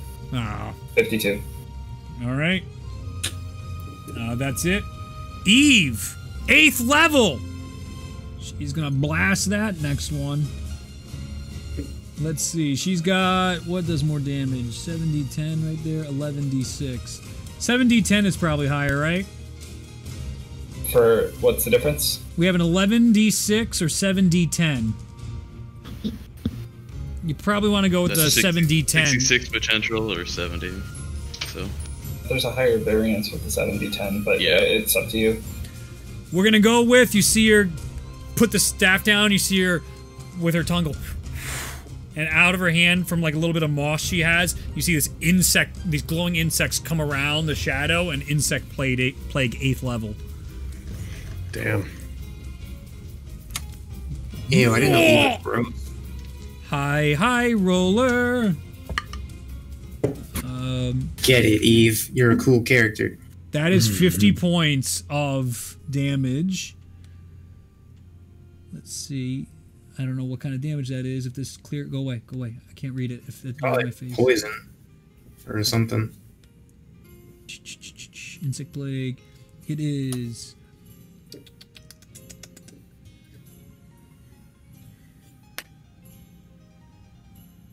Piercing. piercing. As all the insects are biting at this shadow creature. Okay. And half as much on the save con. He definitely has saves it. So that is that much damage. The creature's starting to look wounded. Hmm. All right. Um, that will. Oh, can she bonus action heal stuff at that level? Like healing word and stuff, but it's not really worth upcasting because it's such a low. It's a D four. Well, I mean, she cast the like, but for bonus actions, like she cast a spell this turn. She's a level twenty cleric. Can she? If, she, if she's a level twenty life cleric, no, I don't think so. Yeah, no, she doesn't have anything extra here. Okay. All right, that's that. Um. Mm, bu- bu- bu- Mosnell, it's your turn. All right. I'm going to keep swinging. Go for it. Reckless. Indeed. Oh, he didn't swing with advantage against you. Well, that's good to know. I forgot. You're lucky. But you won't be when he uses his legendary action. Um. Uh, what, what, what am I looking for here? Okay, that's a 29. to hit. Yeah. Right. You can feel the pulse of this area, like uh, the winds start to pick up. The shadows are almost like you're inside a vortex at this point, as those eyes are still locked on you guys in the center there. The light seems to be radiating even brighter as Eve is huffing and puffing right now. Same with you, Mosno and Ulazal. You're all looking towards this gigantic darkness of a creature. Uh, standing far taller over you, crouching down as he's crushing into your allies and stabbing into you. That is 16 slashing. Okay. And then. Oh, so close. Oh. I rolled a 19 and 18. I want that 20. You need it. You need it. I know. Okay, so 19, that's a uh 31. Okay. Good shit. To hit, There, so- 31. Oh, I that think would've- that hits. That yeah, I think that hits. That hits, dude. Yeah, yeah. Yeah. That would have been good damage. Um, yeah. Crit. Yeah, when I don't use Great Weapon Master, I don't I don't actually do that much damage. Same with sharpshooter. Yeah. Um, classes, man. so that's going to be uh, 15 points of slashing damage. Okay. And then I will use the Storm Aura to give everyone within 10 feet, uh, besides Monster Dude, obviously, uh, four temporary hit points. Thanks. Eve is like super thankful. Um, you sure you don't want to do anything else before your turn's over? Because Yes, I would, because I meant to do it last turn and I forgot. Okay. Uh, I'm going to use my heroic action. Do it. Oh, that's not the dice I'm supposed to use. Let's roll a d20. Okay. 38. Pretty good. Your next attack is an auto crit. Oh, Ooh, I gotta survive. Oh no, no, I'm sorry. That's uh, gain five AC to your next turn. My bad. Ah, that's You said you said 38 or 28. uh, 38. Yeah. uh, no, I want you to crit. Ah. Would have made it spicy. Now he's attacking you. Ugh. Ooh, Wait, that's do a I have one. do I have those AC now? Yeah. Plus five AC. Yep. So you have a plus five AC, but he is swinging for 28 and 31. Yeah, so I, that's why I was like, that's not gonna be helpful at all. Am I able to like use an action at some point? Because technically, I'm like my time's moving much faster. So, right. I would like when Arid comes out. Would I be able to use an action? Um, yeah, I'll say at the end of this round you can use an action. Certainly. Okay. Why not? We'll see where this goes. Uh, the he rolled super well. It rolled super well. Uh, 38 slashing, 8 For me? poison. And now for the second Against. Yeah. Okay. 38. hit. Yeah. Oof, that's another really good one. 34 slashing Okay. and 8 necrotic. 34. Uh, yes. You still up? Oh yeah. Oh yeah, that means we got a we got a game here. okay. It is. I it is- do have to get to bed, guys. Yes. I got work tomorrow. so go for it. You can go to bed. Sorry, I was gonna hard stop, but now we're in it. I, All right. Good See night. you guys. Bye. uh, go ahead. Uh, what do you want to do, Ralia? I want to use my hero action. Yes, roll it. See where it goes. Let's see what happens. One percent. Do it. That's a 15. 15 is regain all short rest abilities. You could probably. Oh, but in short rest. I don't know what I have. Do you for have any short rest second. abilities? I might. I might. Can you regain like a spell slot to send somebody back in? I can Cool. actually. Yeah. Arcane recovery. Uh, okay. So I can uh combined up to level seven. None can be higher than six. Okay, it doesn't really matter. So I'll get a five and a two. I, I haven't used any twos, but Sure. so I guess I can cast Dream. Uh, What level can you cast Dream at? fit. It's a fifth level spell. Okay. Obviously, Hunter can't go back in. now. like I don't know. It's hard to say. It feels like will Bologna go in with one HP if I cast it on Bologna? Probably, right? Probably. It doesn't matter. It doesn't matter if you have 100 HP or one. Well, if I can go in, Yeah. I'm at 84. I mean, Yeah. Um. let I'm see if any gonna buffs I can give you if you want to go in. I'm gonna cast it on myself. I can- myself. Obviously, I can also heal myself. All right. Well, if I'm going to let you do that, I'm going to try to help you in some way, shape, or form. Yeah.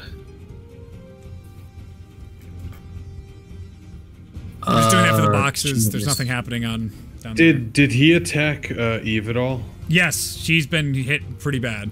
Yeah, she's like, been battered. can I? Uh, like, I'll leave it up to you, but can I use um, Sentinel for when he attacked her? Um, next time you can do that. Okay. I don't think I have anything great that's going to help you out. Uh, let me see. I might have something. Yeah, I, I don't think I have anything that's really going to help you. What what does the most healing, my guy, for um, the most amount of people? She has a seventh level healing if she survives. mass, she's gonna pop mass off. cure wounds. Yeah, Mass Cure Wounds is great. I don't think she has mass cure. wounds. Oh, she does. Seventy-eight plus five. Yep. All right. Yeah, she's- Mass Cure Wounds is She's super got great. that or heal Yes. if she can live to next turn. Heal a single target. I know that, but you might be able to pop up somebody significantly. All right. you Um, going in early? I am going in. all right, Ralia's Have going in. Uh, Ralia, give me roll initiative. Yes, sir. Roll a 12. Raya just goes in and dies. What'd you say? 15. 15. Gotcha. You're replacing Balloon. Yep. Bring in her. Bring in our heavy hitter. Yeah, tag in, tag out. She Yeah, does not appear of just yet. Terrible spell uh, spell slots. As you're all standing there, uh, the creature's going to take its five attacks against. Let's see, it's going to do uh, three on Eve. Actually, one on Ulazal, two on Mosno, two on Eve. Okay. All right. When he when he hits Ulazal, I want to hit him back with Sentinel. You got it. Uh, he's not going to hit Ulazal. That's a 17. Yeah, that's a miss, bro. That's a miss. That's that's a bad boy. roll. Wow. natural that's the one. lowest you can- That's a natural Yeah. one on Eve. He does not hit. Hmm. Wow. That Wow. is a 28 on on uh, Mosno, Yeah, that hits. and that is a 26 on Mosno. Oh yeah. And then I also Do it back. Rolled a um a 26 against him. Hits. Oh, we found his AC, boys.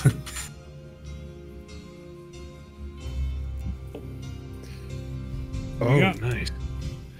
Uh, so that's gonna be 20 points of slashing. Nice. As you carve into it, you, s- you're you have all these cuts on you, and you're not bleeding like normal. It's just like this endless burning pain around you guys as you're cutting into the creature. Um, It's overwhelming. It goes to stab at Ulazal. He puts up his shield, stops with the shield, pushes it, pushes it off. He goes to cut at Eve. She takes her uh, curved staff sword and pushes the parries the attack away.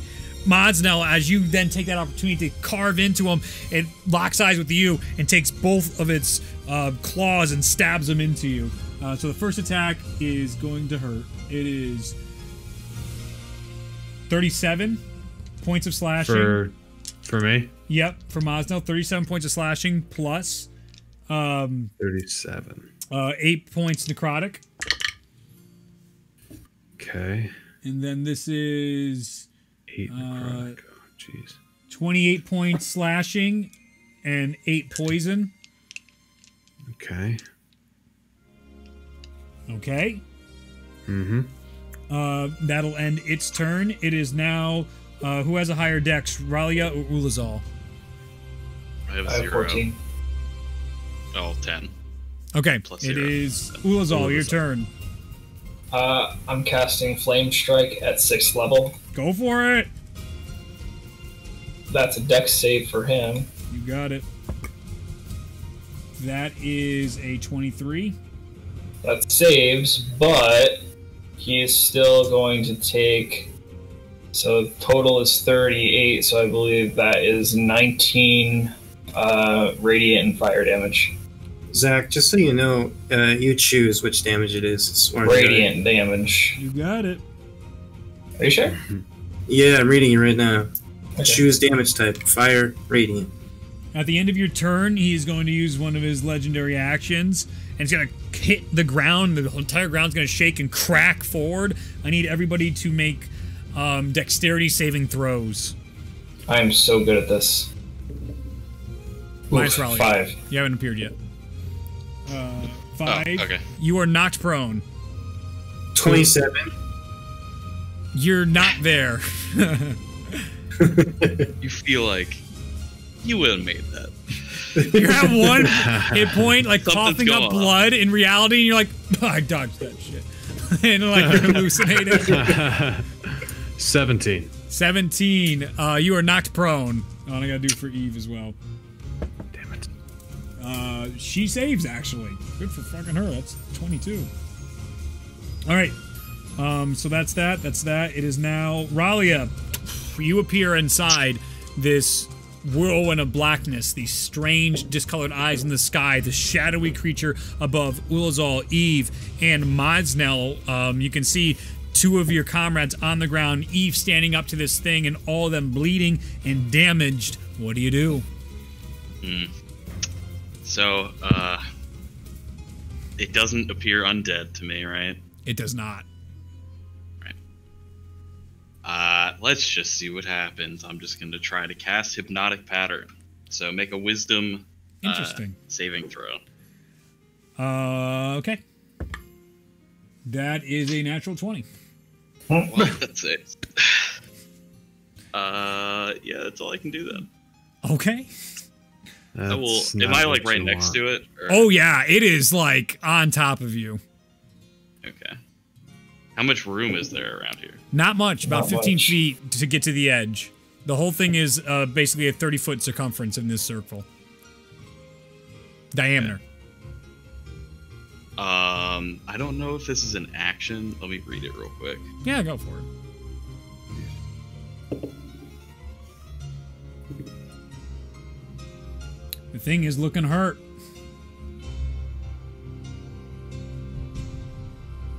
so cool I, as the uh, caster of the spell, can try to manipulate the dream. It doesn't say it's an action. I agreed. But you I, can try. Uh, so I would assume that it would probably go against the save, which is a Wisdom 18 again. Mm-hmm. Um, I'm just gonna try to like elongate the area to make it really far away from us. Mm-hmm. As you attempt to do this, you can feel this presence and as you're trying to push out you can feel you're no longer like in control this is no longer your hmm. spell at this point where you're right. at and you can feel that just those eyes in the sky peering down at you um okay. all right so that is your move. It is now Eve's move. She is going to cast at seventh level. Where are you? Mass, Mass Cure healing Wounds. word, right? That's the one.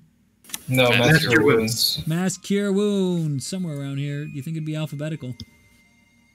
Why is it not? It should be. Where is it? Seventh level. Oh, I see cure wounds. Uh oh, she might not have. She does not have mass cure wounds prepared. That's weird. She does today. She might. Let me go look. Uh, She's a life cleric. There's no way she doesn't have it, and I do. I don't know. I if she do. is a uh, life cleric. It's mass cure wounds. yep. Oh wait, let's, let's go back. I mean, even Bologna has it. So I would assume. It's It's- a uh, it's a sixth level spell or fifth level spell rather. Yep. Let me look. Mass cure wounds. Yep. Fifth level. Okay. She would probably use that over healing word Yeah. because she's knowledgeable and experienced and understands that that's just a better spell. I don't need to So hear this. better. I'm hearing a lot of backseat gaming is what I'm hearing right now. I'm just talking about Eve's knowledge and experience. I bet you are your shit. I am. Oh god damn it! Where's the prepared spells? This is super annoying. Prepared spells. Go down. Unprepare. She's still fresh off the Orlith fight, I see. Uh, where are you? Mass cure wounds. There it is. Mass cure wounds. No. Mass healing word. No. Cure No. wounds. Master wounds. God damn it. All right, here we go. She got it. 21 points of healing to everybody here. Neat. All right. It is now um, uh, Mosnell's turn. Oh no, he's going to take his legendary action to attack uh, Whoa. What happened? Mosnell three times. Did you hear me, Mosnell, for your heal? Uh, yeah, hang on. Okay, Something 21 heal happened. for you. I'm using my phone because I- It's fine. Uh, stuff. and it has advantage against you because you're reckless. It didn't really help. But all three are going to hit. That's going to be like 28, 27, 28. Mm-hmm. Uh, that is. What is your AC, Ryan? Probably like 16. 16. Oh wow. Oh, he's going to be hitting all day. It's Same. Barbarians. That is 30 points slashing. Hang on. Okay, I'm gonna write it down so I don't forget it.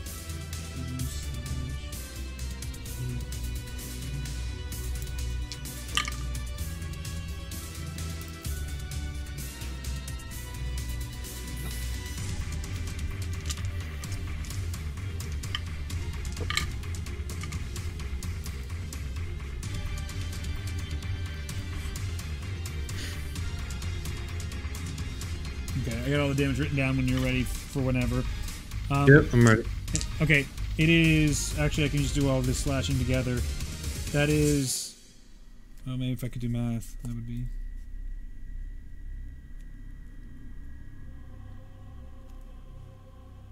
Eighty-one slashing for the three attacks. Hang on. 81 slashing. Yep. Sixteen poison, Okay. Eight necrotic. Okay. Hell yeah, Monosnell. Now it's your He's turn. so beefy. What a beast. as you just go and strike back against them as these claws are digging in and into you, the darkness surrounding you. Um, give me a charisma saving throw. Okay. 16. You start to hear strange whispers inside your head. It is your turn. Oh boy.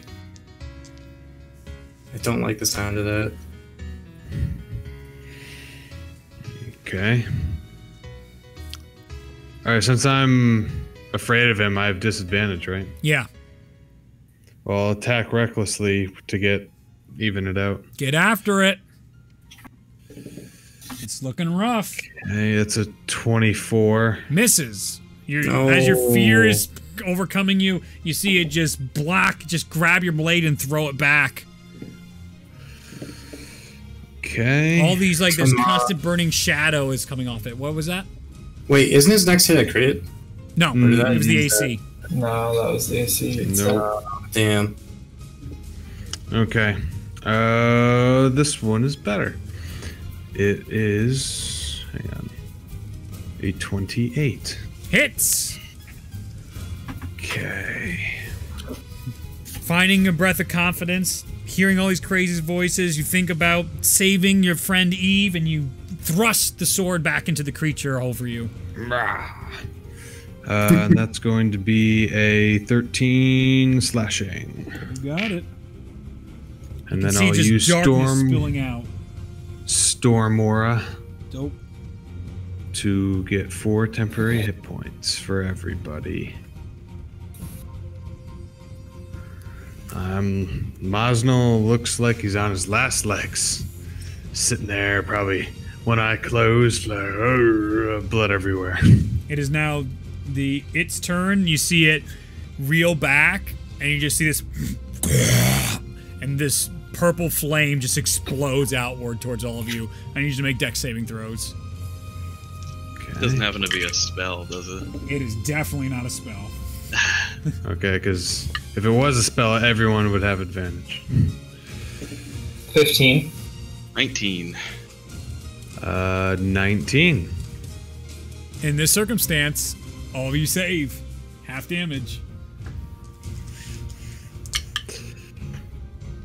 Let's see if it matters.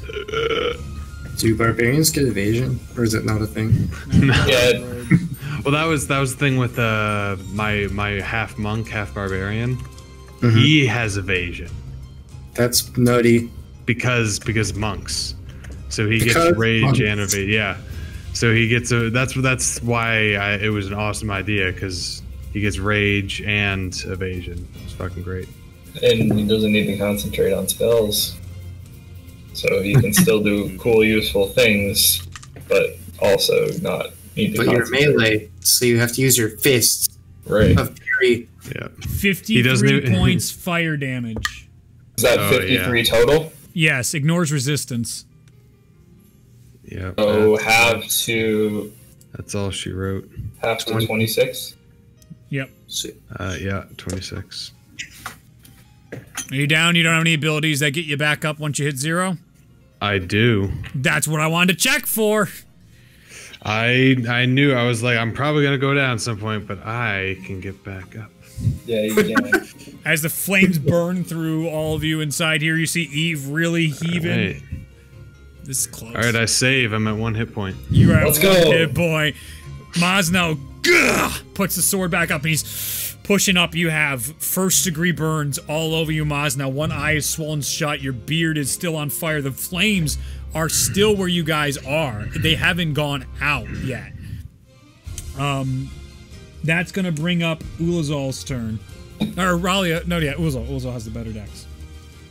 so I am casting Flame Strike at fifth level. Go for it.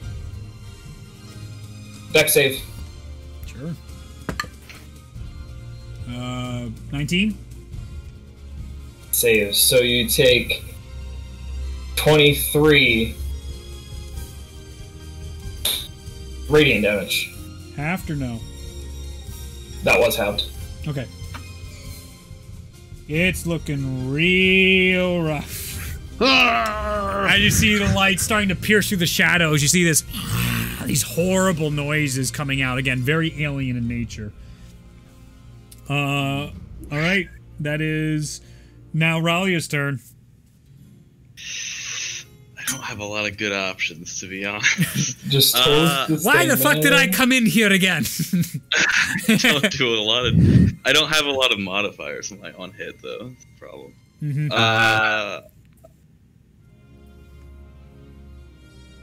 uh, okay, I'm going to. I'm going to try hypnotic pattern again. Go for it. Wisdom save. Uh, 24? Oh my gosh. Yeah, that saves. No effect. As Ralia again tries to spell, and she looks over, she's like, "Fuck." Eve. She is going to cast a. How many seventh levels does she have? Another one, baby! Do it. Defeat your demons, Eve. She does a uh, what is it? Mass, mass Oh, cure wounds. us. What's that? Yeah, I mean, she couldn't ask your wounds. What else she got in here? She does have damage spells she could try. She has another insect plague she could do, guiding bolt. How weak does this thing look? Yeah, I mean, sh- uh, insect plague is probably the best bet because it's guaranteed damage. Guys are on the fucking knife right now. Everyone's like That's- one shot away. Let's do it. It's her demons, man. She's just gotta kill the thing. Eve is Kill rolling for it, so it's a con save. Oh, it, that it saves- saves survives. All right. She deals 31 points halved, so that would be 15. 15. 15. The insects glow again. You see Eve. Uh, uh, oh, oh, completely out of breath at this point. She is looking really, really rough. Um, it is going to use its legendary action to attack Eve three times. All three hit. Eve is dead. Sentinel. Oh, go for it. Eve is definitely dead. It's not gonna. It's not gonna stop her from getting hit, but yeah, that's not gonna hit. No. Doesn't hit. Twenty. Does not hit. As you're tired and you you go put your sword up the block and you see just goes right through your sword right through Eve and you see her hit the ground. She is currently unconscious. Mosnell, it is your turn. Okay. I am going to swing at the motherfucker. Go for it. now, wait, wait. Now is the time to crit, Mosnell. Now is the oh, you can make a check. Make a check to see if you still have disadvantage, right? For your fear, you can roll every turn to see if you still Okay. have fear. That's Okay. a charisma saving throw. Um, that is pretty good, actually. Uh, 18. It leaves you. You are no longer frightened by it. Crit him! Reckless. Do it now! Need those brutal crits. This would be the clutchest shit in the world. Come on. God damn it. 24. 24 does not hit the first attack. With any energy you try and slash at it, it just you can't get enough strength in your arm to even pierce into the darkness. Second attack. Okay. Second attack. That is a 28. Hits. And.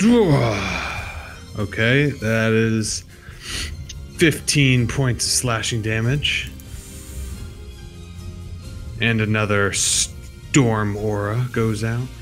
Ooh, Four, four temporary hit points. For thank the you. Eve is still on the ground, but she has those hit points.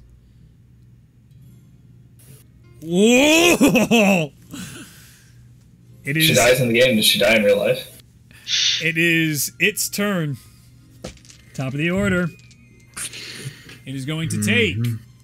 Um,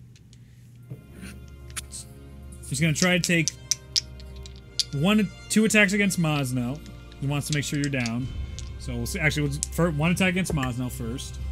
That is a uh, 21, so that's going to hit. That is low roll though. Oh my god, do math read. 16 points slashing, I'm down. and Mosnell goes down once again. And do you do it? Wait. Oh yeah, yeah. Do you do the roll again now? Yeah. Yes. All right, DC so you can goes get up, back up. But DC goes up, and wait, what's my Constitution? Should be good.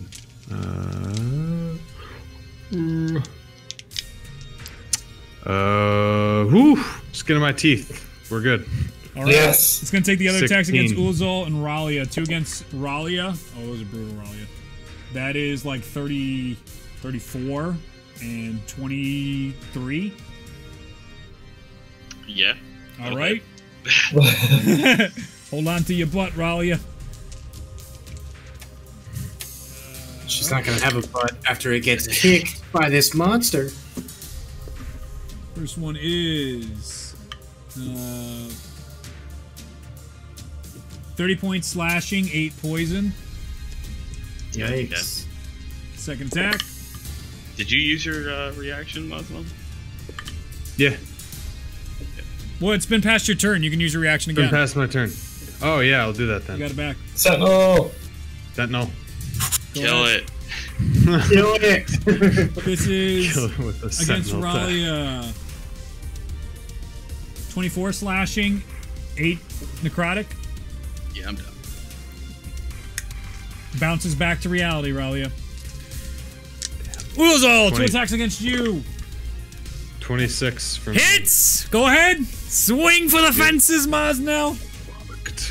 Ooh, yeah. Okay, um, that's gonna be 19 points of slashing. oh shit! Oh, it's looking real bad as Ralia gets smacked out of existence. You see Mosnell get up again. And just crunch. You actually feel it go into it, and you see the thing up in the air. Barely standing, it attacks Ulazal. For uh, 19 slashing. Uh, hold on. What's the to hit there, pal? Oh, you're right. I didn't do the. T- you thank you, thank you, thank you, thank you, thank you, thank you, thank you. Thank you. I forgot to roll. Thank you. Um, Important. one's a natural one. You lucky little bitch, and then one's a thirty. Uh, Yeah, yeah, yeah, yeah. it's a lot. Thirty lot. so I'll reroll the damage. So that might be. That's that be so funny. you. Um,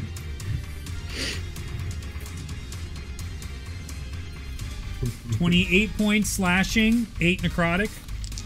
So that's 36 total. Yep. Okay. Okay. Ulazal, So what? your turn. Hit it with a dex thing! Anything! Hit it! Kill it! God. I need more save spells that do damage. I think. I'm gonna have to. I have to guiding bolt. Go for it. All right, I'm casting guiding bolt at fourth level. Okay. Twenty-six. Roll damage as Ulazal gah, shoots a guiding bolt. Uh, Thirty-two damage. Radiant How do you want to do this? Yes. Oh boy. Oh. He did my guiding bolt! What a god! Gather the radiant energy in my hand, and I just toast this thing right through its head. You see, the, as the brilliant light of Tyr goes into it, the shadows disperse. And as it does, you come up and you see, as you all come back into the world, you see Eve sit up. And that's oh. where we'll end tonight's session. Yo, we did it! Who we is finally it? brought Eve back. Oh, oh, we did it! after all this time. Wow, Oh, wrong, wrong crew, guys. Wrong crew.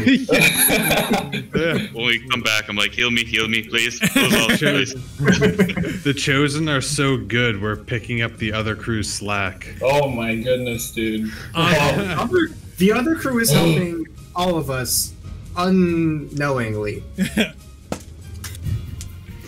Currently dismantling the whole slave empire and trade. Oh, Well, True well, they're not currently dismantling anything besides. Well, they're, they're walls. just they're just in it, so you know. But they will be doing.